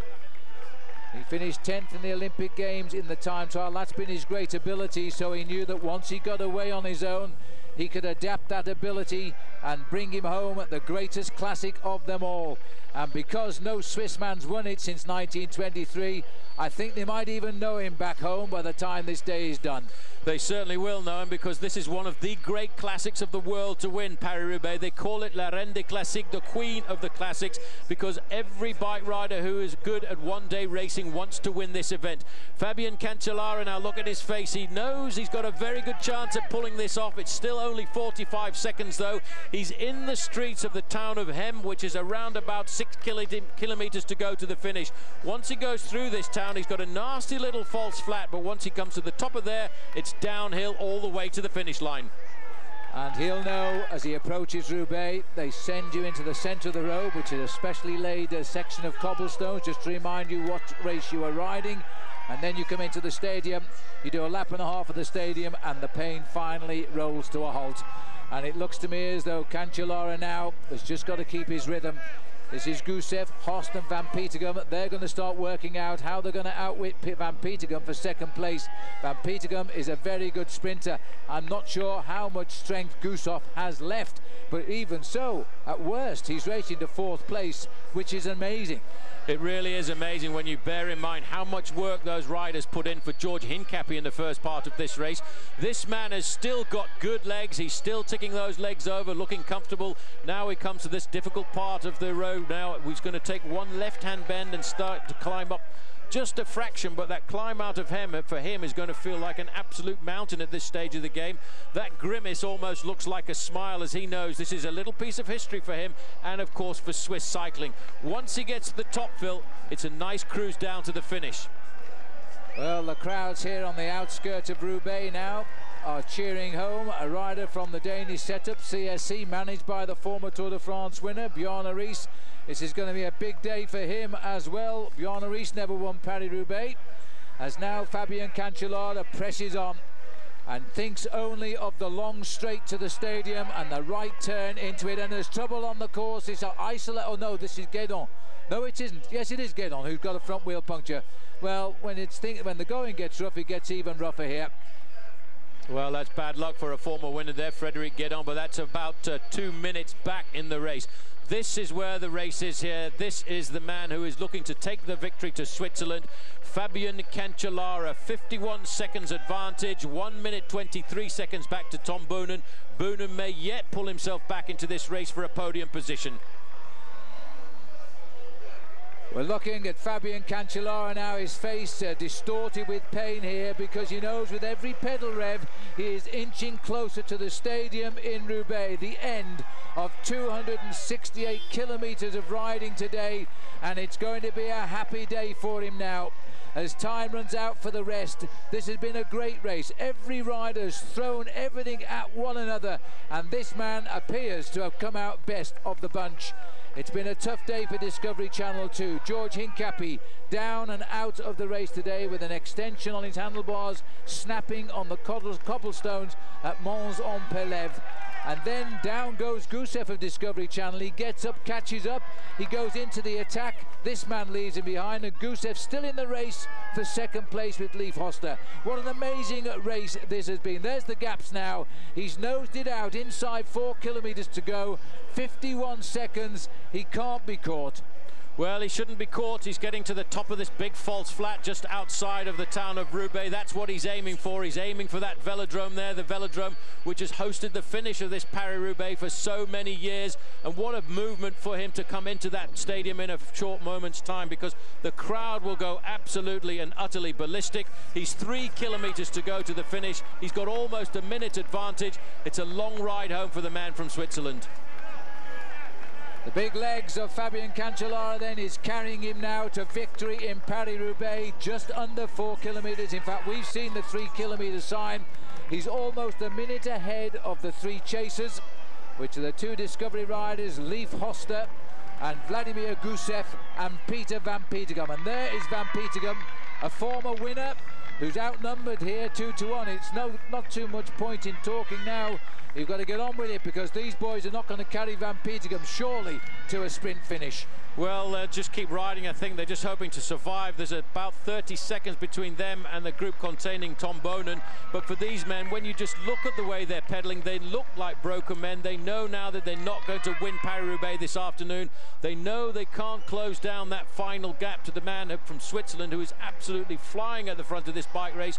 Fabian Cancellara is writing a little piece of history this afternoon. Tom Boonen, well, the weight of being world champion has finally fell onto his shoulders, but we can't take away what a brilliant start he's had to his season. Only one Swiss rider has ever won Paris-Roubaix, and that was in 1923. Some have tried, most, well, all have failed until today. Now it's going to change. Now they're going to have to start attacking. This is what they're trying to do, one-on-one -on -one to get rid of Van Petegem. He's having none of it. He just looks over his shoulder, gesticulates there uh, to uh, Leif Hoste as we swing back up to the leader. Very shortly in the long straight, he'll go to the centre of the road and find the cobblestones for the final time. The end of more than 30 miles of cobblestones, over 52 kilometres of them today. It's taken a long time to break this race. Remember, it was shaped ironically by Tom Boonen when 15 riders went clear in the forest and none were teammates of Boonen, and that in effect signed his own loser's warrant today. There we go. You wouldn't know it was a dual carriageway, but it is normally. Cars don't come down this stretch of the road. Normally, today they all will as Paris-Roubaix heads for the stadium. There's three tenths of a kilometre to go. No Swiss rider has been in this situation since Henri Suter in 1923. One kilometre to go to the line now. That'll include a lap and a half of the stadium. What a feeling this must be for Fabian Cancellara. It'll be his 26th win of his career, his second of this year. His last big win was the prologue when he beat Lance Armstrong in the prologue of the Tour de France down in Liège in Belgium back in 2004. These are the crowd outside the Velo Club de Roubaix. That's the clubhouse of the organising club of this great stadium. All but a couple of years, the race has always finished here. The crowd are on the feet now. You can probably hear them as he circles the velodrome. Now it is Fabian Cancellara. The bell and still nobody else in the stadium as Cancellara goes alone past the bell and rides a lap of honour here at the 104th running of Paris-Roubaix. Once he gets round the back straight, he can freewheel. They can't lap him. That's definitely out of the question. As Cancellara now can enjoy the moment. He's about to go past the stadium entry. Nobody has come in. He will finish before anybody else enters. Now's a moment of pleasure.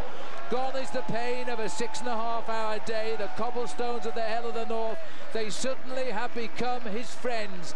He's adapted to Paris-Roubaix, he's conquered the Queen, and he's won the event.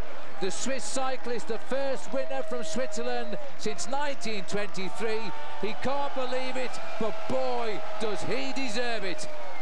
Fabian Cancellara wins Paris-Roubaix. And look at that average speed today, 42.24 kilometres an hour for Cancellara. In miles, that's over 26 miles an hour. The other three, he goes in for the scrum now. The other three you can't see, I can tell you are on the stadium. There they are. And this is now the hard-working young Russian here, Vladimir Gusev, hoping that Leif Hoste will get something out of this for Discovery Channel. They've got third and fourth, but they want second at least. Poor George Hincapie. He looks so good today to no fault of his own on the cobblestones. They jumped up and bit him and snapped his extension and down and out he went. Then it was left to these two teammates here there to help him, trying to salvage a big result for Discovery. Well, they've got a big result. It's a question of whether they can outwit Peter Van Petegem, who has won this race before and is a good, useful rider on the velodrome too. He takes them high onto the track, that'll test them.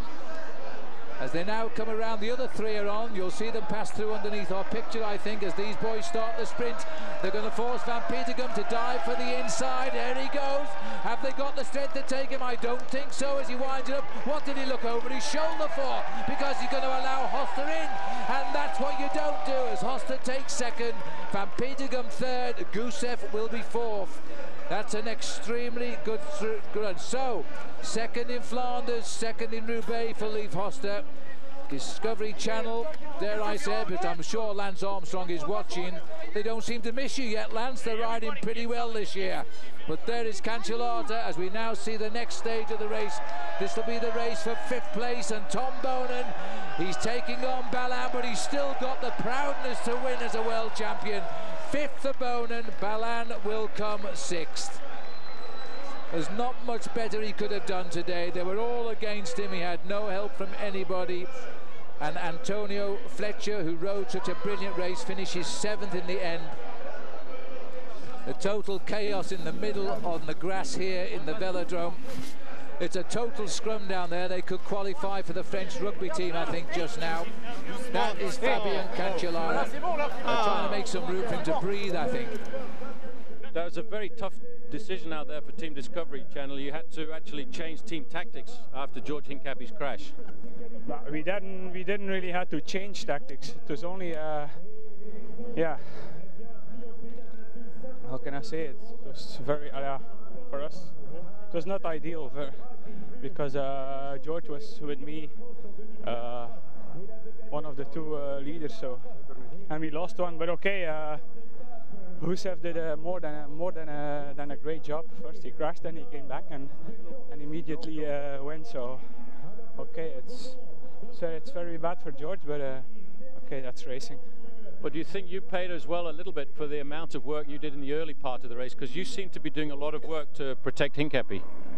Wow, a lot of work. Uh, I told George after the, the forest I was not so good as as, as last week, and uh, but okay, uh, the rest I did on on uh,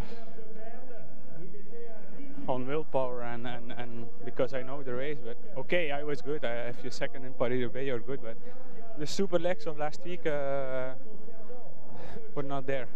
Second in Paris-Roubaix, still not too bad. It's nice, very nice. Okay. Yeah, Fabian, it's been a very long time since Switzerland has won this race. We got to know you in the Tour de France when you won the prologue, but now this must be a very sweet moment for you and the team. Yeah, I think after 83 years, I think it's the last winner of the Paris-Roubaix from the Switzerland, and I think today we do the great work. I think with uh, with the full with the full team, with the, the full staff. Uh, big thanks on, on everybody that uh, that helped me and uh, to help the team for for do the race and uh, uh, I'm so happy. And uh, I spoke to your team manager, and he actually wanted you to attack a little bit later, but he said you were just too impatient to get the race over. Yeah, you have to, to do the race. That's come because I see a lot of time that a lot of rider was not 100% or see uh, the mouth a lot of time open and uh, this is for me a signal that a lot of rider is uh, is uh, is tired and uh, I was this was the moment to to give full gas and uh, to do a small time trial and I come alone in this big velodrome in this big race. How did it feel when you actually finally came in through the gate and came onto the velodrome and the crowd were all behind you? just only in the last lap uh, I was I was more relaxed uh, because I see what's happened in the last year when I was when I when when I come in the velodrome and uh, I happened to the last uh, the last round uh, to to take the time to, to have more air for for feel uh, for feel the the big emotion. Lars, the other day you told me you were getting a little bit too old for this, but you were pretty good this afternoon.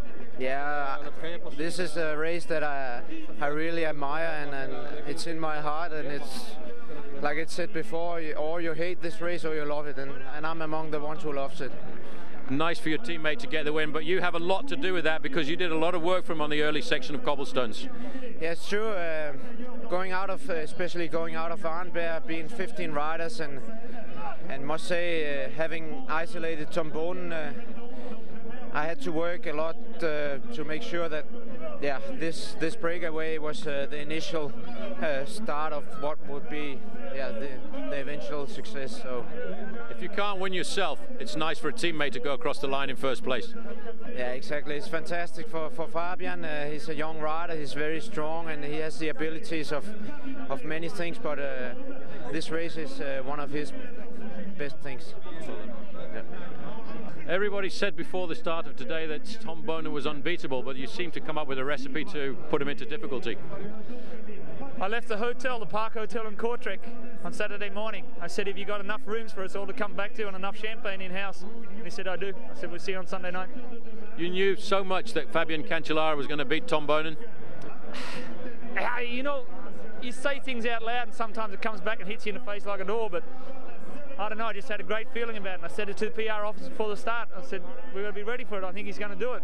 It's just, Fabian just radiated so much energy and so much belief in himself. And it was my job this week to try and rally the guys to, to be there for him and that uh, he was going to do it. And I think he's done it in pretty good fashion. The only way to do it really was to go out on a brave solo effort like that to try and put him into difficulty and everybody else. Yeah, well, that's what we talked about. We said we cannot wait for them to do it. Um, that's what everybody seemed to do last week in Flanders, and I said this week we have to try and do it. I said we're strong enough. We're as strong as what any other team is here, and the boys were doing what they had to do, and then they did it on Arenberg, and then they did it just after. They stopped Quick Step from coming back, and then uh, Fabian was just uh, in a class of his own. As far in the team, you know, at the end there, I mean, I wanted to wait until Arenberg and then go full gas there, but uh, he got too impatient, and decided to go by himself. But you know, uh, he's a great time trialist. This guy can move, and so uh, when he got 10, 15 seconds, this is going to be really hard for them getting back. Bjarne Riis must be pretty happy tonight. He called me on the phone and I said, he goes, oh, verdomme, he's a Sturk manneke. I said, yeah, yeah mate, he's, uh, it was good. I think Bjarne's uh, sorry that he couldn't be here now, but uh, it's been a very collective effort. Everybody's worked very, very hard. I mean, Paris is a one-day bike race, but it's taken uh, months of preparation for all the bikes, the material, all the sponsors to have all the material we need, and uh, I mean, it's just been fantastic. And I mean, it's a big unloading after this, and I think for Fabian, it's a, a dream come true. No worries. Thanks very much. Win, Thank you.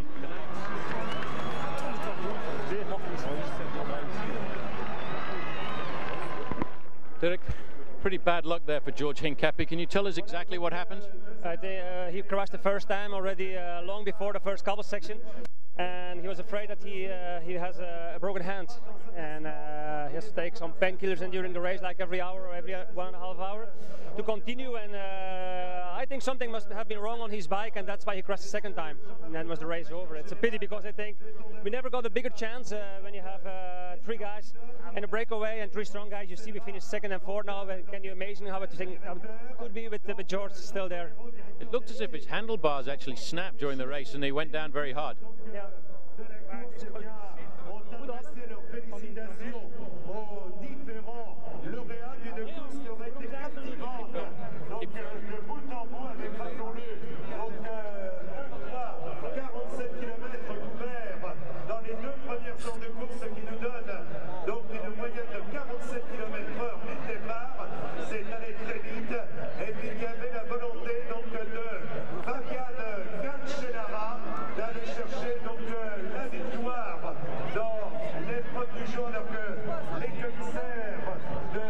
discussion going on there. They're going to disqualify him for going through the railway crossing. That's the discussion there. Jean-Marie Leblanc there is talking to the referees. The rule states that when a railway line goes down, you have to stop and you're not allowed to go through. Uh, it looks as if they're going to go through with the disqualification. Well, as we look here at final results, there's a big surprise because that situation at the level crossing where three riders rode through the closed gates, they have disqualified Leif Hoste, Peter Van Petegem and Vladimir Gusev from second, third and fourth. So this is how the result looks. A win for Fabian Cancellara at 1 minute and 51 seconds. Tom Boonen comes up in second place. Alessandro Ballan of Lampre is third. Juan Antonio Flecha of Spain and Rabobank is in fourth. Then comes Bernhard Eisel and Steffen Wesemann and Frederick Guesdon. Unfortunately, George Hincapie, as we know, he crashed and he didn't finish the race. One moment it seemed as if everything was going right.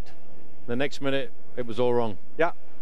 Well, I guess that's uh, that's Paris-Roubaix. Uh, we we were, uh, I mean, we knew that the team was really in, in, in great shape and uh, we expected George and Leif and Vladimir to be our best guys, and they were there with 14 riders. Uh, Boonen isolated. What what else can you dream? And then you know things start to go wrong. And uh, first George had a bad crash, so that was really really. I mean, he was he's our he was our best guy. He was our fastest guy. So he he, he crashed very hard. He was out of the race. Can you tell us exactly what happened to George? Because it looked as if his handlebars snapped. Well, I think uh, I didn't. I didn't really. I, I, don't know what happened. I saw the. I saw the bike afterwards. Um, but all I know is that George had a, he had a crash in the first uh, part of the race before the cobblestones, after 50 kilometers, and uh, his his handlebars must have been already damaged then. And then you know it's something you don't see. It's under the handlebar tape, and um, after so many sections, it's just I think it just snapped and uh, that was it. But that's that's that's part of Paris-Roubaix. When everything as well seemed to have picked itself back up, all of a sudden, your man who finished second, Leif Hoste, gets disqualified by the referees. Were you expecting that blow? Not at all. Not at all. That was a big surprise. I mean, I know that. Uh, I mean, when when when there's a train and uh, the, the, the, rule says that when the red the, the, the, red is light, you have to stop. You cannot go. Uh, but um, I think I think the rules are, are there for interpretation. That's uh, it's just an incident, uh, and, and it's, it's, too bad for us. Everything looked great, and at the end, uh, everything fell apart. Um, fight another day. We'll fight another day. So the concrete velodrome here in Roubaix has revealed many more stories today. What a remarkable race this was. It certainly was full of action, a lot of disappointment of course. The loss of George Hincapie I think took a lot away from the race, but on the other hand, I don't suppose Fabian Cancellara would agree with me.